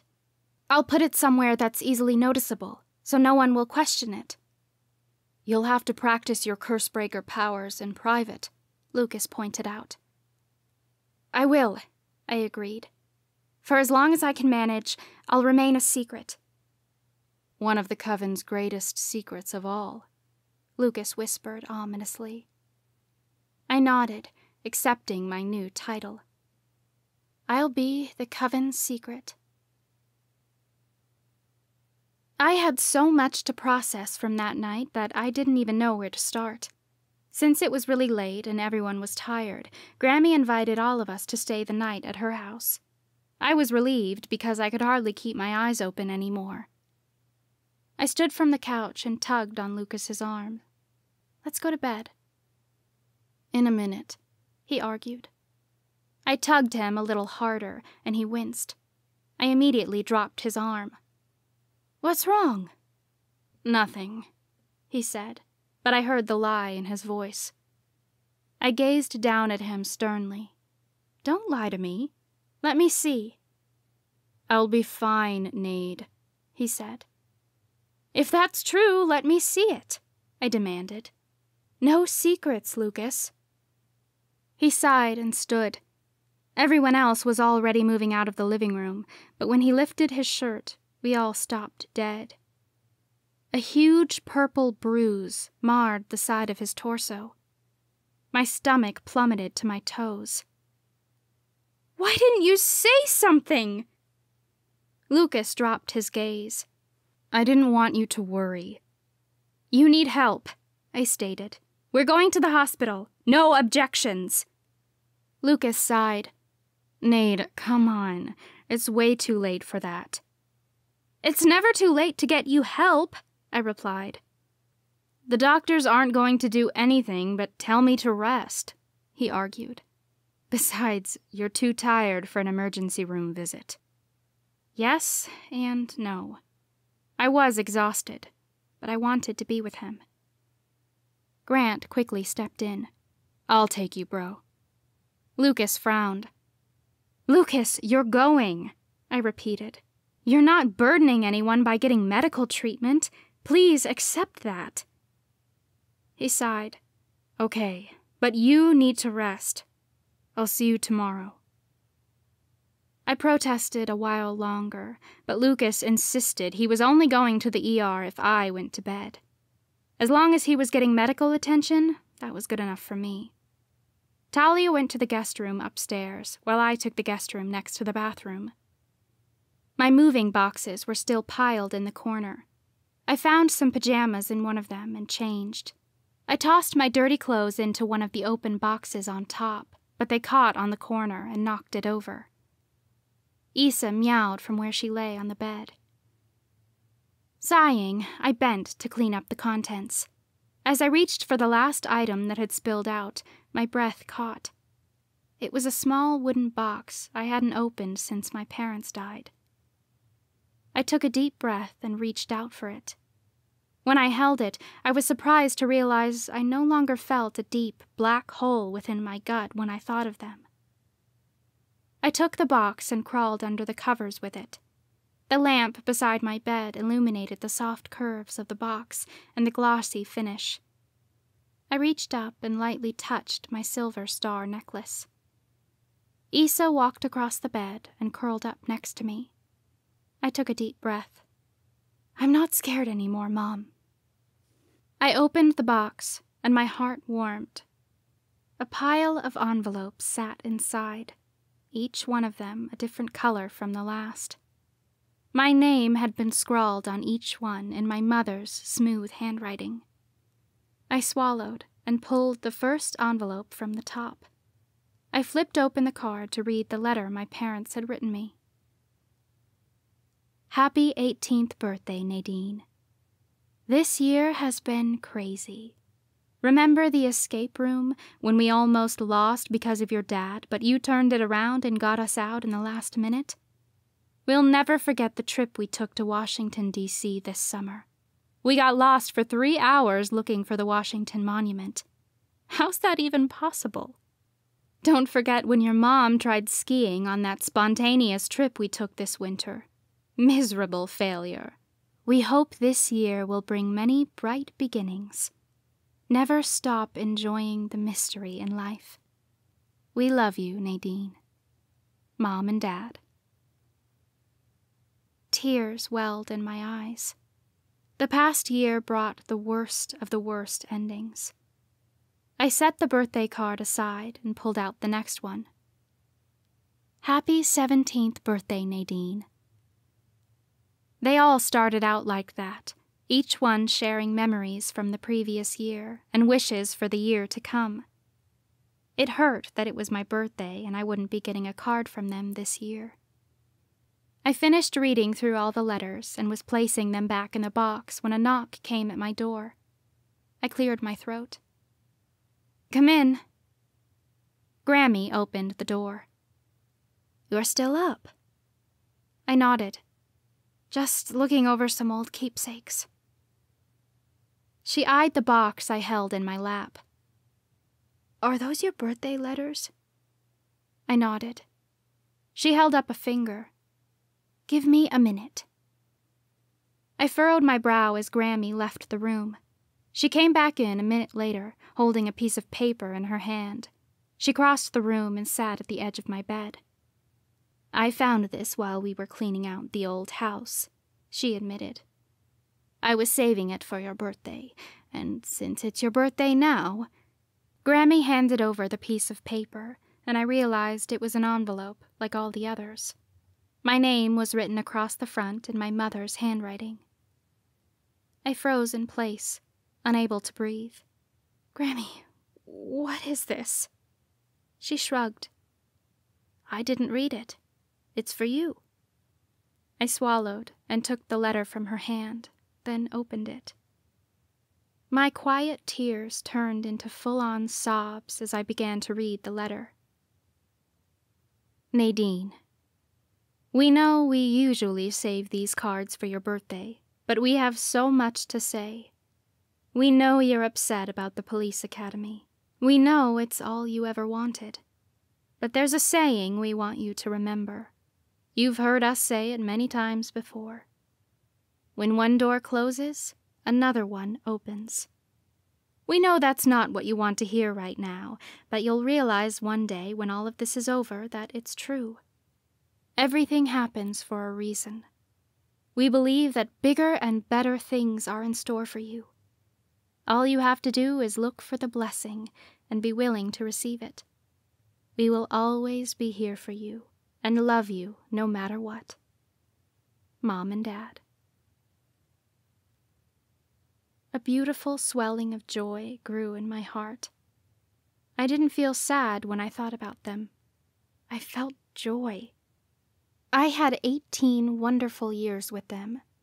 I was the luckiest girl in the world to be their daughter. I couldn't ask for anything more than that.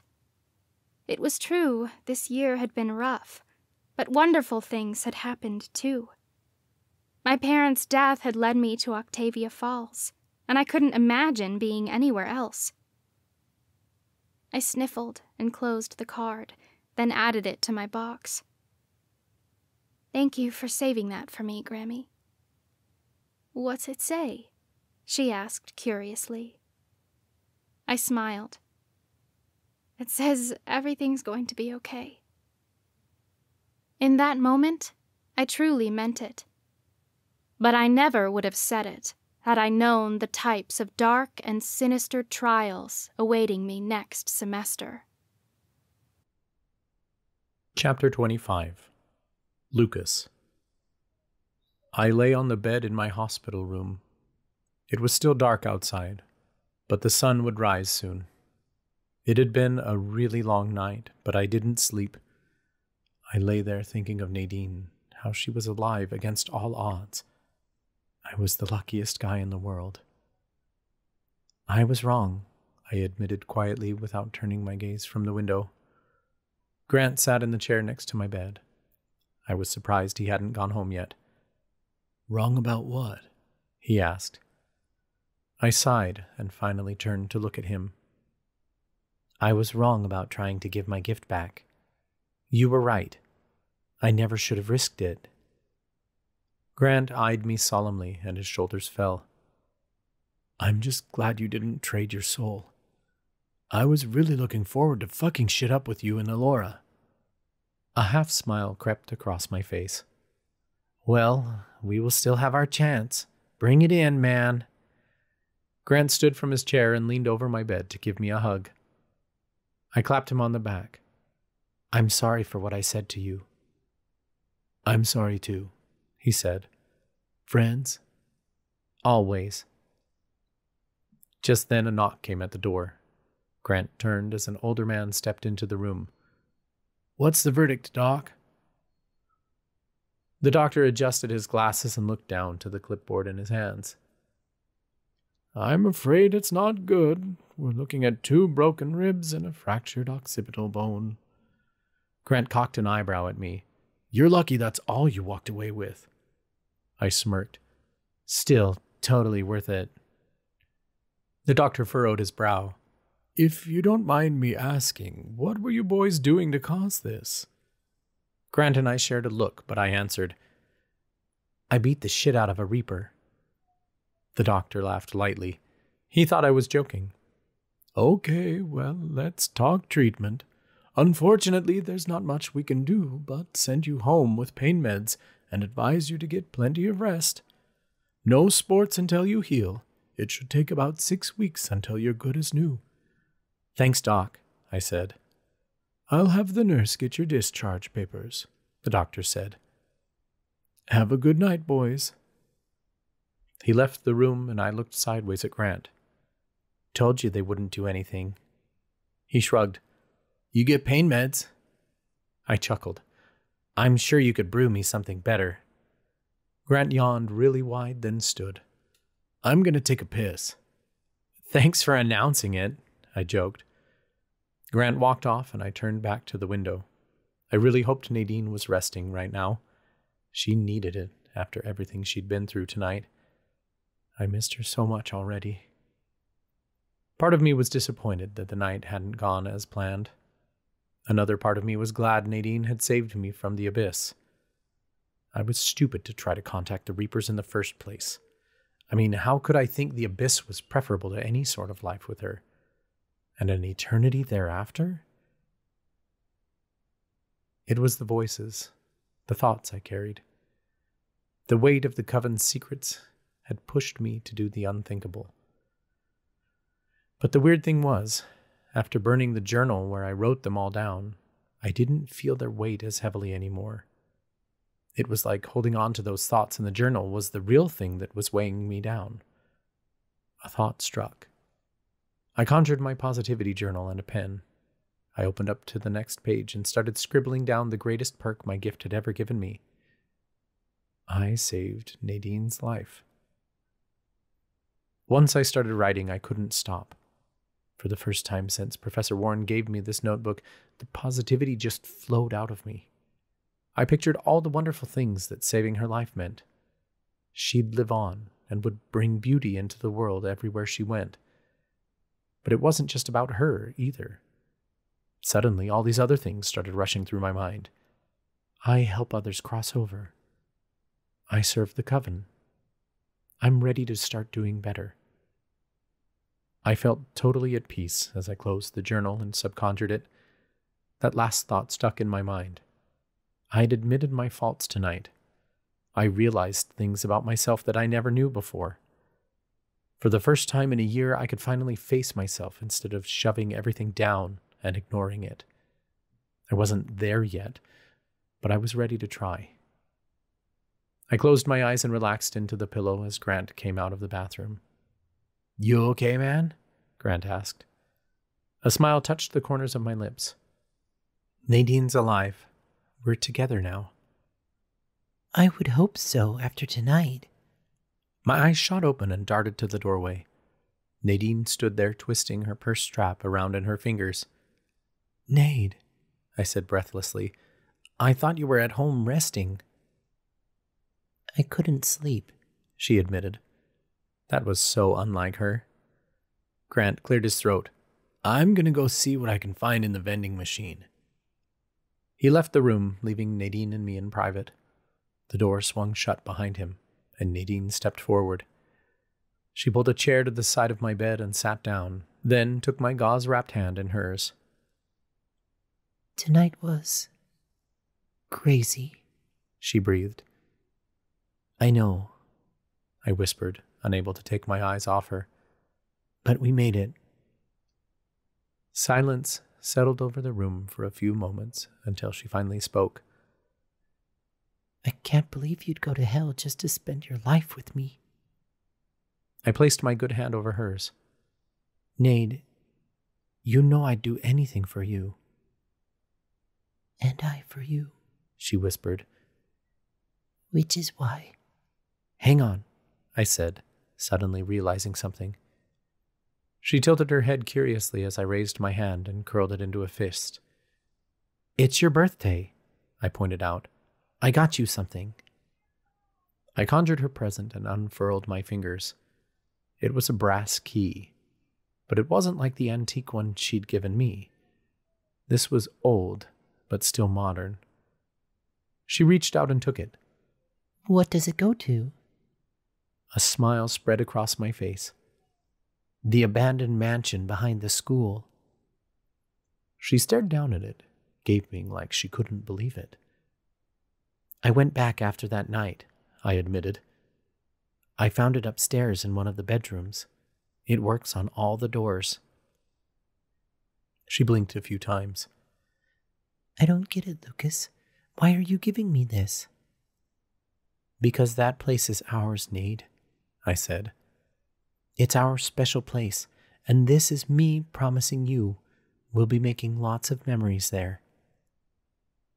Her eyes sparkled and she curled her fingers around the key. I love it, she cried before throwing herself over me. I winced as her weight pressed into my broken ribs. Nadine kissed me gently, and my stomach flipped in my abdomen. Kissing her was never going to get old. This is amazing, Lucas, she said as she drew away. I smiled. I'm glad you like it. Nadine sat back down and took a deep breath. Look, there's a reason I couldn't sleep. A reason I came to visit you. Uh oh, I said, my guts sinking. It's not bad, she said quickly, and I relaxed. It's complicated, I guess. I was lying there in bed thinking about being a curse breaker when it hit me. What hit you? I asked when she paused. Her eyes brightened. Lucas, we could break the Reaper's shadow curse. Her words thrilled me. What a blessing that would be. But my thrill only lasted a split second. This curse was one of the darkest I'd ever known. She couldn't break it on her own, especially as a novice. Breaking this curse? Well, it could consume her before she managed it. The magic was so strong and so dark it could overpower her. She could die in the attempt, and I'd lose her all over again. That wasn't a risk I was willing to take. Nade, I don't think that's possible, I said solemnly. Why not? she argued. I'm a curse breaker. Yes, but you're the only one, I pointed out. A curse this big could hurt you. I don't want you getting mixed up in magic you can't handle. I'll practice, she promised. I don't want to lose you, I replied firmly. I thought I was going to lose you tonight, and I don't want either of us to go through with that again. Magic like this, it could be too much for you. You could get yourself killed. I was willing to go to the abyss for you, she reminded. I'll risk this too. But you don't have to, I assured her. We agreed we'd live with the curse to work around it. That was before we knew I was a curse breaker, she said. The least we can do is try. My heart sank. The last thing I wanted to do was risk losing my Nadine again. She didn't know how much magic she could handle, or what breaking this curse could do to her. Curse breaking is a complicated process, Nade, I said. She tilted her head to one side. Don't you want to get rid of it? Of course I do, I insisted. I just don't want you to get hurt. I won't, she promised. But I wasn't sure I believed her. I'm going to figure out this curse and I'm going to break it. I don't care how long it takes me. My lips tightened. You're going to do it with or without my help? I hope you'll help me, she said quietly. I want this for both of us. I do too, I replied. I just. I can't watch you put yourself in danger. She stared at me under long lashes and spoke softly. You know me, Lucas. I don't run from danger. And that's why I'm here, to drag you away from it, I teased. Nadine dropped her gaze. Apparently, she didn't find that funny. Maybe we should take some time to think about it. Agreed, I stated, though I wasn't planning on changing my mind. I just hoped she would. I don't think I'll be around for winter break, she announced, finally lifting her gaze to meet mine. What? I gasped. The thought of being away from her killed me. Why not? I need to go home, she said. Octavia Falls is your home, I reminded her. I know, but I want to visit my parents' graves. Before I could suggest coming along, she added, It's something I need to do by myself. Are you sure? I asked. I didn't want her going anywhere alone, but I couldn't force her to take me with her. She nodded. I'll be fine. I'll stay with a friend from high school. When I get back, we can figure out this curse and what to do about it. Okay, I heard myself agree, though I was thoroughly against all of this. I'm going to miss you. I'm going to miss you too, she said, choking up. I couldn't stand to see her like this. All I wanted was to make her happy. I reached an arm out. Come here, Nade. She leaned on the bed and curled into me. Her head rested on my shoulder, and though her weight put pressure on my ribs, I didn't care. Because I had my Nadine with me. We could handle this curse later. Right now, all I could do was be grateful that Nadine and I had both survived the night. All was good in the world. Or it would have been, if I hadn't been hit by the most debilitating nausea in the next moment. A brick slammed into my guts, and bile shot up my throat. I sprang upright in bed, throwing Nadine off of me. I leaned over and heaved. A sharp, searing pain radiated across my side. Nadine gasped, Lucas! I was pretty sure she said something else, but I didn't hear her over the high pitched ringing in my ears. I'd never felt anything like it in all of the time I'd been a Reaper's apprentice. A child's voice played in my mind as if he was sitting at my side. Playtime is over. No child in the coven is safe. The air sucked out of the room. This thought was shockingly similar to another I'd heard months ago, the one that left me curled on the bathroom floor between classes. Is it playtime? But this new one came with a warning. A dark, ominous cloud seemed to swirl around me as realization hit. These two kids' deaths were connected. The warning was clear. Someone had murdered these kids.